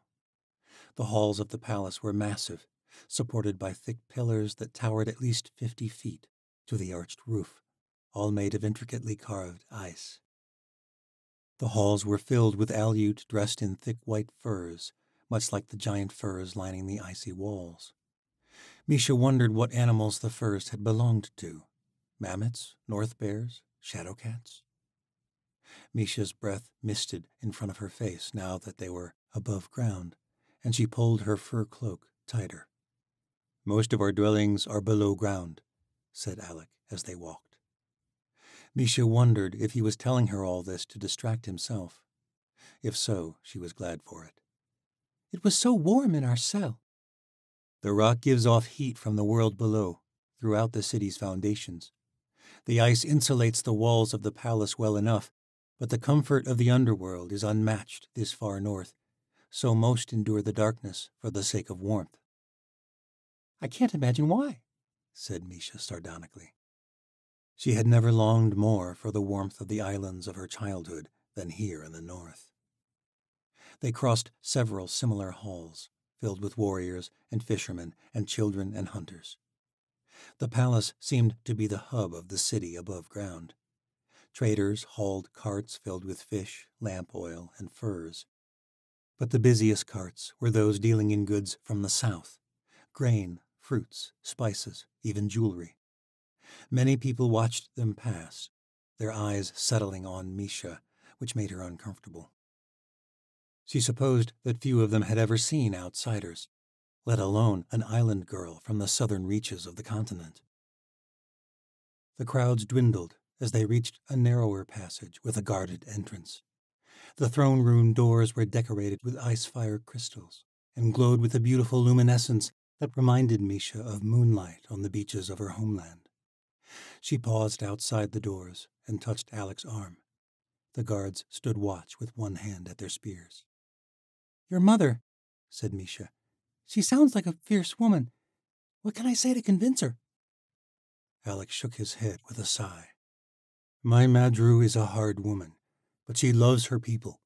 Her duty is to the well being of the Aleut, first and foremost. You must convince her that letting the gallows girl live will be to the advantage of my people, that it will not bring more pain and suffering in the north. Haven't you already told her that? Tori could bring restoration for your people. Alec grimaced. Unfortunately, my Madru and I do not see things with the same eyes. Where I see opportunity, she sees needless suffering for our people. She has heard my pleas, but she hardened her heart to me long ago. I should warn you, though, the elders will see through any lie. Then what do I say? Misha felt helpless, as though the verdict had already been determined. Speak wisely and speak the truth, but be cautious what truths you choose to share. Alec nodded to the guards, and they pushed open the doors. Misha fought back the urge to retch with nervousness. The throne room was bordered by immense ice pillars, and between the pillars stood rows of guards, lining the hall all the way to the four ice fire thrones set upon the dais. One throne for each elder, Misha assumed. A woman sat erect upon one of the glowing thrones, her fingers forming a tower near her chin as though deep in thought. The room was silent as Alec and Misha approached, but as they neared, Misha realized that the throne was not occupied by the High Elder. It was occupied by her daughter, Skaya Dulbaruk. Misha glanced around, but there was no one else in the throne room. None of the elders had come to hear her plea for Tori's life. The fierce looking young bear rider leaned forward as Misha and Alec approached the Aleut thrones. Alec cursed under his breath. Where's Madru? Skaya's expression betrayed a hint of bemusement. She was taken away by tribal matters. I'm sure you can imagine our High Elder is a busy woman. A host of refugees have joined our already teeming city. Hunting is growing sparse as winter descends, and much of our supply for the long night was lost at sea thanks to your gallows girl. Alec threw back his head with exasperation. The trial is hours away, and Misha's testimony is vital to our case. Skaya's brow rose. Which is why our Madru asked me to hear the island girl's testimony in her stead. You? said Alec, his hands running through his long hair. Skaya rose to her feet and descended from the throne. I am a captain of the Nukvana, daughter of the High Elder. I've killed more rogues than most of my kin. Why not me? She and Alec stood eye to eye for a moment, and then they clasped shoulders in a formal greeting. The Aleut siblings were nearly identical in height, but that was where the similarities ended, as far as Misha could tell. Alec was a shaman, while his sister was a warrior and a hunter. Alec was lanky, even beneath his thick cloak and long leather sleeves. Skaya's muscular arms were bare beneath her fur cloak, despite the chill. Tattoos wove around her left arm in red and blue cyclical patterns, identical to those on the side of her head, where her long dark hair was shaved. Alec's face was soft and kind, while Skaya's was stern and fierce. But her expression softened as she released her brother's grip. Your fight is not with me, Baru. You know that, don't you? Alec nodded, though Misha was not convinced. We may have our differences, Skaya went on. You whisper prayers, while I prefer the way of the spear, but I harbor no ill will toward you. I wish I could say the same for our Madru, and she is the one I must convince of Tori's innocence. And where in the abyss is she? Misha could tell Alec cared for Tori, but there was a desperation in Alec's voice that worried her. Skaya's expression turned grim. You know as well as I, our High Elder does not heed the counsel of shamans, least of all you. Alec nodded, though Misha noted a sad mistiness in his eyes. Then it's already been decided? Skaya shook her head. I did not say that. The warrior turned to Misha, looking her up and down. Misha was conscious of the fact that she had been wearing the same clothes ever since she had left the watchtower. Though she had been able to wash herself in their cell underground, she was relieved it was cool in the world above, so the stench of her garments was subdued. Convince me, my lady, Misha could not decide if Skaya was mocking her or simply attempting courtesy. Misha had not been addressed so formally since her childhood. My name is Misha Sufai of Melanesia. Misha held the warrior's gaze.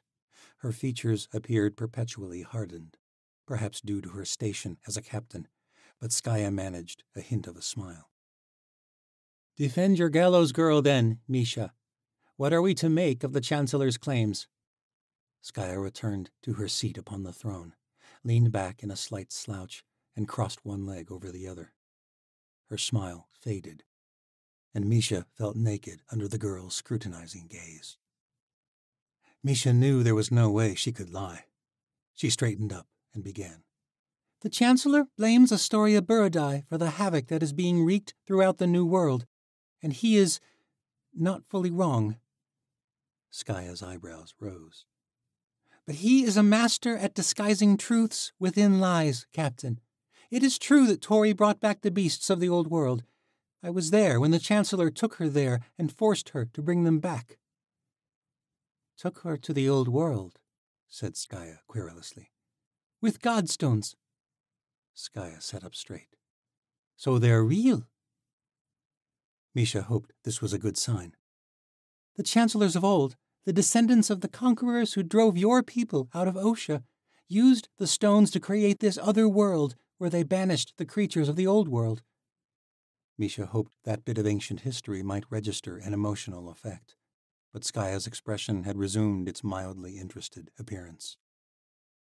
Misha went on. That is how all these beasts have returned, seemingly out of myth. Cyrus Morrow used Tori's magic to open a portal between the worlds.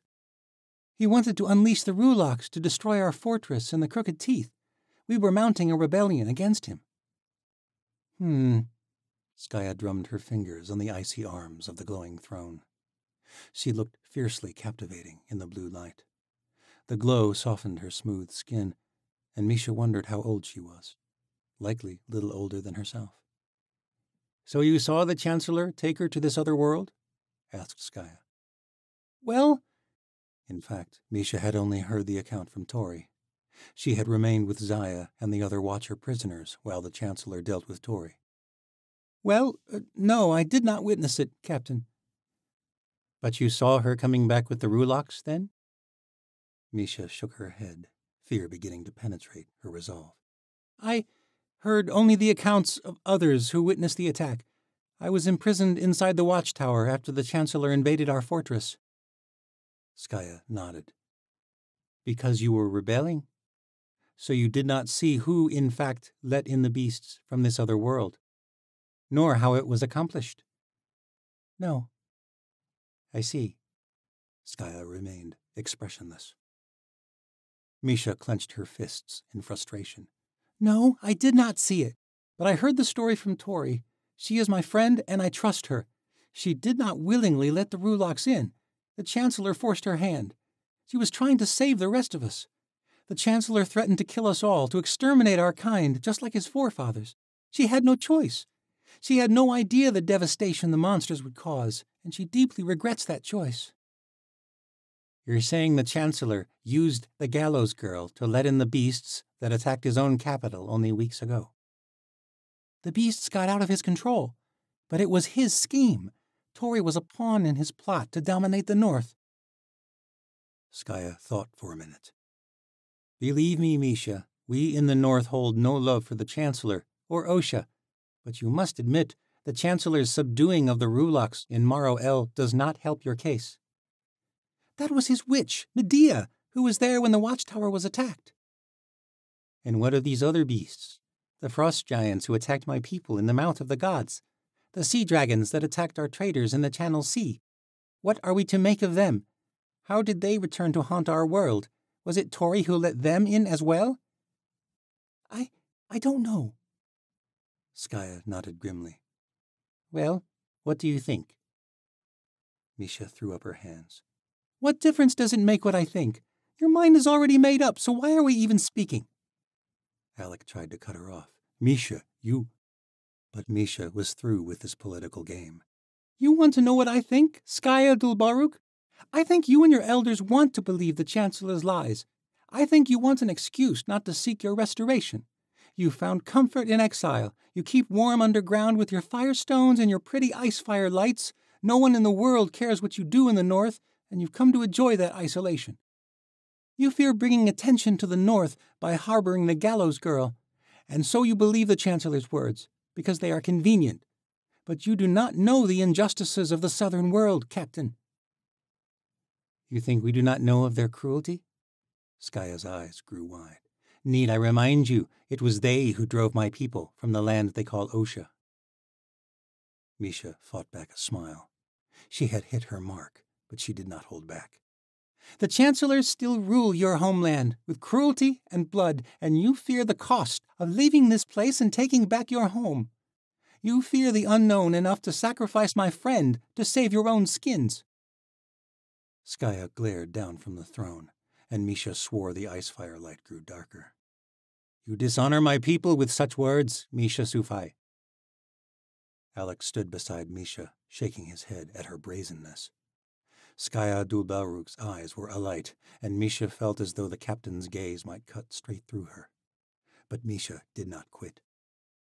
You dishonor yourselves if you think killing Tori will save you from the same fate as those in the south. One day the Chancellor's wrath will turn to the north, and you will regret killing the one true hope the New World had. Skaya stood, towering over her now. That is what you think, little island girl? Skaya descended the steps and stood over her. The guards drew closer. Misha could feel the bear rider's hot breath on her face, and she worried the young warrior was going to pummel her. Skaya was trying to show her dominance, like curs did among packs of wild dogs in the poor districts of the Triumville. But Misha held the warrior's gaze. Yes, that's what I think. And if you and your mother ignore this opportunity, if you kill her, you'll be no better than the slave traders and highborns of the southern world, looking the other way for your own comfort. The captain of the bear riders reached for her, and Misha winced, but to her amazement, Skaya did not strike her. She clasped her shoulder in a firm but comradely fashion. You are bold enough to speak that way to me, Misha Sufai. You presume much about me and my people, but I can sense your sincerity. Misha was not sure what to say, so she nodded. You truly believe the gallows girl is the hope of the new world? I have seen the way the crooked refugees and some of your own people responded to her on our journey here. I think people across the world will rally behind her. I think Astoria Burodai might just be able to change this dark world. With magic, said Skaya. We do not trust magic in the north, you know. It was used against us once, so we learned to dismantle its hold on us. Magic has returned to the world, whether you like it or not. And if it is left to the Chancellor, it will mean the end of the New World as we know it. But with Tori, magic might just save us all. Skaya managed a hint of a smile, and she squeezed Misha's shoulder. Her touch was remarkably warm. I like your spirit, Misha Suvai, and you have said what I hoped to hear. Alec looked up with surprise. She did? Misha's body relaxed a little at the words. Yes, Baru, and I am not the only one. Another young woman stepped from behind a pillar where she had been listening to their conversation. Her silver hair fell in waves over her shoulders. She was dressed in a regal sapphire gown with sparkling sleeves that reached her wrists. The finery immediately betrayed her otherness in this place. No Aleut or crooked refugee dressed so finely or without furs. She wore only a thin shawl over her gown. Her breath did not mist the way Misha's did, and her eyes shone like ice fire. Who are you? said Alec, his hand flying to the hunting blade at his belt. The woman smiled nonchalantly. Don't you know my face, Alec Dulbaruk? I remember yours. What? From our visions, of course. Our our visions? They work both ways, you know. The woman smiled, and Misha was struck by the way her presence seemed to dominate the room. Misha could not take her eyes off the stately young woman. It reminded her of the time the Prince of Malai had come to Melanesia. There had been a parade, and young Misha had watched the young boy until he completely disappeared from sight, marveling at his attire, his procession, his noble air. She felt the same presence from this woman now. Alec's eyes spread wide with amazement, and his hand relaxed at his blade. My visions? Incredible. You mean you've seen me as well? Of course I have, Alec Dulbaruk. Where did you think the visions came from? The gods? The young woman chuckled. Well, yes, actually, said Alec. I've had other visions, in fact, or apart from the ones of you. The woman's eyes sparkled with fascination. Really? For those of us who are not involved in these visions, would you all mind explaining what in the abyss is going on? asked Misha. Alec pulled himself together, his eyes leaving the woman for the first time since she appeared. He straightened himself. This is Seren Letal. Misha did not recognize the name. And? She's the Witch Queen of the Southern Isles. Now Misha was intrigued. The infamous sorceress of the southern world had come here. But how? Alec said, turning to the Queen. Skaya interjected. You told me of your visions of the Queen before you left for the Crooked Teeth. And you thought them ridiculous, said Alec. I did, until we heard word from Uluk of the events in the mouth of the gods and the gallows girl who was journeying with you. While our High Elder prepared to seize her upon your arrival, I sent word to the Southern Isles. I have very much wanted to meet your friend, Misha, said the Witch Queen, who struck Misha as far more relaxed than any dignitary Misha had ever heard of. Her voice was soft and wispy. Her presence was strong and demanded attention, but not in a harsh way like the Chancellor's. No one had even bowed when she revealed herself. But how did you arrive so quickly? said Alec. Sorcery, said Seren Latal. And after hearing your words, Misha, I am glad I came as fast as I did. There is much I wish to discuss with your gallows girl. She will testify before the elders tonight, said Skaya, on Astoria Burodai's behalf. Alec shook his head in disbelief. I, I am sorry I doubted you, Saru. He embraced his sister, and though a little stiffly, she returned it. For the first time since arriving in the north, Misha felt relief. With Skaya and the Witch Queen on their side, surely the elders could not argue for Tori's execution. But her relief was short lived. The ice fire doors spread wide with a groan, and a young soldier crossed the room. When he reached them, he bowed to Skaya and then to Alec. Captain, Shaman, the elders have requested your audience in the assembly. The assembly? said Alec incredulously. Now? said Skaya, a dark look crossing her face. The soldier nodded. The trial is not till moonrise. Misha's stomach knotted beneath her skin as she realized what had happened. The soldier shook his head. The trial is over. That's why your Madru asked you to handle the throne in her stead. Chapter 16 The trial was a farce, and Tori knew it the moment she was taken from her cell beneath the ice city. Alec's mother came to take her from her cell only minutes after Alec and Misha left. Farah Dulbaruk did not bother to explain herself, as two guards led Tori down the blue lit passage, while the High Elder led the way to the city above. Tori knew what was happening, and it was confirmed the moment she reached the round assembly chamber of the Ice City. The room was filled with Aleut of all ages, and even a few crooked folk, but Alec and Misha were nowhere to be seen. It was clear the elders had never intended that Tori might go free. Their trial was swift and pointless, the witnesses cleverly chosen, the questions of the elders worded to work against her. Most had already testified before Tori even arrived to hear their scapegoat accusations. According to one young impressionable witness, Tori had let the frost giant wreak havoc on their company in the mouth of the gods, failing or perhaps intending to fail in her attempt to fight the old world monster.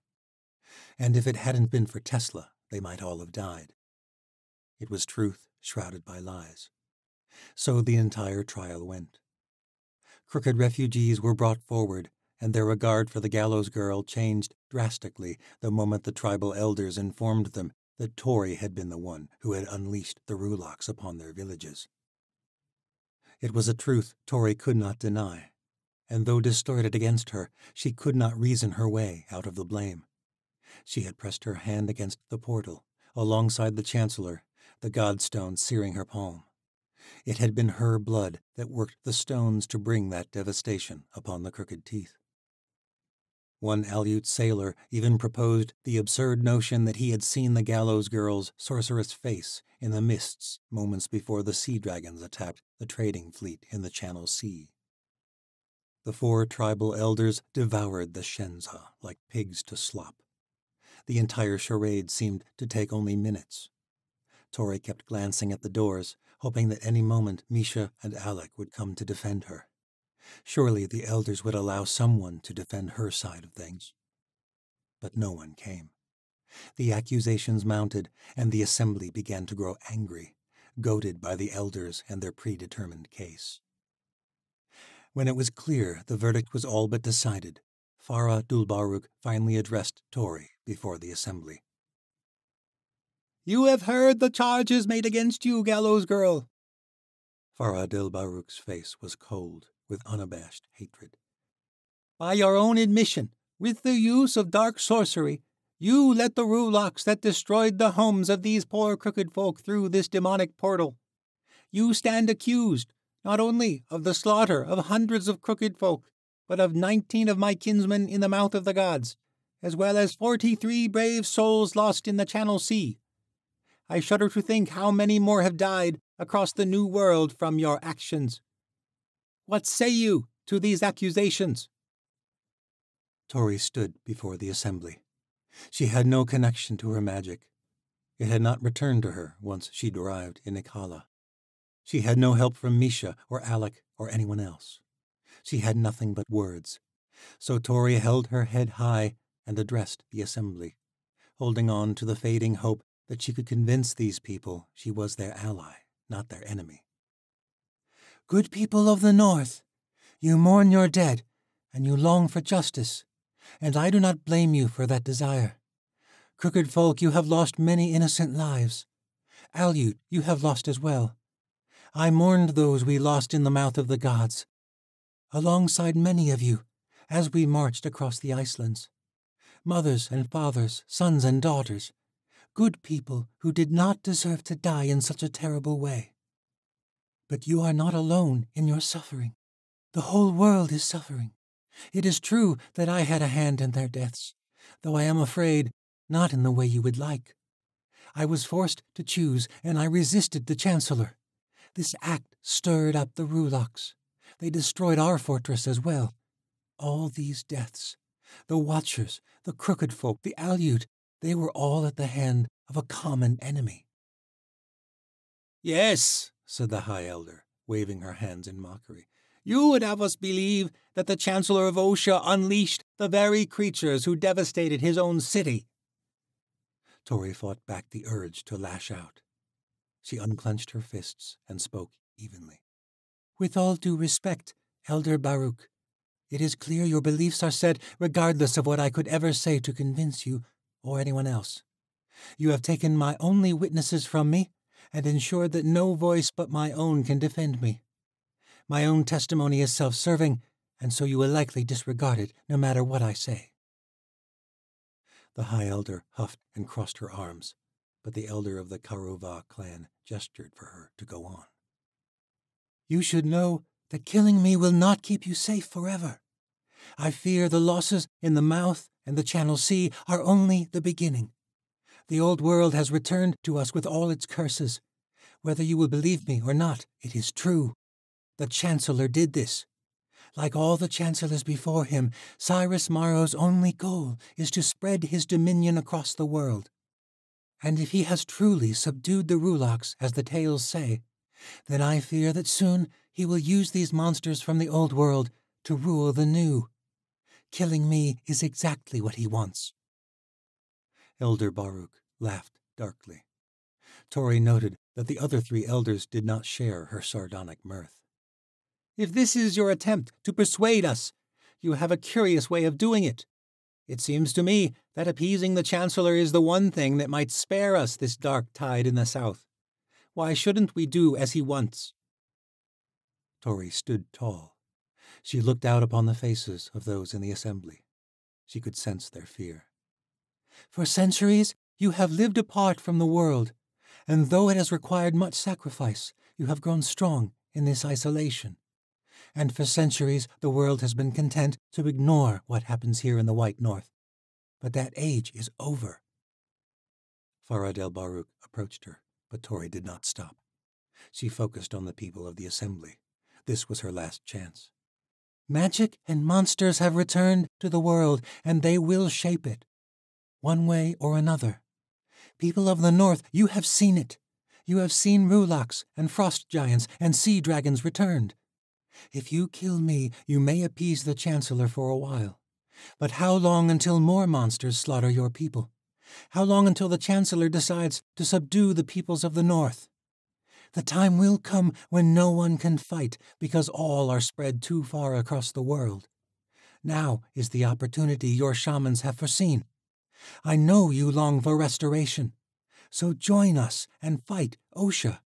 Take back your the High Elder's backhand ended her plea, and Tori crumpled to the ground. The taste of blood filled her mouth. Her jaw ached, and it did not heal. The shamans made sure of it. Enough! cried Farah Dulbaruk, standing over her, veins surging at her temples. Do not pretend you know anything about my people, Darkling. You know nothing of the North. The High Elder turned to the other elders. We have heard enough of this sorcerer's lies. The girl has confessed to the crimes of which she has been accused. What shall our verdict be? The elders circled up, and the assembly went silent. A pair of guards seized Tori by the shoulders and jerked her to her feet. Tori did not fight the guards. She knew it was no use. She had no power over them with magic any more than she had through words. Blood poured from the corners of her lips. Rage surged inside her as she watched the High Elder's vehement whispers. Tori longed for her connection to the energy behind the world. It had become such a part of her, the truest part of her, and if she was going to die, she wished to feel fully alive one more time. The other three elders nodded their heads submissively at Elder Baruk. Tori could tell that her words had worried them, but she feared it did not matter. The elders conferred amongst themselves for only a few moments before they turned to the assembly. Farah Dulbaruk was the first to speak.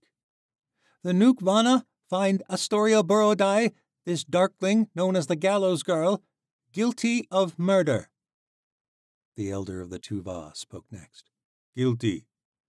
And then the elder of the Iguvara. Guilty.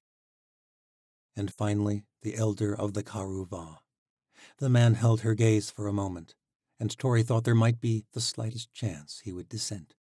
But then he spoke. Guilty. The assembly began to chant. Guilty, guilty, guilty. And how do we deal with murderers in the north? cried Farah Dulbaruk over the din. The chant morphed then.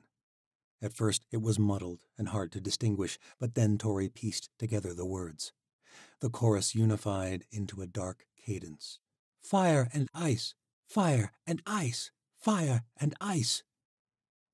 The High Elder raised her hands and the crowd quieted. Take her to the pyre! The crowd roared.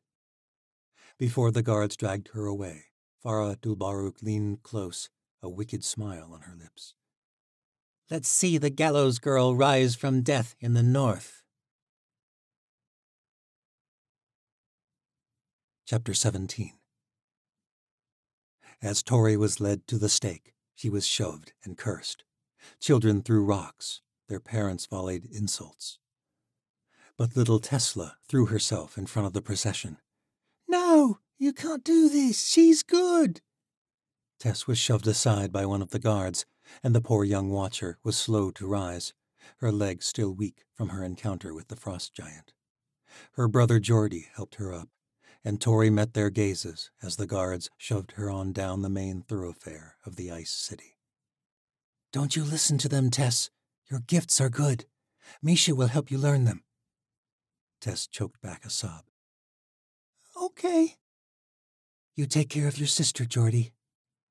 The young crooked boy nodded to her, but his eyes were not filled with the sorrow his sister's were. He was expressionless, and Tori felt sure he'd been swayed by the High Elder's words, like all the other crooked folk. She had let the Rulaks through that destroyed their homeland, and no one but Tess protested as the gallows girl was led to the pyre. The guards shoved her onward, poking her back with the butt ends of their spears. No one was coming to save her. Alec and Misha were nowhere to be found. The crooked folk had turned against her, and the Aleut were growing more furious the longer the procession went on. Did Alec play a part in this scheme? Is that why he's disappeared? Tori wanted to think not. She wanted to believe in him, but it didn't matter. Either he was a traitor or a fool, and regardless, she was going to die, and no one was going to come. Farah Dulbaruk had made sure of that. Tori had never before wondered what it would be like to burn to death, but she hoped it would end quickly. In her last moments, she thought strangely of her nemesis at the watchtower. Years ago, Vashti Burodai had endured this same fate at her father's hand. But her budding Regenero gifts had kept her alive. Wren and Cale had rescued her, brought her to the watchtower, all so she could betray the Shadow Watch. In a way, Vashti's own burning at the stake had led to Tori's, to this moment. She pushed away the hollow bitterness she felt. It seemed pointless, considering the circumstances. Vashti had had her reasons, and Tori supposed Elder Baruk had her reasons as well. Perhaps the Chancellor had his reasons, just as Wren had back at the watchtower. And all their reasons had mounted into a death sentence that Tori was weary of running from. She had been dancing with death since the day of the gallows, and death had finally matched her steps. They reached their destination at the center of the city, where a great pyre of pale snow pine had been set up in an open square. Farah Dulbaruk stood before the pyre. The other three clan elders stood beside her, holding lanterns made of blue ice fire. Tori realized that no one carried torches here in the ice city. Aleut light seemed to center around the mysterious crystals. When Tori had been chained securely to the lone pole standing from the base of logs, The High Elder raised her hands for silence. My kinsmen, Elder Baruk said, addressing the hundreds of people gathered to watch the gallows girl die. Centuries ago, invaders arrived on the shores of our world, bearing fair countenances and dark magic. They drove our people from our homeland, and we fled here to the great white north, cursing the darklings and their sorcery. Thanks to the blessings of Shalom and Enora, our shamans learned sacred arts to render that darkness useless here in the north. We have lived in peace ever since. We have made a new home, safe from the curses of the southern world. But now this darkling has brought those curses upon us anew. At the hands of this gallows girl, monsters have been brought back to haunt our world, and as is common of such things, our people have suffered at the whims of darklings. Astoria Burodai, you have been found guilty before the elders, before the people of the great white north, and before the gods. You shall be executed according to the customs of the north, a punishment reserved only for those who delve into the darkness behind the world, the trial of fire and ice. Farah Dulbaruk held up a glowing blue stone. Its veiny markings made it seem like some sort of living thing. It reminded Tori vaguely of the Chancellor's Godstones. A serene feeling of acceptance came over her as the High Elder brandished the crystal. Her end had come. Enora gifted our people with her lights in the sky and in the earth below, so that we might see in a dark world. The icefire stone pulsed in the elder's hands. May Enora bring justice to the north. The crowd cried out with a guttural roar. It transformed into a chant. The people swayed to the rhythm, and Tori realized it was a sort of ritualistic prayer. Then the world went silent. The High Elder cried out in the tongue of the north, holding the icefire crystal high, and then she cast the stone into the pyre. To Tori's amazement, the crystal shattered with a flash of blue flame. The kindling wedged between the logs was the first to ignite. The elder of the Tuva cast the next stone, and more kindling caught fire. When the elders were finished, a large flame had caught at the base of the pyre. The clansmen and women proceeded to cast more stones, handed to them by the elders. A procession passed by, old men and young children, warriors and mothers bearing infants. All were part of this dark ceremony. Ice fire shattered upon the wood, and the glowing blue flames grew larger and larger, rushing from log to log. Tori steeled herself for the pain to come. She resisted tears. She thought of the way Darien had once bravely faced a martyr's death. He had been so strong. Tori had stolen that death from him, but she knew there could be power in her own death now. The realization seemed to come from outside her.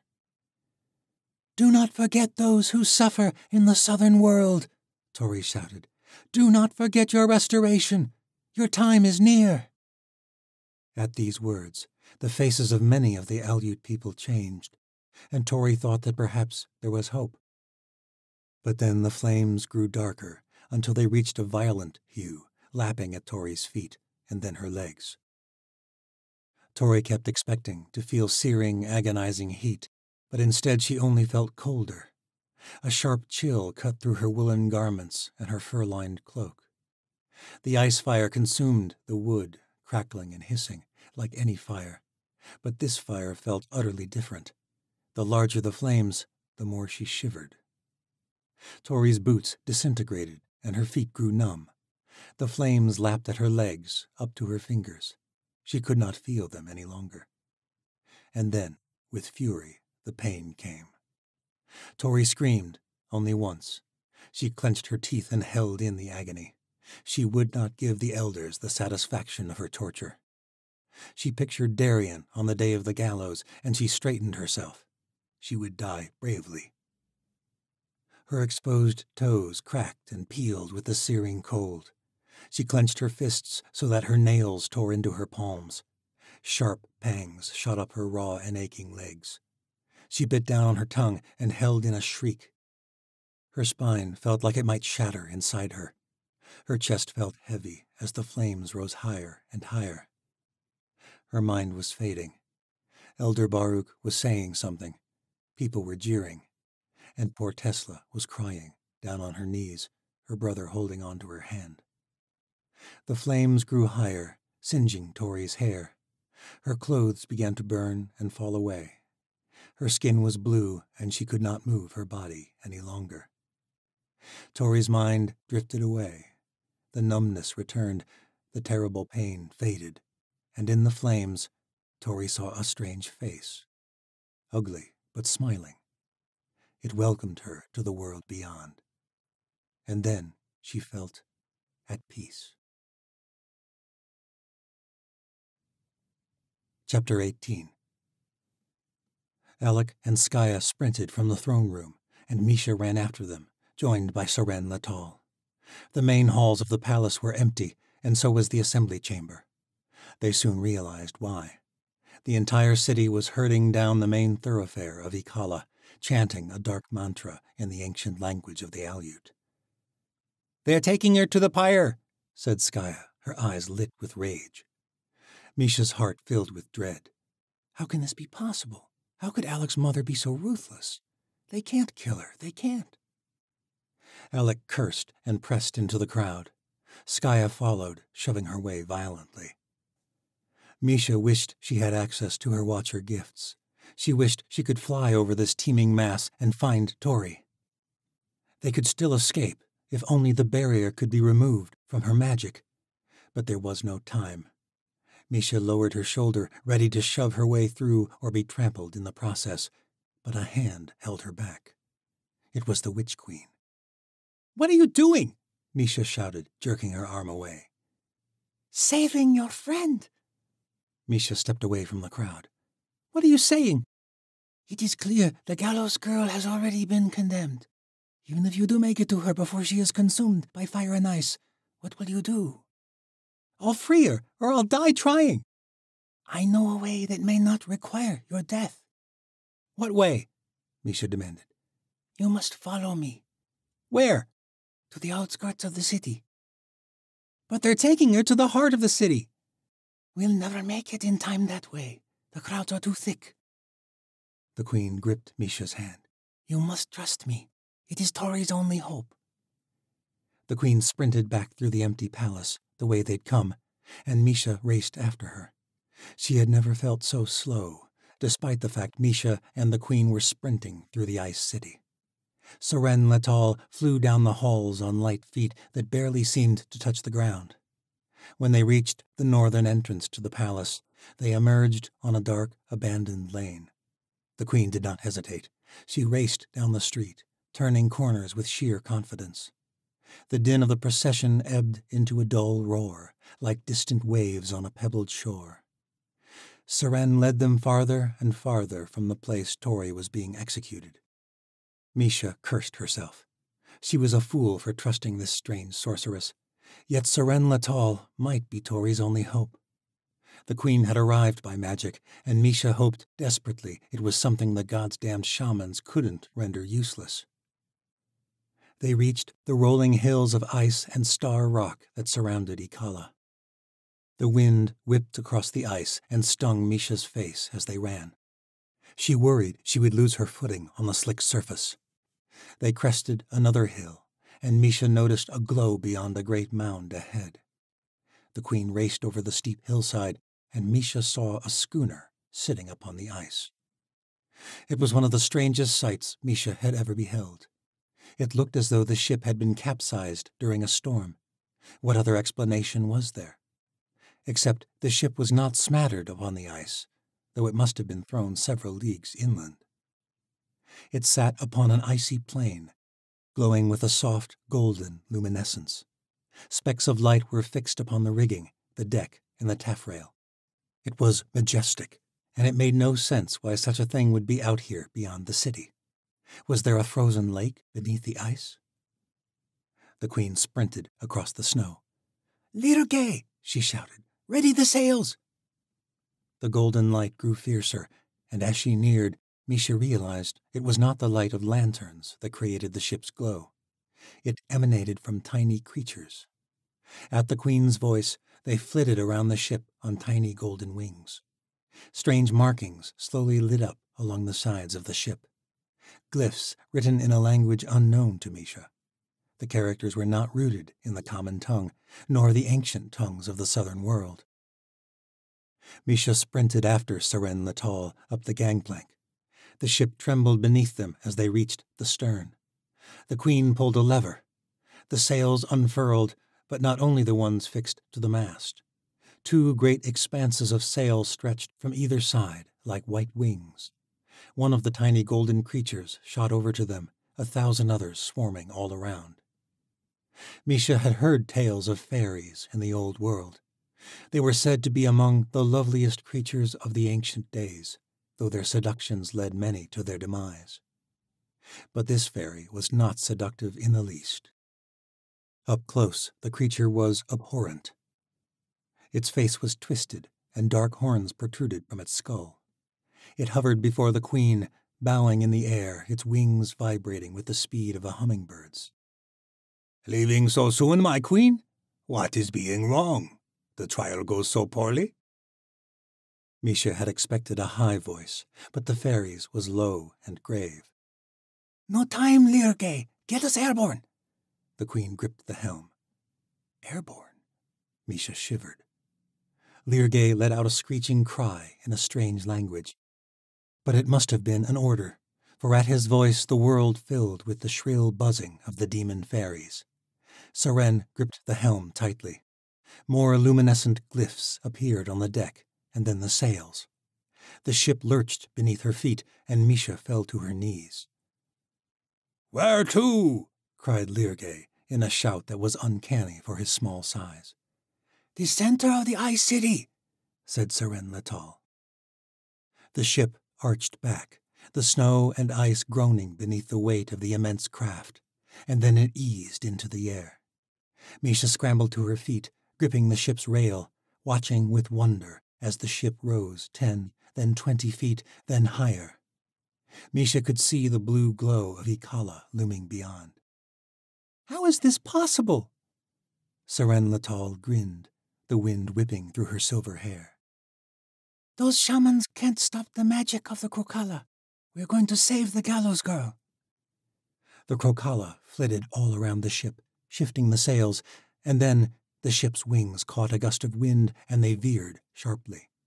At the center of the ice city, a great burst of blue light shot into the sky, and Misha prayed that they would not be too late. Chapter 19 A face appeared in the blue flames, but it was not who Astoria expected to meet at the moment of her death.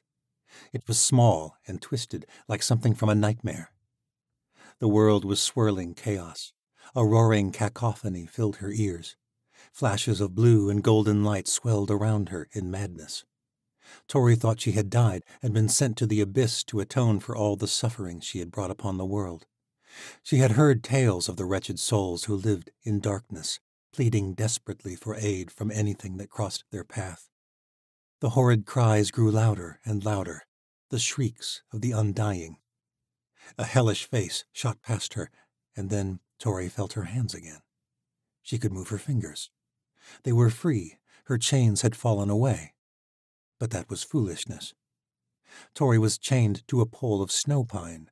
Blue flames engulfed her with the cruel fire of the north. These were hallucinations of her dying mind. Her thoughts began to grow foggy again, and she knew she was near death. She closed her eyes. Pain returned in fury, and the numbness that had overtaken her fraught body vanished. Tori cried out, thinking the flames had reached her face, overtaking her entire being at last. Her eyes shot open. The strange, fearsome face reappeared right before her eyes, glowing in a golden light like the fires of the southern world. Its light seemed to cast away the blue glow of the ice fire. The face belonged to some sort of fiery creature with tiny horns. It hovered in front of her, long nails glistening from its slender fingers like talons. It had stung her face, or perhaps stabbed her, and she had felt the pain. By some miracle, Tori could still feel it, and she emerged from the deathly fog in an instant. The creature shot toward her. She cringed. Is this the last stage of my execution? A delusion of the dying? But the thing did not sting her again. It pulled desperately at her cloak, which hung in shreds from her frozen shoulders. And then there were more golden creatures, glowing like the floating lanterns of the triumval. They tugged on her body, and their tiny hands felt warm on her frigid skin. These things were not attacking her at all. They were trying to help her. Something stirred within Tori's mind, and with the last fragments of strength she possessed, she took a step forward, then another and another. Tori stumbled free of the blue hell and collapsed in the snow, gazing up at the sky. Glowing specks flickered in the heavens, and there was something more, something out of place. Massive golden sails filled her vision, floating in the sky. But it couldn't be. Alec's face flitted in and out of focus, blocking the light, but Tori's mind was fading once more. His face seemed to be glowing and flickering as well. The world was blurs of color and light. Voices called to her from some distant place. The roar had been replaced by soft whispers. The last thing Tori recalled was searing pain crashing over her body in violent waves. But the blue flames were gone, and she knew that pain was a sign of glorious life. Tori dreamed of the southern world, of the hot, humid merch houses of the Triumval, like the one she had labored in as a child. The work had been easier there. The southern merchers were not as harsh as the masters of the northern world. Her labor had been softer, as many other things had been during her years in the Triumph. Tori strolled the streets of El Karen, the floating lanterns hovering over the city during one of the many festivals. Her mum was there, and they strolled together, and they did not have to hide their magic. She dreamed of the beaches of Melanesia as Misha had so often described them during their journey north. Soft sand squished between Tori's toes, and gentle waves lapped at her ankles, and the sisters shone like the eyes of the gods upon her. She felt light and happy. Darien was there too, walking down the beach, and Tori did not fear him. He turned to her, standing in his human form, smiling, the way he had when they served Solero back in another lifetime. And yet it was not the same smile. It was warm and safe and free, in a way it never could have been in Morrow El when they had lived to serve others. He called out to her, and his voice was light and serene. Tori ran to him, and he pulled her into an embrace, and they both cried, but they were happy tears. We made it, Darien whispered. We survived. Tori didn't speak. She just held him, grateful he was alive, grateful they were together and free. The southern world was beautiful. Insects chirped from gigantic leafy trees. Colorful birds soared across the sky in the moonlight. Everything was so full of life. But it did not last. Tori swam out of the dream world and awoke in a blue light that pierced the beauty and filled her with fear. She sat up with a start terrified that she was still in the fire, that her escape had been a delusion. She found herself not in a world of flames, but rather in a bed of soft white furs in a room beneath the ice, illuminated by the light of ice fire crystals set inside a lantern, so it filled the room with a soft glow. Her sudden movement sent waves of pain crashing up her spine. I'm alive, she thought, never more grateful to feel pain. Judging by the number of bandages that had been wrapped around her body, she was just barely alive. Her skin felt like it was boiling. She was about to examine what was hidden beneath the linen wraps when a voice interrupted her. Alec says you can't touch those. It was Tessa. The crooked girl was smiling at her. She stood up from a chair made of what Tori guessed was whalebone. The room was carved out of obsidian stone, so smooth it reflected the light in shimmers. I can't believe you're alive, Tess said. The young watcher touched her hand, and Tori squeezed it, grateful to be able to perform such a simple task. Me too, Tess. Guess you showed them, didn't you? Showed them what? Her voice croaked. Her throat felt dry and grainy. That you can't kill a god. Tori smiled. It hurt to smile, like her skin was stretched too tight over her jaw. She felt nothing like a god, but she did not argue with the girl. Tess fetched her some water, and Tori drank it greedily. What happened, Tess? How did I survive? The memory was hazy and made no sense. It must have been part of her death visions. Tess was beaming. The gods saved you. The gods? Fairies, actually. It was Misha. Her friend rushed to the side of the bed and sat, clasping her hand tenderly. Tori recalled the ugly face in the flames. Fairies? But they were so hideous. Misha laughed. Better not tell them that. They're Krokala, demon fairies, but they seem a bit self conscious about their looks, if you ask me. They're still here? They're in with the Witch Queen, said Tessa ecstatically. What? Tori's head was beginning to hurt. Misha nodded. It's true. The fairies served the Witch Queen of the Southern Isles. She came north to see you. And not a minute too soon, either. Alec entered the room, accompanied by his sister, Skaya. Her presence was met with no animosity from Misha or Alec, which confused Tori. How did I survive? said Tori. I mean, I'm healing, aren't I? Alec nodded. When you stepped from the pyre, it was seen as a sign from the gods.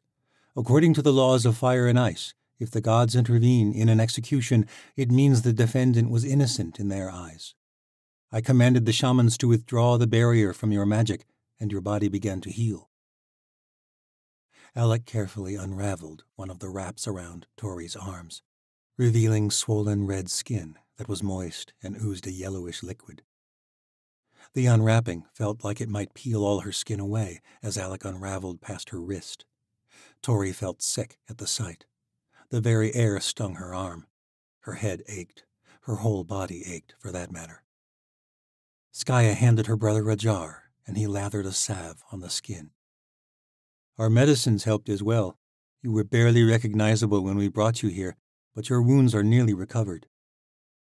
Tori did not feel like it. She shuddered at the thought that her entire body looked like her arm. Where are we? Beneath the Ice City, said Skaya. My bedroom, as a matter of fact. Yours? Tori thought Skaya was the enemy. After all my Madru put you through, I thought it was the least I could do. I'm sorry about our first meeting, but I hope you understand I had to put up a good act to fool her. Alec gripped his sister's shoulder. She sent word to the Witch Queen. If not for Skaya, my Madru would have succeeded in her mummer's trial. Where is she? Tori demanded. Don't worry, Tori, said Alec. The elders must heed the will of the gods like all others. You are safe now. You have been for three days. I slept that long? Tori was overwhelmed. Her head hurt, and she lay back down. The act stung her all over, but she was relieved to be here, amongst friends, alive. You should rest, Alec said. We'll talk more when. But Tori was already fading into the dream world again. Tori did not wake again for two more days. Alec was dressing her wounds, and she woke to sharp stings in her legs. A young Aleut girl spread the salve while Alec wrapped the linens gently around her knee, all the way to her ankles on both legs. Once wrapped, though, the pain eased. Minus the wraps, Tori wore only a cotton shift. Don't see you blushing now at seeing me undressed, Tori managed. Her lips stung and her voice cracked. It felt like years since Alec had come to see her before the trial, before his mother rigged the entire charade. Alec smiled but did not speak until he was finished. He handed the young shaman the remaining linen wraps. Thank you, Bella, the girl nodded and left the room, taking the old bandages with her. I'm sorry, Tori, Alec said. Perhaps I should have had another dress your wounds. I had Bella apply the. No, said Tori, a slight smile rising at Alec's modesty. I'm glad it was you. How does it feel to have seen the gallows girl without any of her mysteries? Now Alec did blush. Believe me, there are still plenty of uh, mysteries. Tori chuckled, then tried to stop herself because it hurt. She squeezed his hand, which hurt less. I'm teasing. I know. Anyway, it was not exactly the first time. For Bella or me. Your clothes were nearly burned off in the pyre. The uh, whole city saw you. I'll bet that was a sight. Alec frowned. It was horrible, Tori. I am so sorry this happened. I should have seen through my Madru's schemes. Tori didn't want to think of it. She changed the subject. I didn't realize you were a healer as well as a shaman. They are one and the same in the north. How are my wounds? Tori grimaced as she tried to raise herself to a seated position. It hurt, but it was not agony. Alec helped her, propping a pillow behind her back. Your legs took the worst of it. Your face is healed, and your upper body is getting close. We removed the bandages yesterday, though the skin may be tender for a few days. But your body recovers incredibly fast, much quicker than I ever might have guessed. I've never seen anything like it. You should be dead, Tori, many times over. That wasn't my doing. Is it true about the Witch Queen? Did she really save me? Or was that only part of my fever dreams? Not a dream. Seren Latal has been waiting for you to recover. What is she doing here at all? I'll let her answer that. Bella returned with a tray of flatbread and strange purple fruits shaped like tiny hearts. Tori tried one. The texture was strangely pasty, but it was sweet. I've never had these before. Are they from the Trium? Alec shook his head. Gem stars, the only fruit that grows in the north. We harvest them from the world below. They grow only where ice fire abounds. Tori was amazed at how much life was able to survive in the Great White North. It was as though, just like the Aleut people, nature had managed to adapt to whatever surroundings it found itself in. Still, she doubted she would ever behold that strange blue crystal with positive feelings. Though it seemed to be the source of most life in the north, including the Aleut, the very light in the room made her feel uneasy. Tessa poked her head through the door. Alec, the Queen is here. Let her in. Tess smiled at Tori before she hurried off to fetch the Witch Queen. Seren Latal walked with a regal gait, but Tori could tell it did not come naturally to her. It was practiced formality. It reminded her of the way she held herself when she was attempting to appear more proper than she was, back almost too straight to compensate for years of labor. True nobles moved more fluidly. The queen took a seat in a chair by the bedside, and her shoulders relaxed. A golden blur hovered near her shoulder and then alighted upon the armrest. Tori recognized the face from the pyre. Tori gestured to the grotesque fairy. You pulled me from the fire. The Crocala's features seemed to be hardened in a permanent scowl, but it nodded to her. The queen giggled. She was captivating without doubt. Her porcelain face shimmered in the blue light, and her silver hair was smooth as silk. Her sapphire gown hugged her body. She wore long dark sleeves that left only her palms bare. She looked Tori up and down, then shook her head. Incredible. You have not disappointed, Gallows Girl. Thank you, milady. Seren, please. You are not one of my subjects, and if your rapid recovery is any indication, we are equals, you and I. I owe you my life, said Tori. A life I was eager to save. Why? Seren Latal leaned forward in her seat, a sparkle flashing in her eyes. Well, if we believe your shaman boyfriend here. Alec blushed. Oh, er, we're not. Tori enjoyed watching him stumble over his words.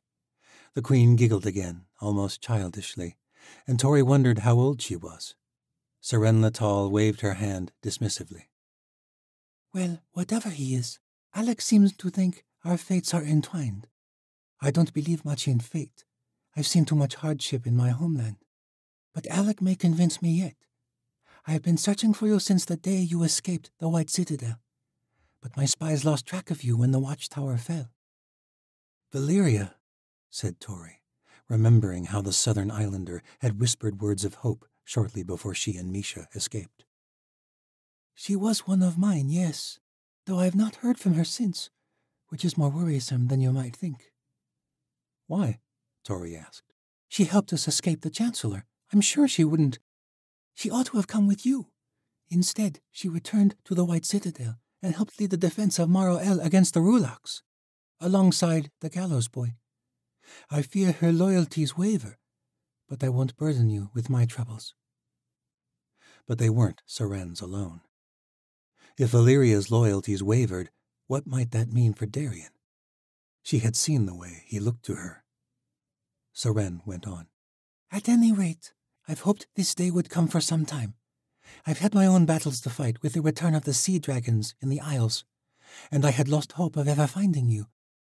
After communication ended from Valeria, then I received a raven from Skaya Dulbaruk, and here I am. But why have you been looking for me? Osha has been gaining power in the world. With the fall of Morgoth and the alliance with the Yanavi, the Chancellor is nearly uncontested in the Western world. And now, with monsters bending to his will, I fear he will soon set his sights on the Isles. While you've been recovering, Alec and I have been conspiring. You came to the north to raise an army, yes? Tori nodded. My fellow watchers are locked in the citadel. I seek justice for all the Chancellor has done to my kind. Saren smiled. Good, but I am sure you know that a few spears, and even bear riders, will be little match for Osha's forces. My people have been free for less than a century, and that time has been turbulent. We have warred with each other as much as the oceans or the Faerish. We are not a unified nation, just rivaling island kingdoms whose allegiance moves with the wind. But that is changing. Under my rule, most of the isles sail under one banner for the first time in centuries, and with the right show of strength, that alliance may last centuries. Show of strength, said Tori. That's where I come in? Where we all come in, said Alec. I want to wage war against Osha, said Saren Latal.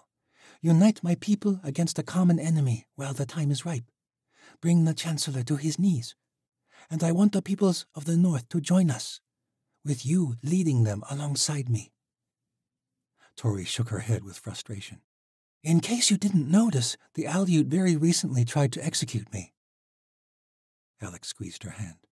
Your return from death has swayed them. The elders have declared you innocent before the gods. And with Skaya's support, the bear riders would follow you into battle.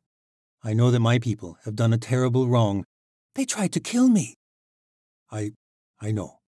And I know that we do not deserve your aid, Tori. But they will follow you. Your last words in the flames were, Do not forget your restoration. And with your miraculous survival, they are ready to believe you. They are ready to seize their restoration. They are ready to follow you into battle. And besides, it is the best chance your friends in the citadel may have. Tori breathed for a moment, trying to take in all the information. She could not even get out of bed yet, and she was supposed to lead an army into war. But she knew Alec was right. Even from the flames, Tori had not cursed the Aleut. Their actions were stirred by the injustices rained upon them by the Chancellor. She thought of Wren and the other watchers. More than ever, she wanted to see Cyrus Morrow dead. Finally, she spoke. She looked from the Witch Queen to Alec de Baruk. I will lead the Aleut against the White Citadel alongside you. Then it is to war, said Saren Latal solemnly. The words filled Tori with an unquenchable flame. This was what she and Misha had wanted since they'd escaped from the Chancellor's clutches in the catacombs. Now they had an army. To war.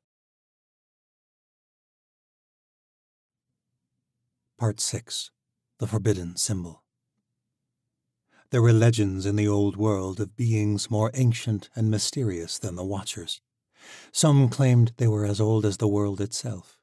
Some claimed they were the last of a failed generation, gifted with powers beyond all else in existence, powers they could not handle, even the power to overcome death.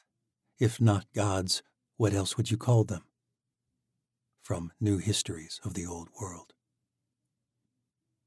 Chapter 20 It was late evening when the company of Yanavi entered the ocean city of Pendra, yet the festivities showed no sign of waning. The main thoroughfares of the trade city thrummed with the beating of drums and the chanting of old victory ballads. Cale recognized the rollicking verse of The Great Bear of Galahan, the rousing cadence of The Ride of the Raven King, and the bawdy chorus of The Milkmaid in the Hay as Ashi led them through the city in search of a tavern.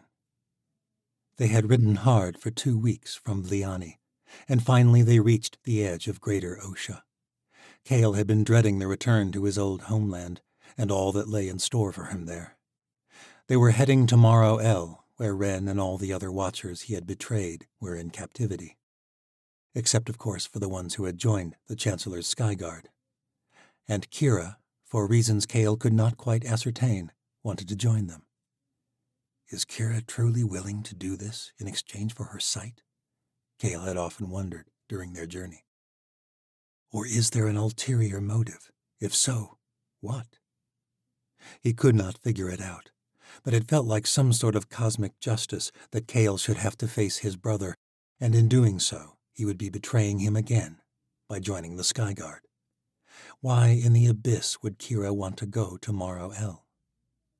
But Cale knew he had lost all right to question Kira's motives, and she had thus far shown no desire to share her plans with him. He had asked once, and she had swiftly changed the subject, and Cale knew she still did not trust him. All his life, Cale had made a habit of running from his problems. It was why he was called the Exiled Lord. But Kira was one to be in the middle of everything. It was what had gotten her captured by the Metamorphi, and likely how she had gotten them both caught up in Sala Burodai's schemes in the Red City. It was a trait he simultaneously admired and despised. Ashi checked with half a dozen inns, but they were all full. Cale had never been one to long for beds or roofs, but Ashi had been adamant they rest the steeds a full day before they set north for Morrow El, and the five Ilya men who accompanied them had been more than eager for a warm meal. Women traditionally prepared the food in Yanavi culture, but Ashi was no typical Yanavi woman. She led the expedition and had no intentions of bothering with food preparations, nor the extraneous baggage of bringing a kitchen wench and provisions. They had lived off Kayla jerky and dried dates for the past two weeks.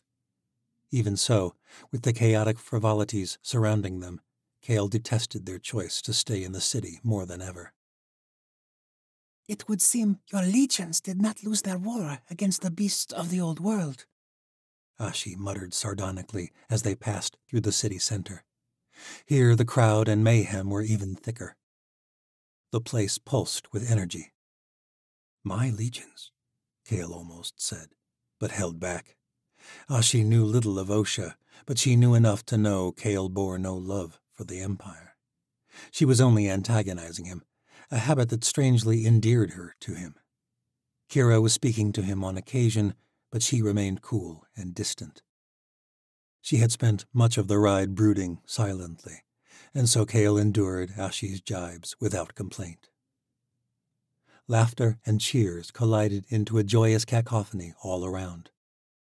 The very air Cale breathed seemed to be alive with celebration, Dancers twirled through the cobbled thoroughfares, troubadours belted their tunes, and nightlings hung on the arms of nobles who watched the festivities in the city center from their balconies. But the nobles were not alone in their sultry indulgences. A trio of street wenches rushed their small company. Two latched onto a pair of Yanavi men, and the third wrapped her slender fingers around Cale's arm. Ashi was guiding Kira's steps through the crowd and Cale thought he felt a twinge in Kira's mind, but it was hard to discern amidst the hive of minds that swarmed around him. Ah, a party from the rolling hills, the wench on Cale's arm cooed. Had a long journey, have ye? Only a copper for a warm bed and all the frills. She stroked his arm. Cale nearly choked on the young girl's cheap perfume. Her skimpy blue gown left little to the imagination. Her eyes were caked with dark cosmetics, and her skin was caked in oil. Or is it sweat? Gods. Cale's stomach lurched at the thought, but she pressed closer to him. He tried to shake free of her grasp and move on, but the wench held fast.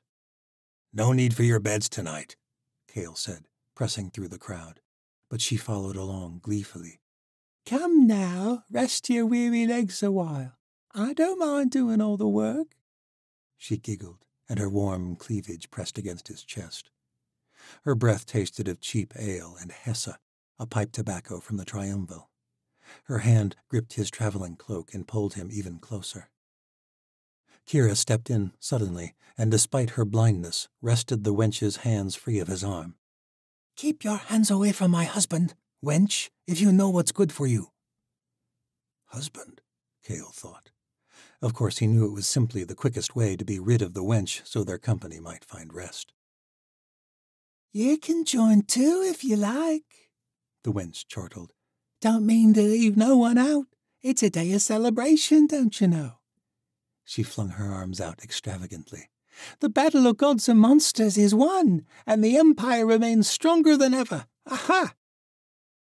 Ah, she tossed the wench a copper coin, taking hold of Kira's arm to steady her. Off with you! There's plenty of other patrons for your ilk in these streets. The wench caught the coin and left with a glint in her eyes, though her gaze lingered on Cale longer than he liked as she disappeared into the crowd. Ashi drove off the other wenches in a similar manner, to the apparent dismay of Olivar Raji, one of the Ilya, who grumbled about the overwhelming ratio of men on their expedition. Ashi looked like she wanted to slap him, but she held back and pressed on. Kira said nothing else, but she held onto Cale's arm for guidance the rest of the way to the tavern, an act that forced Cale to fight a bemused smile. They were accosted by no more street wenches, and they soon arrived at their final destination, the Raging Boar. The inn, too, was filled with raucous festivities. Cale, Kira, Ashi, and the five Ilya all squeezed around a small table in the corner of the room. The innkeeper came by after some time. A portly, Faerish woman, with graying dark hair and dark eyes, she glanced at their company with amusement. It's been a time since I saw an ocean, a jerkin, and a herd of Yanavi in the same company. But if today be any proof, the gods are yet performing miracles. What'll it be? She glanced around as though trying to determine who their leader was. Her eyes widened when Ashi spoke. Dinner and rooms, if you have any, said Ashi. Aye, we've got a room or two to spare. The innkeeper eyed Ashi with suspicion. If you have coin. Ashi huffed and produced a satchel from her cloak. It jingled to the innkeeper's satisfaction. What's for dinner? asked an Ilya named Kesh. The innkeeper guffawed. Boar, of course. The girls will be out in a minute. The woman bustled away, close to hysterics. The boar was cooked to a crisp and was nearly as tough as jerky, but it was warm and fresh, and no one in the company complained. The ale was better, though a little sour, but it relaxed Cale's senses after the second mug. He was able to tune out the ringing of minds in his cerebro sense and listen in on conversations. The battle of gods and monsters, as the attack of the Rulaks on Morrow El had come to be called, had been a near slaughter. From what Cale overheard, the legions and the Sky Guard had fought valiantly, but still the beasts razed much of the city to the ground, killing thousands. It was the final moments of the battle that particularly caught Cale's attention. He kept catching bits and pieces, but it didn't quite make sense. Everyone was praising some darkling witch. Cale caught the arm of a serving girl as she came to replenish their drinks. We've been traveling for some time and have not heard all the details of the cause of this celebration. How exactly was the battle won? The serving girl's hazel eyes went wide. You entered? A bloody miracle it was. The Darkling Witch stopped the whole horde of beasts at the base of the White Citadel. Who's this Darkling Witch? said Cale, a fearful realization teasing his mind. No one knows exactly. She's been close in the Chancellor's company for months now, they say. One of the sorcerers from his sky guard. Some say she's the one who turned him from the ancient ways of the Chancellors. Her name is Medea Lozar. The Darkling Witch saved the whole bloody city, the whole empire, more like. At Medea's name, Cale's stomach nodded, his suspicions confirmed. How exactly did she save the city? She calmed the bloody beasts, said the girl, with evident reverence. Spoke to 'em inside their minds, they say. The Rulaks quit their onslaught and bowed before the citadel. They say the beasts do her bidding now. The girl shook her head. Can't believe you endured. She ran off to tend to other patrons. Cale turned to Kira and Ashi. They shook their heads. Medea, said Cale, shuddering as he recalled his last encounter with the Darkling Witch, when she invaded his mind and uncovered the location of the watchtower. The thought made his fists clench. She subdued a whole herd of Rulaks, said Ashi in disbelief. What does that mean? She did not sound as pleased as she ought to have been, considering the Yanavi were the Chancellor's allies. Kira shook her head, her blind eyes closed. Medea's name brought back memories for her as well. Memories of Cale's betrayal. He resisted the temptation to sense her true feelings about those memories. It means, said Kira slowly, if there was any doubt about the Chancellor's might in the new world among the lowborns, it's gone now. Any thoughts of rebellion in the name of the gallows girl have vanished. Ashi grimaced. Look at these people. Faerish, Morgathians, Oceans, are celebrating the Chancellor as some savior. A bard struck up a new song about the victory called The Chancellor and His Darkling Witch, and the tavern soon rollicked with a chorus celebrating the return of magic to the Empire. Looks like we've made the right choice in joining them, Kira muttered. Cale did not know what to say. He soon excused himself and left the inn for some fresh air to clear his mind. The air was far from fresh in Pendra that night, filled with tobacco smoke and the mixed aromas of roast meat, spilled ale, and cheap perfume. Cale wandered the streets alone. He left the main thoroughfares and soon found himself in narrow side streets that were, to his relief, relatively quiet. What in the abyss are we doing? he wondered. The Chancellor was growing more powerful than ever, and he and Kira were heading into the heart of it all. And if Kira truly wanted to join the Chancellor. A cold breeze gusted through the streets, and Cale pulled his cloak close to his chest. He thrust his hands in his pockets, and his fingers brushed against a strange bit of parchment that he hadn't put there. Where did it come from? he thought, pulling it from his cloak. A chill rushed through him as he unraveled the paper. Scrawled upon it, in black ink, was the image of a gallows with a broken beam. The infamous sign of the gallows saint.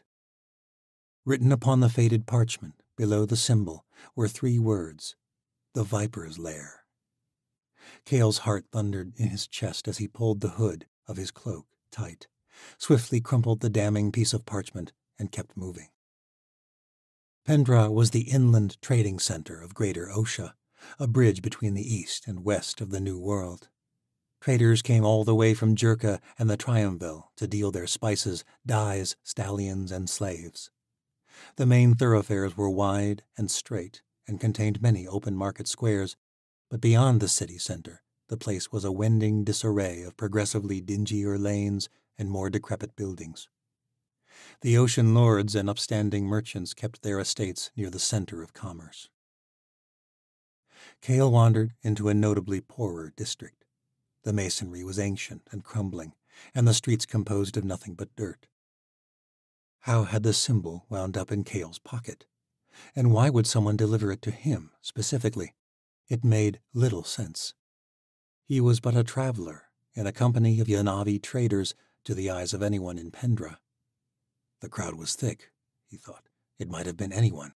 But he recalled the wench's hands at his cloak, the way her gaze had lingered with him even after she had disappeared into the celebratory masses.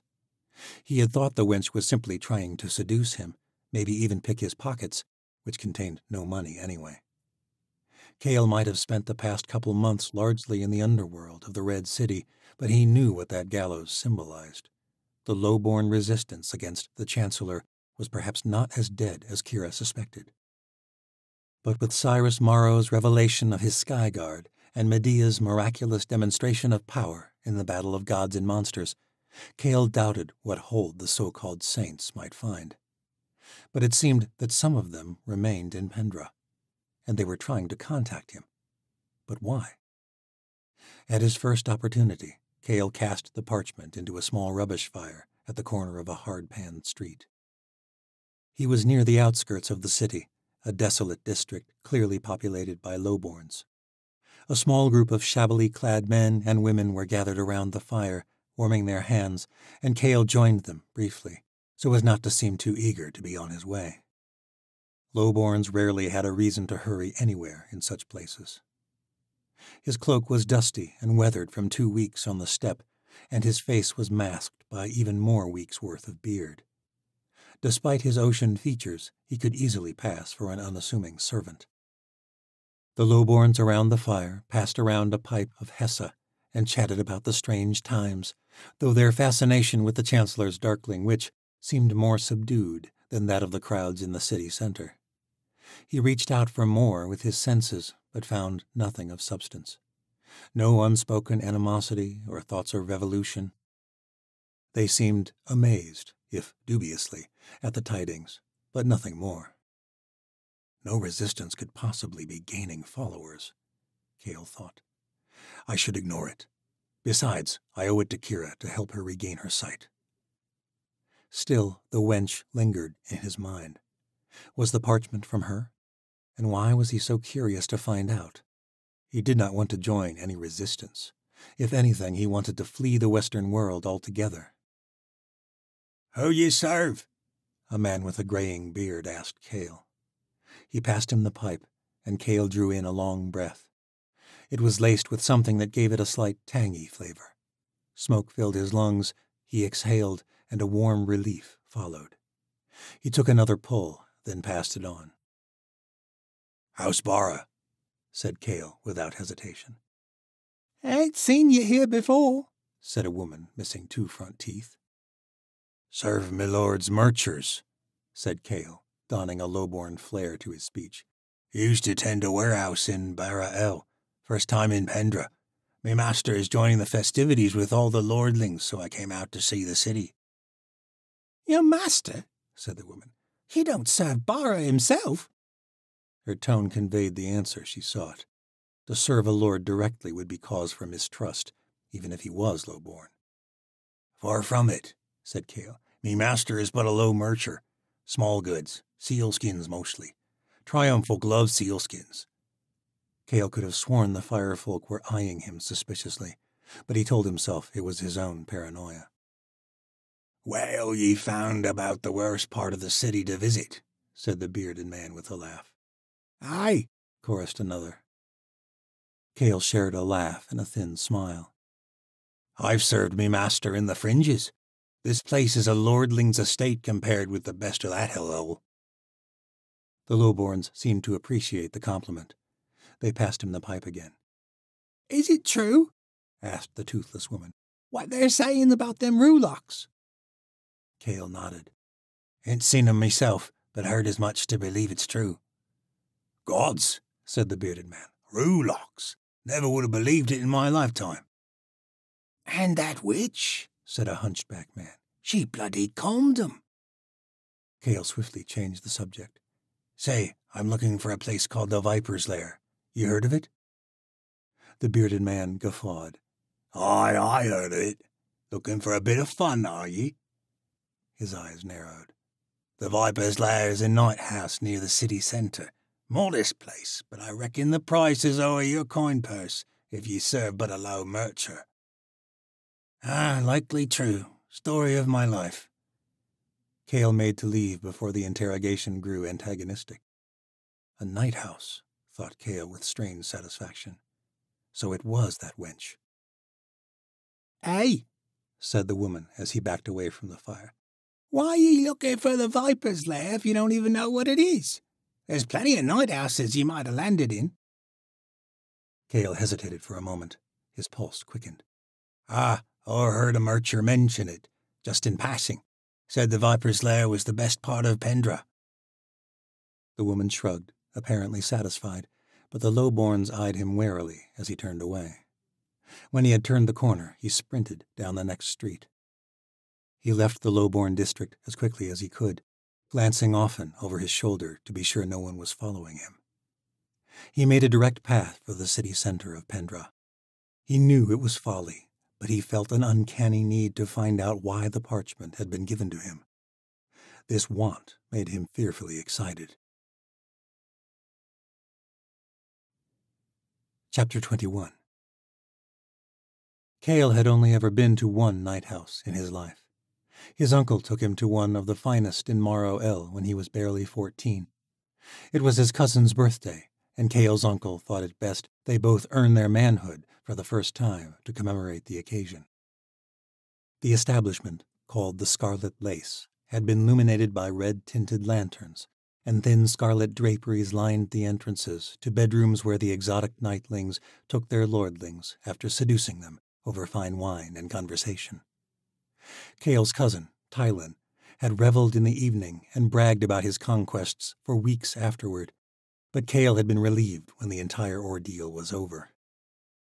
It was not until he met Kira that he fully realized why the place had not brought him the same satisfaction it did other lordlings.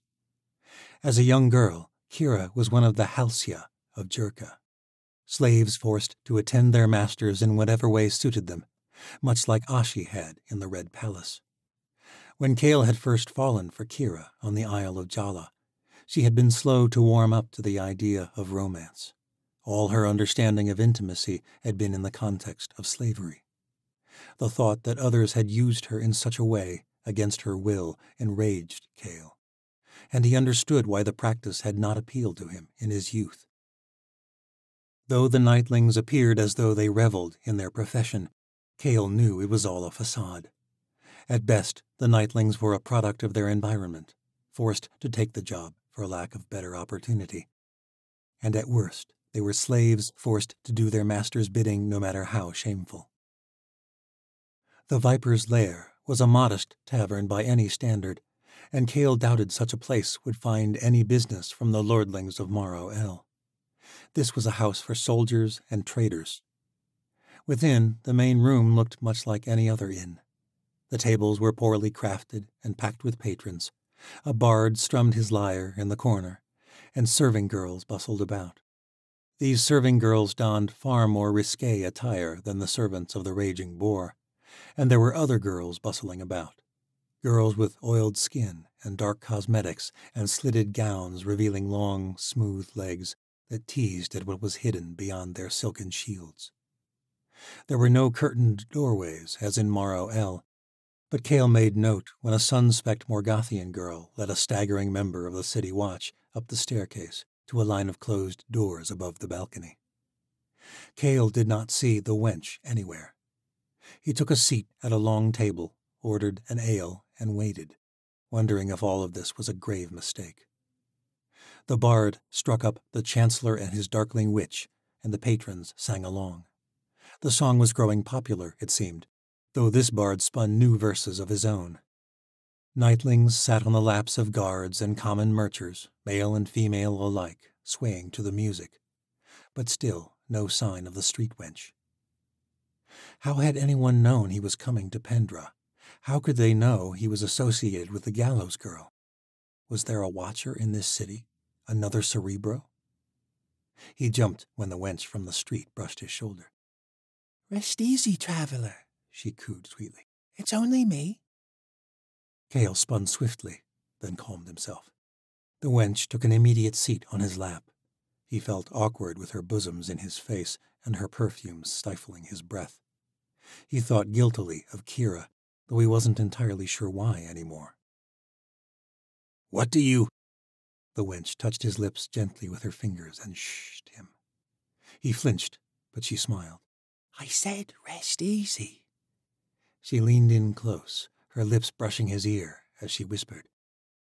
No patron runs upstairs right away.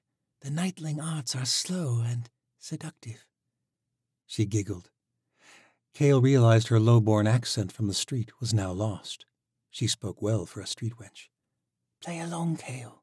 I'm Nyla. And never fear, You'll have your answers. How does she know my name? Cale's nerves were on fire, but he obeyed. He placed his hands at the wench's hips, as he'd noted the other patrons doing. Nyla sipped from his flagon of ale and leaned into his chest, bantering seductively. Are you weary? she said, louder now, her low-born accent returning. Uh, uh, yes, Cale said. It's been a long ride indeed. Where do you hail from, handsome? Cale tried to recall his tale from the rubbish fire. It was best he did not draw attention to his party of Yanavi. A merchant company from Bara El. Ah, she said, a coastling. And what brings ye to the Viper's Lair, little mercher? She poked his chest and arched her back, and Cale felt even more uncomfortable. I've heard tales of the exotic nightlings of Pendra, and I knew I must see them with my own eyes. He tried to sound as though he was attempting to woo her. Cale wanted to leave this place as soon as possible, but he needed to know why this wench had given him the message. And the more he played into the role, the quicker she would take him to one of the upstairs rooms. Nyla draped her arm around his shoulder, leaned back, and laughed. The loveliest nightlings in the Empire are here at the lair, but I'm afraid I am not one of them. A proper dirty girl from the streets I am. The wench howled with sensuous laughter, and a nearby patron caught Cale's eye. You caught a good one, then, the greasy man bellowed. Cale managed an awkward smile in return. Nyla shrugged flirtatiously, then downed the remainder of his ale and slid from his lap, holding onto his hand. Come, little coastling, let me show you the true reason the nightlings of Pendra are renowned across the land. Cale followed. Nyla's entire gait was a practiced seduction. Her hips swayed with each step. Her fingers traced over his hands as she led him up to the door at the end of the long line of rooms along the balcony. She closed the door slowly. Nyla leapt upon the bed and sat, crossing her legs beneath her, leaving Cale standing in the middle of the room. The space was sparsely decorated, and the bed was dressed with plain linens. Cale supposed the matron of the house did not see the need to splurge on needless niceties. No one stays long in these rooms. Nyla giggled. It came so easily. Cale wondered if this was the woman's real laughter. There was no one to perform for any longer. You're a terrible actor, you know, Nyla said, her proper speech returning. A coastling? Gods, please, your voice has no lilt. Cale scowled. He had known plenty of coastal lords during his youth in Morrow El. What do you know of the coast? Have you ever been? Nyla raised her eyebrows and leaned forward, a grin teasing her lips. It struck Cale how young she seemed up close. She was barely a woman grown. I am close with folk from all over the New World. They whisper all night in my ears. Coastlings speak lightly, Cale, like the ebb and flow of the waves. The wench was well spoken indeed. Strange for a nightling. How did you find me? Do I know you? Cale had been trying to figure out how she knew his name, but he couldn't place it. Nyla laughed. I think not. I never forget a face. Why did you give me the sign of the gallows? Shh, not so loud, Cale. She glanced at the door cautiously. How do you know me? he demanded. She lowered her voice. We share a mutual friend who asked me to find you when you arrived in the city. His thoughts went straight to the Chancellor. All this was a trap. Cale's senses flared. His nails dug into his palms. He nearly ran straight from the room, but he had to know for certain. Nyla leaned forward, resting her chin on her hands in a childish fashion. She blinked. Even her blinks had a calming, seductive nature. Her long lashes drew in his gaze. Who asked you to find me? Cale said at last. Lazarus Delai. Cale took a sharp breath. His fists clenched.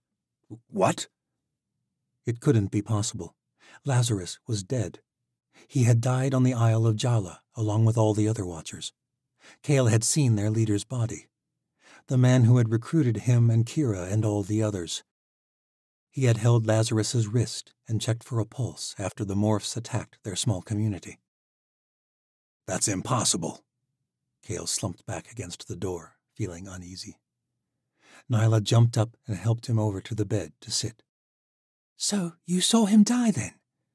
Nyla spoke the words so nonchalantly. Cale nodded.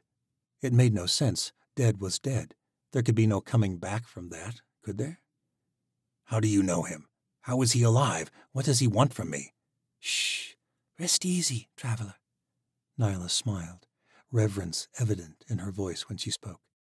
Lazarus is the one who showed me my gifts, just as he showed you yours. Your gifts? said Cale. Nyla pointed to her head.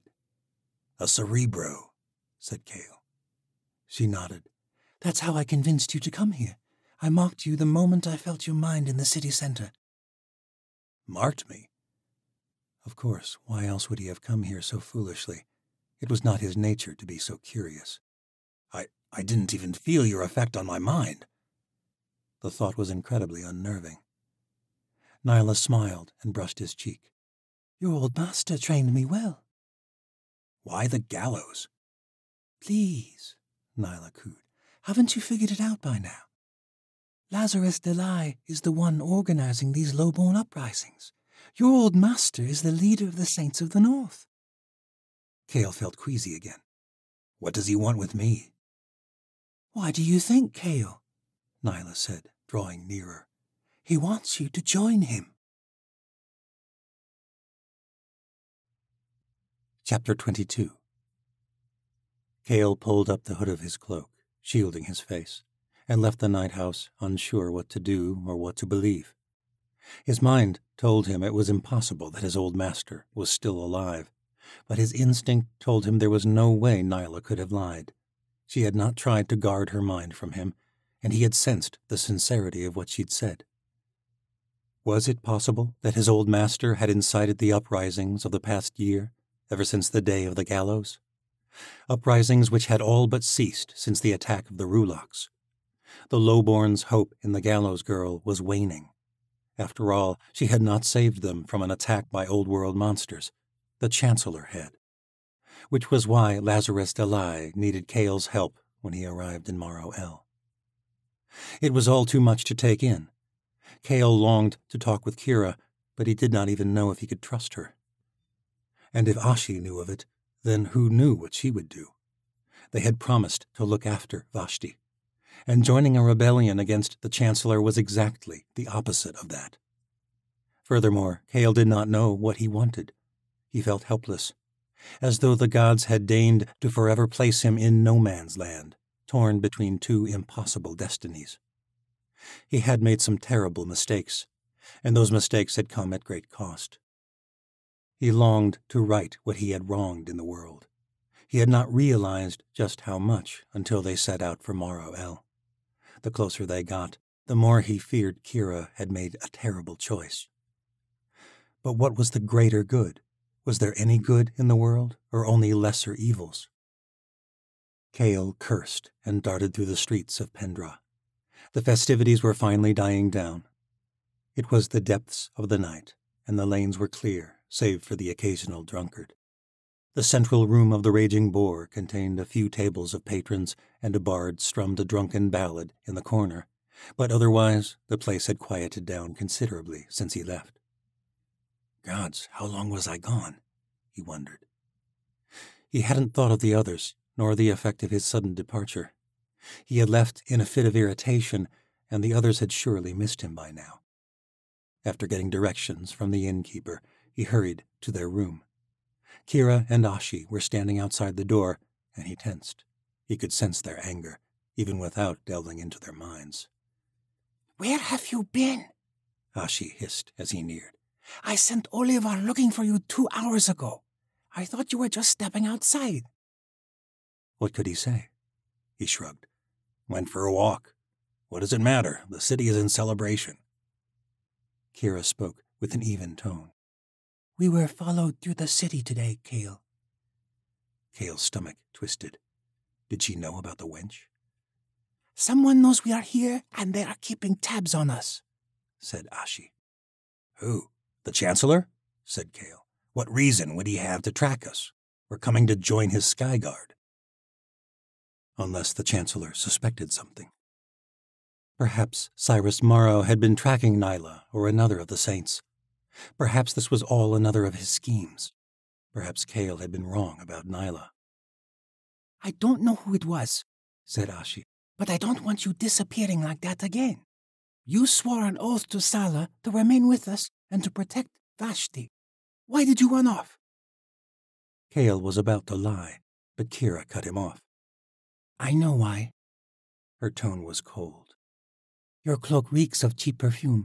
You were at the night house. Cale gulped, but he could not deny it.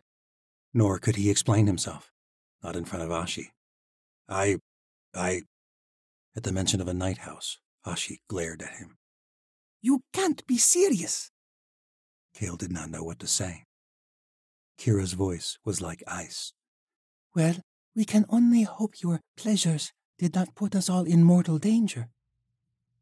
She did not say another word, but her grimace told all for Cale.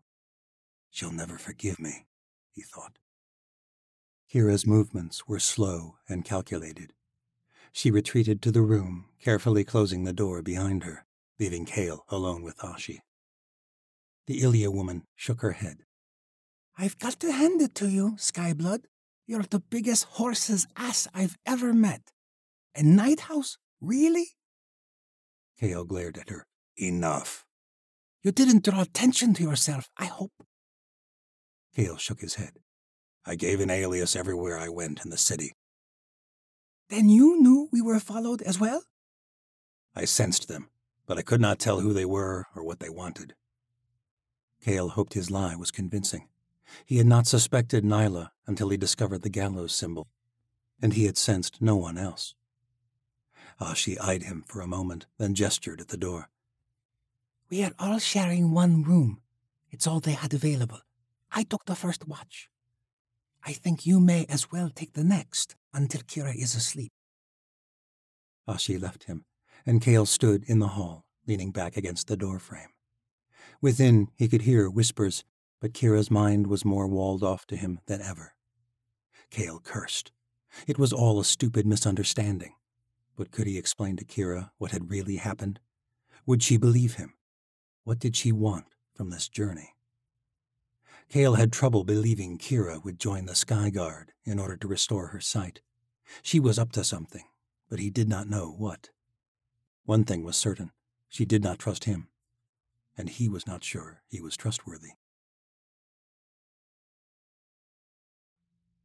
Part 7 Army of the North They were a silent, sleeping threat. The world had all but forgotten about them. But an army in the North could change the world forever. From Dawn of the Third World. Chapter 23 Astoria spent several days recovering from wounds sustained during her execution. She slept for most of it. The rest she spent with Alec, Misha, Tessa, and Geordi. The young crooked boy had given up his cold feelings toward her from the trial. Geordi apologized repeatedly, as had all the others she had come into contact with since the trial. But the memory of their swift turn would not be easily forgotten. She did not fault the people for this. They had believed a lie. Farah Dulbaruk had brought about the whole ordeal. Over the past few days, the other elders had visited her, offering their own deepest apologies for their errant judgment. They saw her rise as a sign from the gods. If Tori would have them, they would follow her into war. Farah Dulbaruk, however, did not show her face in Tori's chambers, and Tori feared she had not seen the last of the High Elder's schemes. The day that Tori's bandages were removed, Seren Latal came to visit her. The fairy, Lyrgay, hovered above her right shoulder. The creature did not seem to speak much. When Tori had thanked him for saving her life, he merely grunted and said, It was nothing. It was more than she had heard him say to anyone but his queen. Seren Latal had come yesterday to discuss war strategies with Tori, Skaya, and the Aleut elders. Skaya and her Nukvana were already training a large volunteer force of Aleut and Crooked folk the Witch Queen sought to act quickly. Combined with the fleets of the Isles, they would soon have a force to be reckoned with. Today the queen came only with Lyrgay. She wore an obsidian gown that covered her arms to her palms and a collar that reached her chin. The material was thin and shimmered like it was covered in tiny stars. The queen wore no cloaks or furs that Tori had seen, just her long-sleeved gowns. Tori smiled at her arrival. Already she was growing fond of the queen and felt she could relate to her in a way she could with few others. Someone else young who bore great responsibility. Don't you get cold? she asked. Seren Letall smiled and shook her head. I have not felt cold in some time, nor heat. I'm jealous. The queen shrugged. It is not as wonderful as you might think. The senses are a gift, so we may feel life in all its glory, as well as its misery. You are not always this way? Seren Letall shook her head. Magic comes at a price. I think you know this more than anyone, and that is all I will say on the matter. I do not expect you to reveal the secrets behind your own magic, so I ask that you grant me the same courtesy. My father taught me to keep friends close, but not so close they know the scent of your stench. Tori laughed. Sound advice. My father was an ambitious bastard, the queen smirked, but in that he was not wrong. Tori knew it was wise they keep their secrets. If things did not go well, the Chancellor would not hesitate to exploit them in whatever way he could. He had done just that with Cale in Vliani, and with Vashti and the other turned watchers. Tori feared for Wren and the others, but knew she must move wisely and without emotion. The Watchers were not their first priority. After all, infiltrating the White Citadel would not likely happen until late into the invasion, if they reached it at all. I am always cautious, but I hope you know that I trust you, Astoria, said Seren Letall, touching her arm kindly. Her hands were neither warm nor cool. And I trust you, said Tori. She leaned forward in her bed, and for once the act did not come with pain. The Queen smiled. I'm glad, because I am afraid I must ask you to trust me even more than you already have. What do you mean? I am leaving. We have much to accomplish and little time to do so. I've already sent ravens to the kings and queens of the isles, calling for a war conclave. But I cannot go alone. If I make claims that Watchers and Northmen are going to war, I must bring emissaries. Tori knew where this was going. I've already spoken to Misha, said Seren. She has agreed to journey with me, along with Garen Dulnarsuk, elder of the Iguvara. Tori hated the idea of losing her friend on the eve of war. Misha had become her closest confidant over the past few months, and the thought of moving forward with this war, not to mention being stranded in the north without her, made Tori feel uneasy. If all goes well, in a few weeks we will all be reunited in battle. Tori nodded. I would have no one else go as emissary. Misha is my most trusted ally. I've noticed. I know well the cost of losing dear allies and so out of good faith I will be leaving one of my own. Lyrgay is a prince among the Kokala, and a dear friend. He will remain with you until I return. Lyrgay made no comment, nor showed any expression on the matter. He hovered above his queen's shoulder and merely nodded to Tori. There was a knock. Misha, Alec, and Skaya entered. I'll leave you to your farewells, said Seren Letall. Misha, we fly in an hour and with that the queen left them. Lyrgay darted after her on soft golden wings. Misha hurried over and hugged her. Then, remembering herself, she pulled away. Gods, I'm sorry. Does it still hurt? It's all right. Tori hugged Misha again tightly. Though it stung, she didn't care. I won't be gone long. The Southern Isles, said Tori. I've known nothing but tales. I can't wait to hear about them. I want to know what the floating mountains look like. Aren't those myths? Tori smiled and shook her head. There are many things we've found are not myths that I wish were, but islands in the sky are a sight I hope is real. Misha squeezed her hand. We're going to save them, Tori. We're going to kill Cyrus Morrow and rescue them all. Tori hoped it was true.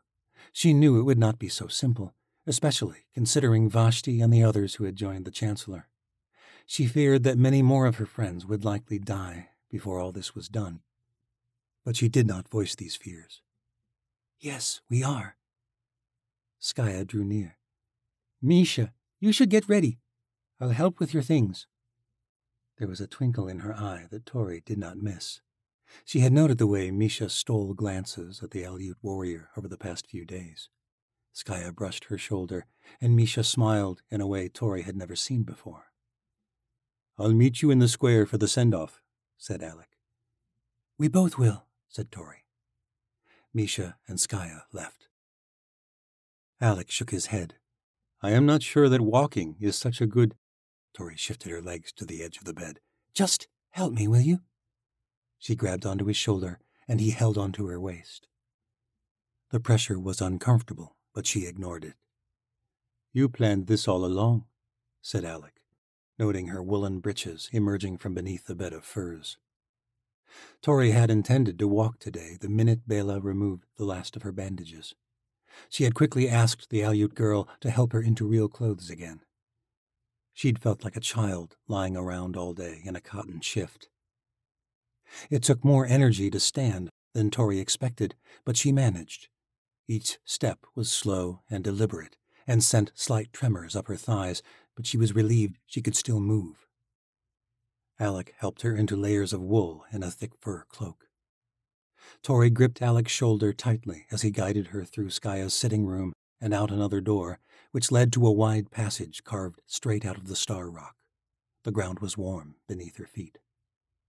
They followed the passage to an immense cavern. It was like a giant dome beneath the earth. The ceiling rose well over fifty feet, and people bustled about it like it was a market square in Morrow El. The Underrealm. Most of my people live down here below the surface once winter descends. It is too cold to hunt, or do much of anything in the world above, but down here it is warm and livable. It's incredible, Tori marveled at the way the Aleut managed to adapt to the harsh conditions of the north. The more Tori walked, the more her strength increased. The barriers were gone from her magic, and she was healing. Misha and Skaya met them near the end of the thoroughfare beneath the earth. Misha wore clothes of the north that Skaya must have given her after the trial. Misha kept by Skaya's side, and they shared sweet smiles as they crossed the underground dome. It made Tori glad to see her friend happy again. They had been through so much darkness, there were times Tori had wondered if they would ever feel happy or safe again. But now Misha was filled with glorious hope, and it helped Tori find that hope as well. Skaya led the way up a narrow staircase carved straight into the rock, and they emerged in one of the immense receiving halls of the Ice Palace. Tessa bombarded them as they entered the streets of Ikkala, giving Tori a warm hug and Misha a cold glare. What's wrong? said Misha, patting her shoulder. Benja says you're leaving. The old crooked man was panting as he arrived from chasing after the sprightly girl. Apologies, my saint. I tried to stop her from bothering you. Tori waved her hand dismissively. Tess is never a bother. Is it true? Tess demanded, glaring up at Misha. Misha stooped down to one knee. I'll only be gone a few weeks. Tess crossed her arms. You're supposed to help me train. We've only had two lessons. Misha smiled. There'll be plenty of time for more lessons. Not before the war. Misha brushed the girl's messy hair out of her eyes. Tess, you won't be fighting in this war. I want to fight. Your day will come, Tori said. But for now, Misha is right. You're too young for war. But I promise to train you while Misha is away. Tess did not argue, but she stormed away, and Benja hurrying after, hollering back over his shoulder, Apologies again, my saint. She has every right to want to fight, Tori said. She's a child, Misha said. Tess has seen more than many see in a lifetime. You're not thinking of letting her fight. Tori shook her head. No, but she'll make a fine warrior some day. I hope she never sees war, said Misha. I wish I never had. Tori said little else, but she feared that this war was only beginning. They would do well to look to the future, and Tessa's gifts would be an asset for that future. A crowd was gathered in the same square where they had come to watch Tori's execution only days before. But rather than a pyre, an immense ship sat at the center of the crowd. Strange runes glowed along the sides and thick sails of the vessel. Tori had thought the flying ship part of her death dreams, but the sight of it now was even more magnificent than she remembered. The sky ship floated a few feet above the ground, and a long plank stretched up to the deck. Aleut men and women hauled crates of supplies, and Seren Letal stood upon the aft deck, watching as they approached. The Witch Queen looked godlike at the glowing helm of the sky ship. It struck Tori how coincidental it was that at the same time in history that the Watchers were regaining strength, another form of magic would also rise up in the world. She did not truly believe in fate, but moments such as now made her wonder. Skaya Dulbaruk had sent for her, and if not, Tori would be dead. And Alec had seen visions of them both. What was she to make of that? The last of the supply crates were boarded, and Seren Letal motioned for Misha to come aboard. Misha hugged Skaya, then Alec, and finally Tori. See you soon, said Misha, squeezing her tight. See you in war. It was a dark thought, but one that brought smiles to both their faces. They were going to save their friends. They were going to fight the Chancellor, and that was reason to be glad. Misha kissed Tori's cheek, and then she ascended the gangway. Alec supported Tori as they watched the ship lift into the sky. Garin Dulnarsuk waved as the skyship soared over the city, and the Aleut clans cheered. It was a marked difference from the death cadence they had chanted in this square only days ago. It amazed Tori how quickly and easily people's minds could be swayed. As she made her way back through the crowd, her arm around Alec de Baruk's shoulders for support, the people smiled and waved and tried to catch a brief word with her. The Aleut saw her as a god once more, or at least someone sent by the gods. But will that sentiment remain? Tori wondered. Tori had still not seen Farah Dulbaruk since her execution. Chapter 24 The world was breathtaking from the skies. It was almost painful how quickly Ikkala and the Icelands faded into the distance as the skyship soared. It had taken Misha weeks to reach the Ice City. Many had died on the journey, and now she was leaving it behind in a matter of hours. Soon the smooth plains of ice were displaced by the jagged peaks of the northern teeth. According to the Witch Queen, they would fly over the boundless sea for most of the journey to avoid notice from the continent. They would pass Osha in a matter of days, returning to the seas below at night so Seren and the Crocala could rest. They would reach Elia, the port capital of the Southern Isles, in less than a week. The air was sharp on Misha's skin despite her thick furs. Garen Dulnarsuk soon retreated to the cabin below decks, but Misha remained on the foredeck for several hours, taking in the sights. The northern sky was clear, but she could see large plumes of clouds on the hazy horizon. It's amazing, isn't it? said Seren Letal. The queen leaned against the rail, the wind rushing through her silver hair magnificently. She still wore only her thin, long sleeved gown. Why does the world look so skewed from up here? asked Misha, gesturing to the southern horizon. Is it an effect of the air? I believe it is because the world itself is curved. It's only a theory. But the who taught me in my youth was an ardent student of the stars. He built a powerful looking glass, like a sailor's but much larger, to magnify their appearance. I spent many hours studying the strange bodies beyond our world. All of them appear to be spherical just like the sisters in our night sky. Why shouldn't our world be just so? Perhaps the stars themselves are merely other spheres beyond our reach. Misha thought it hard to comprehend. She had always been taught the world was like a great plate of glass. If you traveled far enough, you would fall off the edge into the abyss and share the fate of all those on the lost continent who disappeared without a trace so many years ago. But then she had been taught many false things in her life. She liked the idea of other worlds, though. It reminded her of the ancient teachings of the Watchers regarding the afterlife. It's a beautiful idea, said Misha, watching as the horizon began to bleed with brilliant colors. You said the Skolai of your youth. But you look so young. Surely it hasn't been that long since you were a student. The queen giggled, the sunlight dancing over her smooth face. I suppose I am still a youth. I began talking that way to make myself seem less of a child as I gained power in the Isles. My nineteenth summer just passed. So young, thought Misha, and yet so formidable. Like Tori. But the queen seemed to shoulder the weight of her station in a way Tori had not yet mastered. She had the stature of someone far older.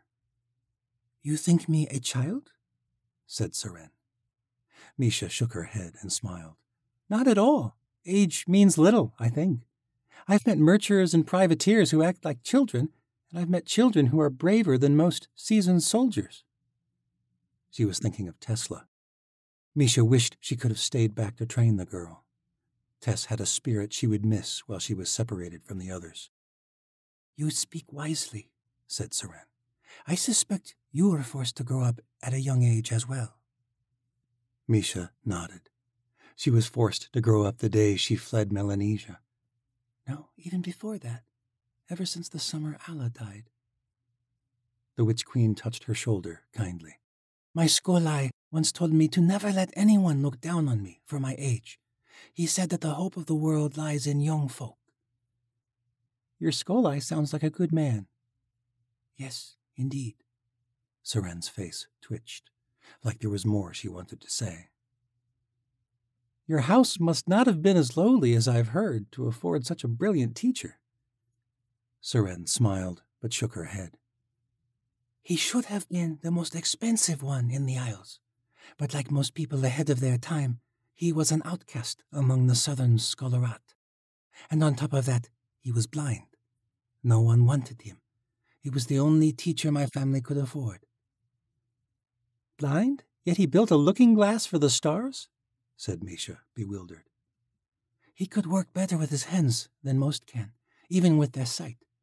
He used to say that losing his eyes helped him discover everything there is to see without them. But he was always saddened he could no longer see the night sky. I described everything I saw through his night glass. In exchange for my assistance with his studies, along with his daily household tasks, he taught me everything he knew which turned out to be far more than my parents ever could have dreamed. Misha detected a tremble in her voice the more she spoke of the Skolai. Does he still teach you? Seren gazed out at the stunning sunset. He died for teaching me about the old world, about magic. Morphs? asked Misha. Seren Natal shook her head. Osha is not the only place where magic comes at a cost. Her jaw clenched. But things are changing, aren't they? I hope so. The Witch Queen said no more and soon returned to the helm. Once the sun had set, Misha retreated to the cabin. Her room was small, but then Misha had never required much space. She had brought only a rucksack with a change of clothes and a small trunk with extra furs, which she was glad for. Though they were traveling south, it was still frigid up in the sky even in her cabin. Misha sat on the bed and dug in her pack, retrieving a small blade that Skaya Dulbaruk had given her. It was no ordinary knife, however. It was a small shank made of ice fire. I hope you won't need it, Skaya had said, but this will kill anyone you stab in seconds. The crystal shatters and poisons their blood. You don't trust the queen? Skaya gripped her shoulder. I trust her, but I've never seen a transition of power that went uncontested. And the Southern Isles, of all places, is not known for peaceful conclaves. I doubt the Queen is bringing you along only as proof of our alliance, and I'd personally like to see you come back to the North. Misha held on to the memory and smiled. She could nearly feel the warmth of the bear rider's fingers. Skaya was nothing like Vashti or Alla or Zaya. Vashti had been fierce, but had never been one to share much affection. Alla had been too soft for this world, and the world had overcome her. And Zaya, the Medici had always been a mistake, a feeble attempt to move past Vashti. Now Zaya was dead too. Another tragedy left in Misha's wake to haunt her dreams. She pushed the thought away. Skaya was different, and Misha liked this about her. She shared Vashti's fierceness, but she had a soft side as well.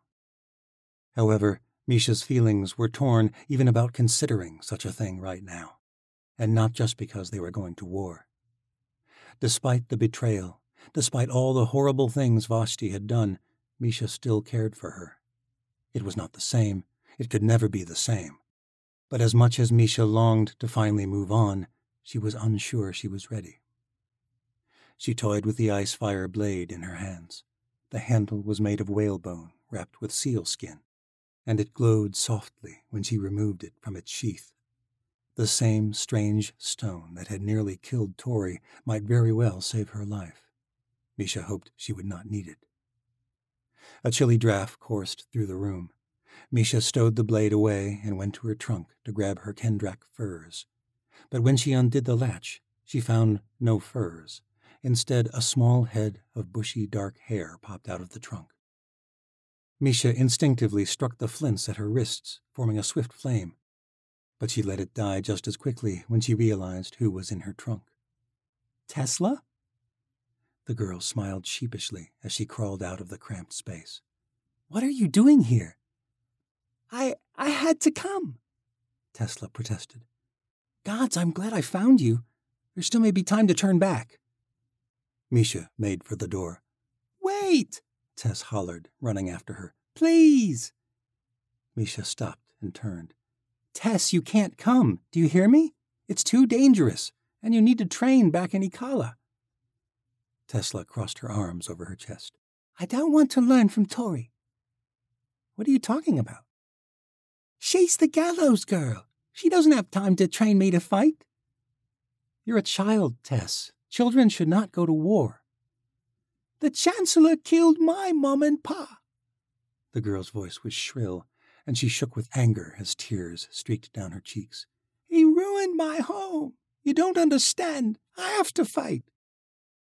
Misha stooped to a knee and placed her hand on the girl's shoulder, meeting her gaze. Tessa's eyes were alight. I do understand. I want to learn from you and I want to help at the war meeting. How will you help? said Misha. You can't control your gift. I could hear what you and the Queen were talking about on deck. Tess hopped up on the bed, and Misha sat beside her with a resigned sigh. You could? Tess nodded. She was talking about her star teacher or something. Misha raised an eyebrow. When did you realize you could do that? At Tori's trial. I listened in from outside because they wouldn't let me in. Misha was always amazed at the astonishing way Watcher abilities reveal themselves in times of need. Not only could Tess manipulate sound like a shrill weapon, as she had when she killed the frost giant, but she also had highly sensitive hearing. Please don't take me back to the Ice City, Tess pleaded. What about your brother? Benja will take care of him. I want to help. I know I can't fight in some big battle, but I can help now. What do you expect we'll need to hear at the conclave? The Isles have lots of kings and queens, right? One rules each isle, said Misha. Well, I was thinking the others probably don't all like that the Witch Queen is getting so powerful. That is likely. Maybe one of them is plotting something, and if they are, maybe I can find out. Misha smiled and patted the girl on the knee. Tess had a point. Her ears might very well prove invaluable if something were to happen. All right, you can stay. But you stay with me at all times unless I say otherwise. Clear? Clear. Misha got up and made for the door. Then let's start your training. Where are we going? The mess hall. The Kokala are the rowdiest bunch I've ever seen during meal times. How will that help? Tess asked as she followed after. Don't I want it quiet? I could barely hear you and the Queen, and there were hardly any other sounds then. You need to learn to tune out the noise. The din of buzzing demon fairies was cacophonous before Misha even opened the door. And despite the likely discomfort in her watcher's sense, the little crooked girl was beaming as they entered. Chapter 25 Tori and Alec watched from the side of a large training arena at the edge of the ice city as Skaya and her Nuk Vana led the northern recruits in spear drills. The Aleut were skilled hunters, and Tori marveled at their ability to hit targets, both while standing still and from the backs of mighty North Bears. Their skills with bows and the few muskets that had found their way this far north also proved encouraging to watch.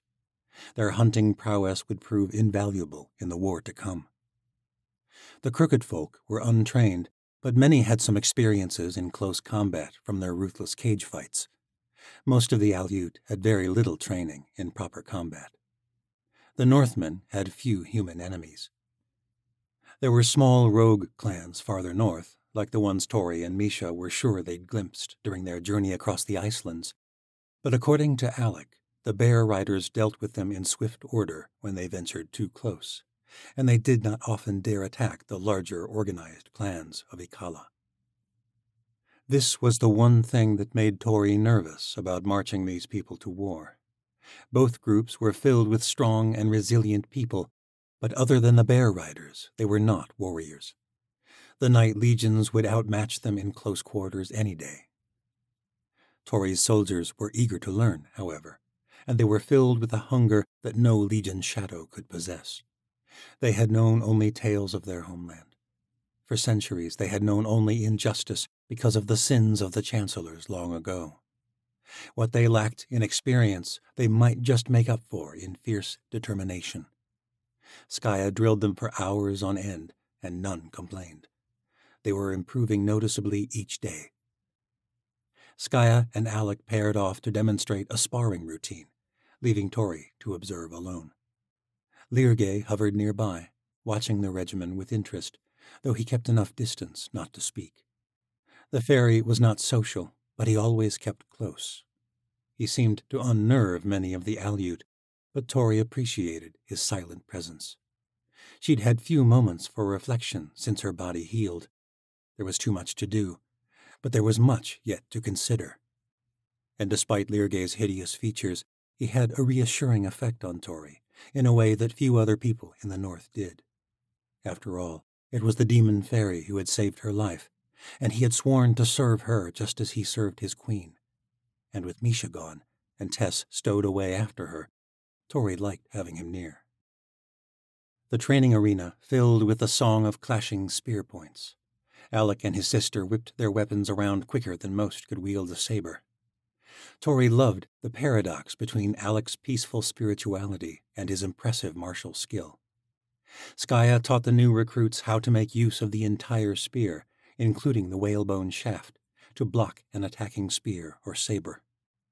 The soldiers observed closely, then paired off to practice the maneuver. Next, the soldiers perfected lethal thrusts on dummies made of wood and sealskin. Tara Dulhesek, elder of the Tuva forest clan, and Lyran Delvanuk of the Karu had been observing the drills for some time from a distance. For a short while their high elder had joined them, but Farah Dulbaruk did not watch long. Tara approached as Tori took stock of her new army.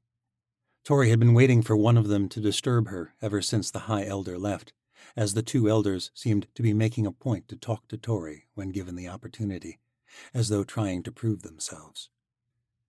Lyrgay hovered closer as Tara Dulhissek neared. What do you think of them, my saint?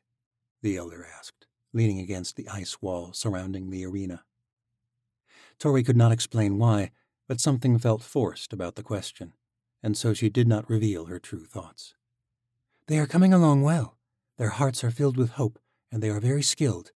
I will be proud to lead them into battle. The woman nodded calculatedly. And we will be proud to march with you. But not all of you, said Tori evenly. She met the elder's gaze. Elder Baruk did not observe her soldiers long. I assure you, my saint, the High Elder will not provoke you. We have allied ourselves with you and the Witch Queen. Yes, and we march south in a matter of weeks, and I have yet to meet with the eldest of the four clan leaders. Will Elder Baruk be marching to war with us? Elder Hessek eyed Lyrgay, who hovered in place with rapid wings. I I cannot speak for her, my saint. It was as good as a no.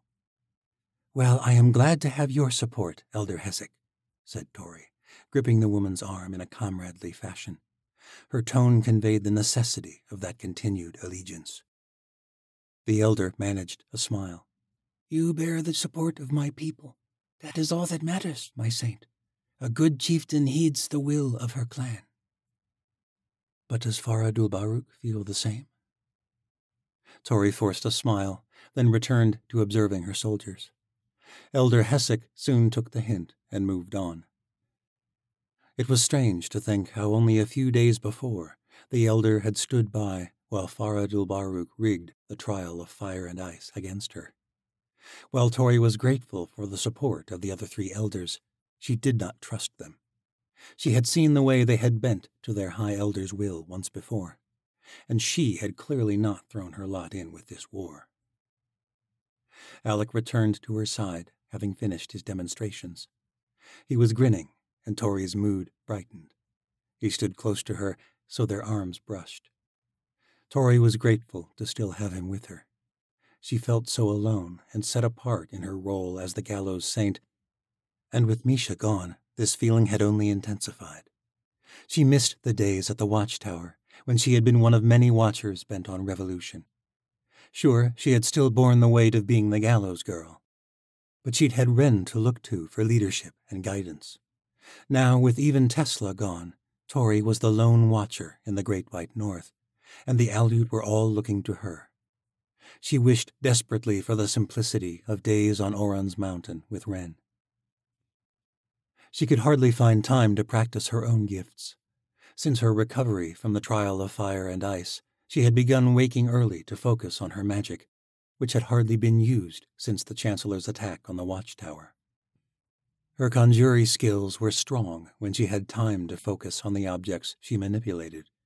But that was not how battles worked. She needed to be reactionary. The frost giant had defeated her because she couldn't control her gifts without thinking, and she could not afford to let that happen again when they marched against Osha. The northern soldiers stowed their weapons away. Skaya led them on a conditioning exercise into the deep snow beyond the city shouting orders from her north bear while the soldiers trudged along at a swift pace in only their fur boots and mukluks. Alec and Tori walked back through the city. What did Elder Hessek want? Alec asked as they neared the central square. She asked what I thought of the army. And? Their hearts are strong, said Tori. But, Alec offered a thin smile, but I wish we had more time. Alec sighed. Autumn is nearly over. If we wait any longer, the ice will set in, and we will be forced underground. And if we wait through the winter, the opportunity will pass, said Tori. I know it. Queen Seren will not be able to muster the Isles for some distant future war. What made matters worse was the latest news that had arrived by Raven that morning. The Chancellor had issued an incredible reward for any information leading to the gallows girl's whereabouts. The Queen to be wanted her dead for a wedding gift, and the Chancellor meant to oblige. Considering the Chancellor's victory over the Rulaks, and the fact that Osha blamed Tori for the return of the beasts, things were looking bleak. Rumors tell that morphs are scouring the teeth for signs of my whereabouts ever since Vashti's wedding request. It is only a matter of time before they come to the north. Now is the time to strike. She was trying to convince herself. Alec stopped and looked her in the eyes. It is the time, Tori. You know what the Chancellor is capable of. How can you be so confident? I have faith. How can you put so much faith in some vision? What if this is a mistake? What if your Madru is right and I am leading your people to their destruction? Alec took her hand. He wore fur-lined gloves, just like Tori, but she wished fleetingly she could feel the warmth of his hands on her bare skin. Come with me. I want to show you why I believe. Tori followed him through the city. They entered the underrealm through the central palace, but they did not stop when they arrived in the main underground chamber. Alec led the way through a narrow passage and then down a winding staircase carved straight out of the stone. The passage wended deep beneath Ikkala, and the deeper they went, the warmer Tori became. At the end of the passage stood a lone iron door. Beside the door were several hooks made of long white north bear claws. Alec removed his cloak and hung it up. Tori did the same. He removed his boots and woolen layers until he wore only a pair of linen pants, no shirt. Tori did not mind seeing him this way. Though he had no warrior's build, he was lean and his muscles were strong and defined. You'll want to wear less. It's very warm beyond the door. What's in there? said Tori, as she too removed her many layers. She stripped down to her small shorts and undershirt. Alec smiled. Do you remember where my visions of restoration first came from? You said your grandmother saw a vision of a winter lily, which you believed was me, but I've never met your grandmother. Alec nodded.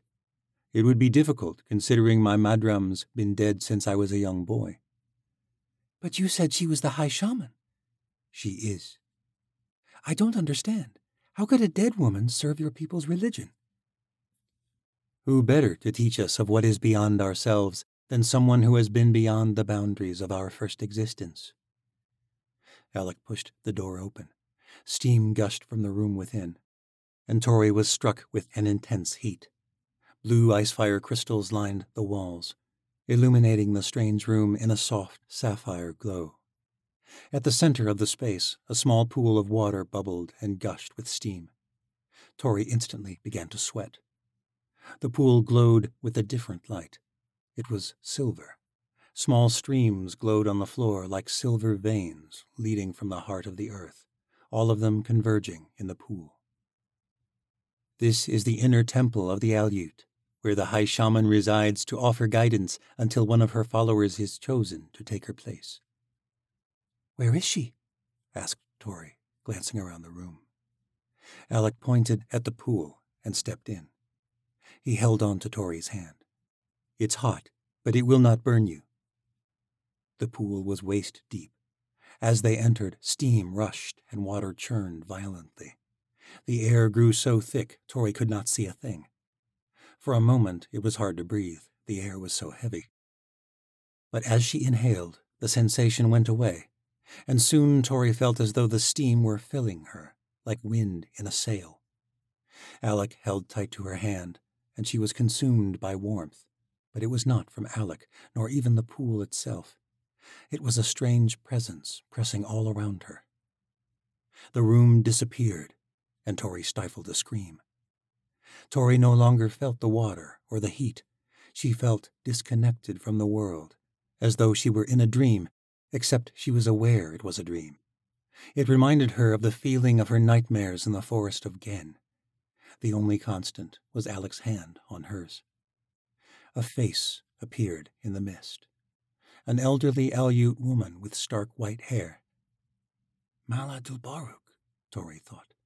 The high shaman. Her face was not fully present. It came and went, wafting in and out of focus like driftwood on the tide. But her voice was steady and seemed to come from all around the room. You've brought a visitor, the shaman said. A good friend, Madram, said Alec. Only a friend, the shaman said with a chuckle. Her face dissipated and the mists swirled around, but Tori could have sworn she felt a hand brush her face. It startled her, but she was not afraid. She wished the touch had lasted longer. I recognize your face, Estoria Burodai. That is your name, isn't it? Yes. It's an honor to meet you, shaman. Call me Mala. The shaman's face drifted back with the mists. She was smiling, and Tori felt warm all over. You've seen me before, said Tori. Aye, said Mala. The aether is full of eyes, and many of them have been watching you with much interest. Alec said you knew I would come to the north. You knew Queen Seren would come too. The face disappeared, and Tori was engulfed in mist, as though she were being consumed by a mystical warmth. The air echoed with faint laughter. Nothing is known, child. There are many eyes, and they see many things, though I am pleased you did decide to come to the north. But Alec said you saw the restoration of the Aleut. Mala's face reappeared and nodded. Years ago, I envisioned a dream built on hope, not sight. You want me to tell you whether you are doing the right thing, whether you will win this war. And I am afraid I cannot give you the answers you seek, Astoria. Well, what are we doing then? Tori instantly regretted her demand. I'm sorry. I've never spoken with the dead. Mala chuckled. That's not what the dead say. They remember you. Suddenly, Tori was taken back to the forest where many ghosts had tormented her. The forest of Gen. It's like this room, isn't it? The veil between worlds is thin in Gen, as it is here.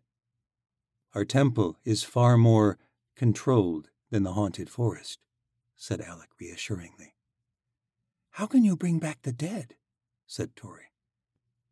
There is no such thing, said Mala. As death? Mala laughed. Death is an idea invented by those who've not experienced what lies beyond the corporeal world. What does lie beyond? That knowledge is reserved only for those who lie there. Some things must remain a mystery. It is the way of things. Can you see anyone from this temple? Tori asked. Or is it only for you, Mala? This temple is merely a looking glass, but it was not made for me, nor my people, for that matter. We discovered this veil, as we discovered the veils in Gen before the alien races stole that place from us and let the ghosts run free. Only the gods know the limits of this veil. There is someone you wish to see? Tori nodded. Your Madru, said the high shaman.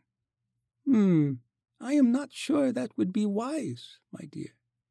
Please, Mala. You've seen her before. In Gen? That memory haunts you, said Mala. I can sense it. What makes you think this time will be different? This place is different. Aye, child, it is, but the dead are best left to their own schemes says the dead shaman who shares visions of the future. The mists swirled, and the room rumbled with laughter. Mala's face drew near. If you are sure. Alec gripped her hand tight, but Tori held Mala Dulbaruk's gaze. I'm sure. Mala did not respond. The mists swirled as though they were the eye of a storm, sparking and singing with a strange energy. And then a face appeared a face Tori had not seen in eleven years. The air felt warm all around her. Tears filled her eyes. She could hardly believe it. Mom! Tori was engulfed in a phantom embrace. My little love. It was her, really her. Her mum's voice sounded like the most beautiful melody. Mom! Tori reached up to touch the face in the mists, but her hand passed right through the vapor. It's only a looking glass, remember, said Alec, still holding her tightly. Yes, it's me, said Celine Burodai. I've been watching you, little love. I knew you would remember your gifts when the time was right. I'm so proud of you. Tori choked back a sob. Mom, you you died because of me. Don't waste your sorrow on the dead. I died because Alexander Morrow ordered it and now you fight his heir. You bring hope to many, my love. Watchers, lowborns, it was well worth the sacrifice. Gods, I miss you, Mum. I'm so sorry. Tori felt tense all over. She was so angry at Osha's long legacy of oppression. Her mum had been murdered for possessing gifts the current chancellor now manipulated for his own gain. A buried rage kindled within her. I'm going to get revenge. For you, for all the Watchers and Lowborns who have suffered. I am going to end the Morrow reign with the Chancellor and his traitor of a queen. Her mum's face disappeared, and the mists swirled. Mum? Tori reached into the mists. They were colder now. Then the face returned, and Tori was filled with relief. You have been through much, my love. I do not blame you for your anger and hatred, but please don't take it out on Vashti Burodai. Tori started at the name. Her mum knew who the Yanavi princess was. Her fists clenched. It had been bad enough that Vashti had betrayed the Shadow Watch, but now she wanted Tori's head as a wedding gift. What do you mean? How can you say that? Vashti is a traitor. She's my enemy, the enemy of our revolution. She wants me dead. Tori was engulfed again in mists, and she felt like she might suffocate. She may be your enemy, but she is also your sister. A sinking feeling dragged at Tori's gut, jerking her from the mists. Mom! But Celine Burodai was already gone. The mists faded, and Tori and Alec stood again in the looking glass pool. The water had calmed. But Tori had not. She felt nothing but rage. Alec wrenched his hand away. It had gone white from her furious grip. Tori felt power rise up in her like water from a breached dam. She screamed. The ice fire crystals that lit the temple flickered and then exploded, and the room plunged into darkness. Part 8 The Hangman Ilesa volonai, venasa elonai, utlesa sheshonash, elesa renonash. The gods move through us. We are the gods. From them we were begotten. To them we shall return. A lost mantra of the Watcher orders. Translated from Old Elyon by Alden Teldona. Annotation While popularized by the Watchers to justify their deeds, the poem's syntax and structure predates the Watcher orders. Some scholi believe it is a remnant of the ancient men, which begs the question who believed themselves to be gods? Chapter 26 Darien and Valeria danced the dance they knew better than any other the dance of sabers. In the sky above the great training square of Morrow El, they spun through the air on black wings. Valeria Sardona swooped in from his right. Darien shifted his wings, catching a stream of air from the west, and he arched his body. His saber met hers with a clang that sent shivers through him. A sly grin stretched Valeria's face as she flashed by, and Darien thought that she had never looked more alluring. Even in her morph form, Darien found her taut, militant figure utterly captivating. He banked in the air and gave chase. She weaved amongst a series of ruined spires beyond the training grounds, but he did not follow. She disappeared from sight for a moment, and Darien raced ahead, adrenaline pumping, predicting where she would appear next. He grew hot with sweat and excitement. He shifted his wings and rode a current of the wind to find a higher vantage point. Valeria shot from behind a tower below. Darien turned hard and plummeted to attack. But amazingly, Valeria had anticipated the maneuver. They had become so in sync with one another, it might have been frustrating if Darien were not so electrified by her cunning. She parried his attack, the world consumed by the sharp clanging of their sabers. They weaved in the air, exchanging blow after blow. As they plunged toward the earth, the training field loomed larger and larger. They were both grinning as they sought for the victorious blow. The earth rose to swallow them, and Darien slowed his descent ever so slightly. At the last possible moment, Valeria extended her wings to recover, and that was when Darien struck out with his saber, clipping her left wing. Just in time, Darien swooped upward, morphed forms, and landed on his human feet. Valeria landed off balance from his blow, and Darien leapt forward, knocking her on her back. He resisted the urge to join her there, and instead held his blade at her throat. She grimaced as she morphed back into her human form, sweat dripping from her silver hair. She shook her head with annoyance, but conceded. The members of the Sky Guard, who had been watching them all the while, applauded as Darien helped Valeria to her feet. Her skin was hot to the touch, and he longed to feel her touch for longer. Since the night before the battle of gods and monsters, when she had first kissed him, his desire had only increased, and it was driving him mad. He longed to find a secluded place, the weaponry or a narrow stairwell, and steal another momentary taste of their forbidden, intoxicating romance. Instead, Commander Redvar turned to his soldiers and sheathed his sword. Valeria left his side and joined the others. Darien turned off his emotions, as he so often found himself required to do, and became a stern military leader. Why was I able to defeat Captain Sardona? he said, addressing his sky guard. A conjuri named Lesa spoke up. She was the first to recover her descent, Commander. You dared it longer. That's part of it, said Darien. Lesa was from his own homeland, and she was showing much promise. She didn't anticipate your attack, said Jan, Darien's young protege.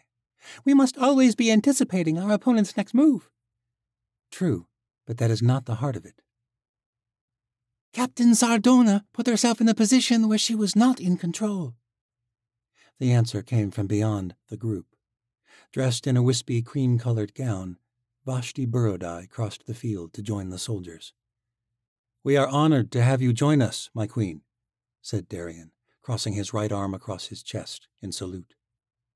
Vashti drew to the front of the crowd and nodded to him in greeting.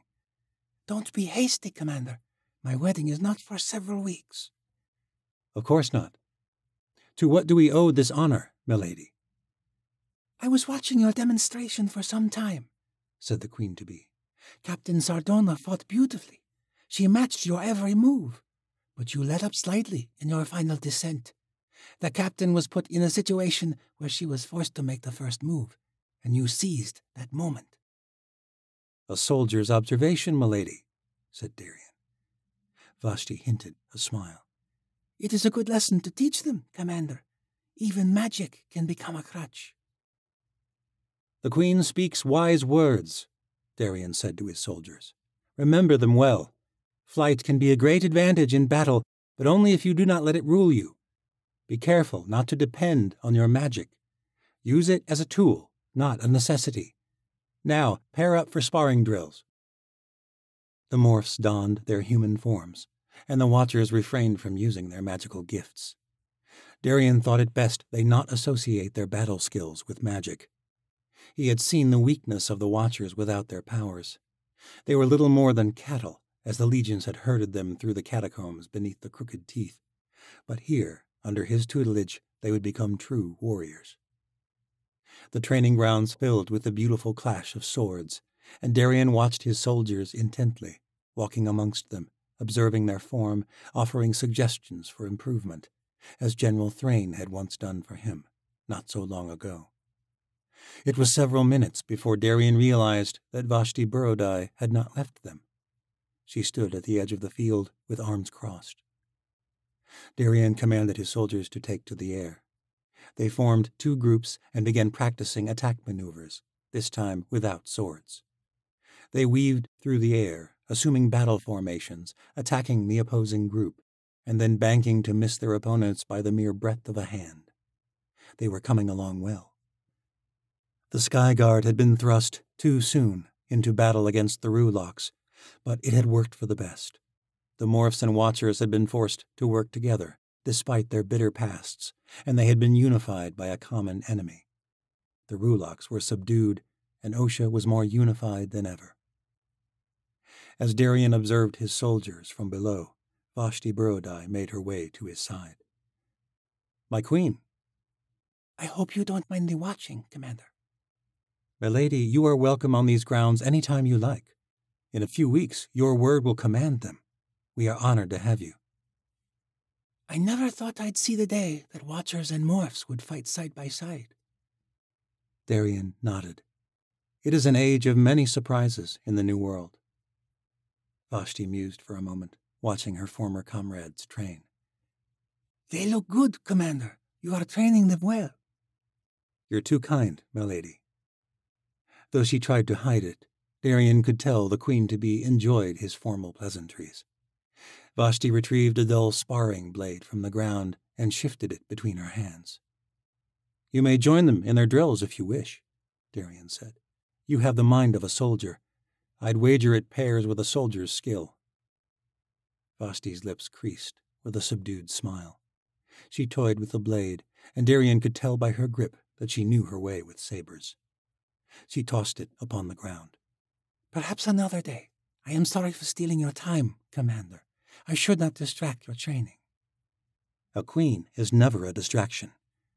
Yes, well, thank you, Commander. She turned and began to cross the field, her gown fluttering in the wind. Darien was not sure what compelled him, but he called after her. You made the right decision, my queen. She turned to him. At the watchtower. You saved them. Your old comrades know it too. Vashti paused for a moment, then turned back and nodded to him. Thank you, Commander Redvar. And Vashti left them. The sky guard soon returned to the earth, and Darien dismissed them to wash and prepare for supper. As his sorcerers retreated to their bathhouses in the guard tower, Darien made his way to his own private room. He ascended the steps slowly, his thoughts now able to unravel. A few weeks of peace, and he was already anticipating when they would begin their hunt for the gallows girl. Now that the Rulaks had been overcome, he suspected it would be any day. He had already sent out scouts, so far without luck.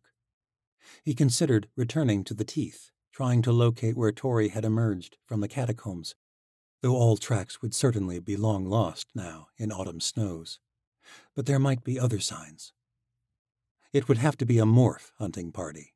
He knew that much. He did not trust the turned watchers enough yet, especially not since the Queen had asked for Tori's death as a wedding present. He pushed the thought away. Thoughts of Tori were confusing and only filled him with anger and regret. As he reached for the door of his quarters, it flew open, and he was accosted from the other side. A woman pulled him in and shoved him up against the wall, a blade at his mouth. Then she replaced the blade with her lips, and Darien forgot all thoughts of Tori. Valeria's kiss was soft and warm, and she tasted of sweat, which was an oddly alluring taste. Her body pressed against him, still clad in her leathern armor. How had she managed to beat him up here? It did not matter. He savored the moment, letting his mind fall into the abyss of her presence. But as with all their moments, this one did not last long. Since the battle of gods and monsters, she had not again come to his estate.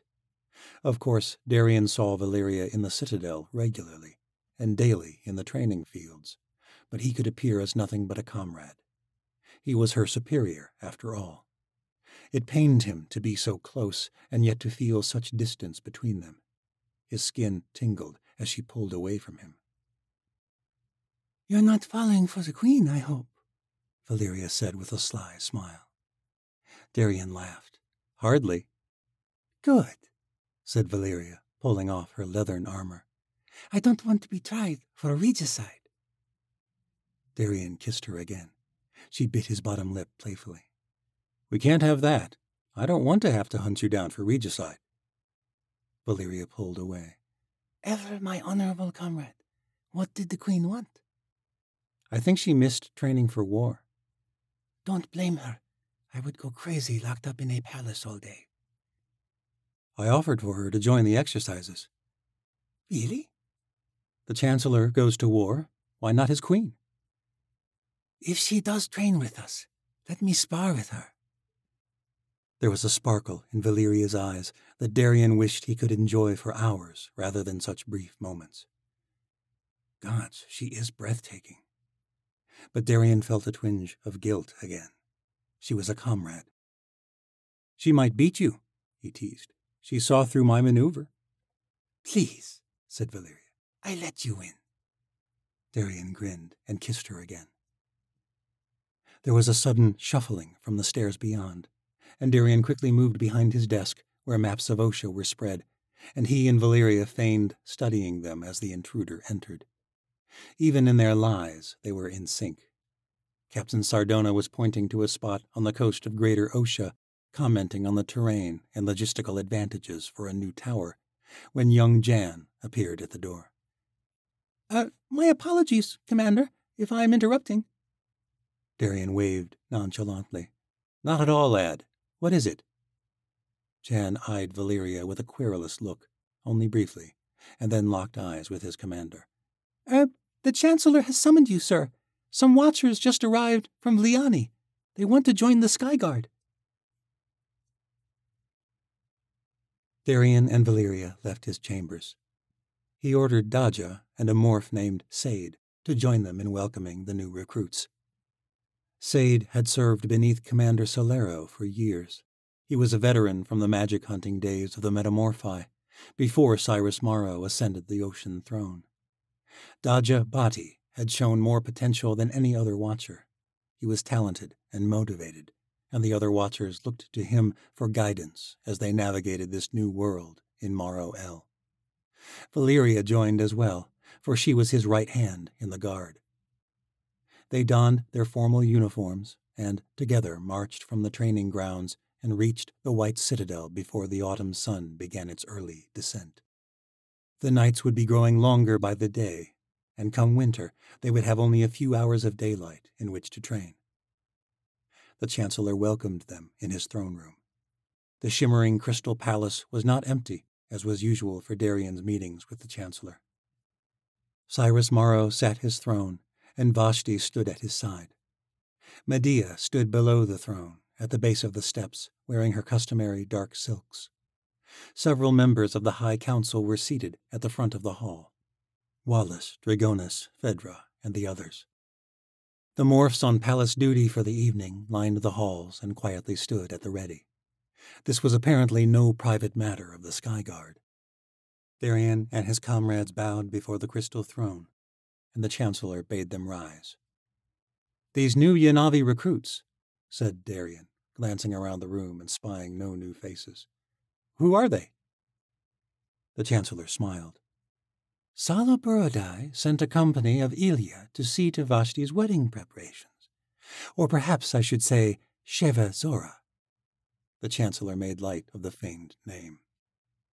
At this, he took his bride to be's hand, and she smiled.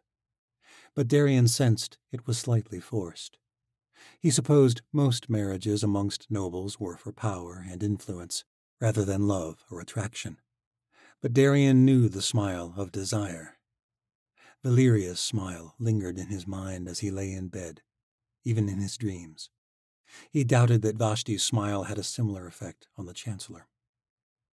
Since the princess was technically executed by her father years ago, said the Chancellor, Sala has asked that his sister be known by another name.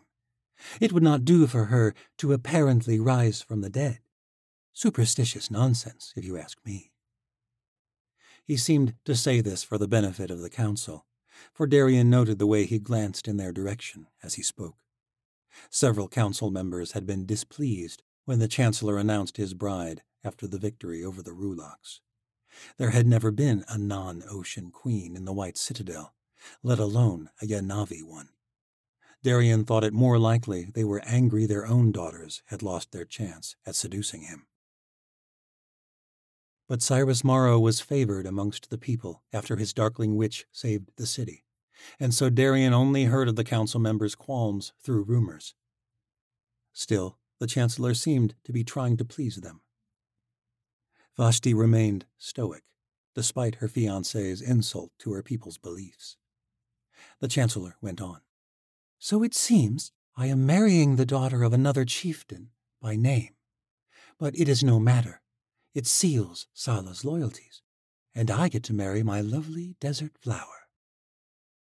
Vashti smiled at this and whispered sweetly, You are most gracious, Chancellor Morrow. It was clear she knew her way around the pleasantries of court as well as she did sabers. As for the new recruits, I will not spoil the surprise. The Chancellor gestured to the guards standing at the immense crystal doors. Now that the commander has arrived, the High Council is ready to receive the emissaries from the steppe. Four guards slowly pushed the great doors open, and the company from Vliani entered. Darien's interest was piqued when he realized who followed Ashi Burodai, the great sultan's head servant, into the room. He recognized them both immediately. A couple months ago, Valeria had assumed Kira Fane's likeness in the Red City while Sala concocted his devious ascent to the Yanavi throne, and the other watcher was Cale Andovier, former lordling of Morrow El and brother of the watcher captain currently locked beneath the citadel. Darien and his comrades stood at the base of the Chancellor's dais to receive the new recruits. Four Yanavi tribesmen accompanied Ashi and her watchers. Sala's devoted Ilya assassins, Darien presumed. All seven of the company bowed before the throne. The Chancellor bade them rise. Friends of Sultan Burodai, welcome to Morrow El. Ashi was the first to speak. Thank you for receiving us, milord. We come with dark tidings from the Red City. It was with sorrow that we heard the bane of your people has returned, said the Chancellor evenly. Our city lies in ruins, Chancellor Morrow, and our winter stores with it. My people seek aid from our ally. You are not alone in this devastation, said the Chancellor, who caught the furtive glances of the council members in the room. My city is in disrepair as well. Milord, with respect, your empire still stands. My people are without a home. Half our herds were in Vliani, and more than half our stores. Thousands of souls were lost. If you do not help us, thousands more will die this winter. I ask that you remember my chief's loyalty. Remember how he ended the war before it began, while you were yet weary from your own war with the Morgathians. Remember his aid in your own endeavors. I remember well Sala's loyalty. He is an ally Osha wishes to keep. The Chancellor spoke these words more to his council than to Ashi, his eyes stern and his voice firm. The High Lords will send aid to Pendra, where your people will be offered sanctuary until such time as you are able to rebuild your city. Ashi bowed, a grim smile on her face. Thank you, milord. You are most gracious. I will send word to my chief. My tribesmen and I, however, wish to stay and assist our princess's preparations for the great union of our peoples. You are most welcome in Morrow El. I will have quarters arranged for you all here in the White Citadel, said the Chancellor with a wave of his hand. But you bring two who are not your tribesmen, I believe. What of them? Kira and Cale stepped forward. We have come to bow the knee, said Kira, who Darien noted moved a little unsteadily as she reached for the floor to kneel. He remembered well the injuries she had sustained from the Chancellor's manipulation of her Lumeni power. The scars were still fresh on her face. Her eyes flitted about, but did not settle on the Chancellor as she spoke. Blind, Darien realized. The Chancellor smiled and gestured to Darien, who stepped forward. Cale and Kira stood once more, remaining silent as Darien looked them over. Milady, you do not look well since our last encounter, said Darien. Your partner had a little more sense then, as I recall. Kira grimaced, her fists tightening, but she caught herself and remained silent. Darien made note of the reaction. We have both learned our lesson well, Commander, said Cale. We regret our rebellion against the Empire. We have aided Osha before, and we would do it again. We have come to offer our services in your Skyguard, said Kira. And what good do you suppose a blind wielder of light would do for my guard? said Darien coldly. Kira tensed again, but this time she did not remain silent. It is true my gift is useless now, but I have gained another. Darien's brows rose at this. Really? Ah, Ashi interjected. It is true, my lord. Her sonora magic was what saved my people from complete annihilation in the Red City. Kira heard Zarila approaching, allowing our great Sultan and many others to escape before the beasts consumed the city. Interesting, said Darien. Sala has personally vouched for their loyalty, said Ashi. In exchange for their watcher gifts, Sala asks that you consider restoring Kira's sight. Darien looked to the Chancellor, but an idea had already come to him.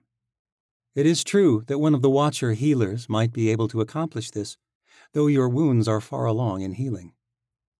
Kira nodded. All I ask is that they try, Commander. Sonora have their uses, but your Lumeni gift is an incredible one, said Darien. It is one I would value greatly in the Guard. I would like to see your gift restored as well, but first I must have proof of your loyalties. Cale Andovier crossed his arm against his chest in salute. We will be yours to command, sir. I am glad to hear it, said Darien, because you're the one who will be demonstrating your loyalties. I have a task for you, Lord Andovier. Should you complete it satisfactorily, I will have Kira's sight restored, and you will both serve the Empire as the Chancellor sees fit. Cale did not answer at once. He and Kira conferred briefly, but Darien could tell that, though they were joining his guard together, there was tension between them. Kira's face tightened whenever Cale spoke. Finally, Kira turned to him. She faced him directly, despite her lack of sight. We are yours to command,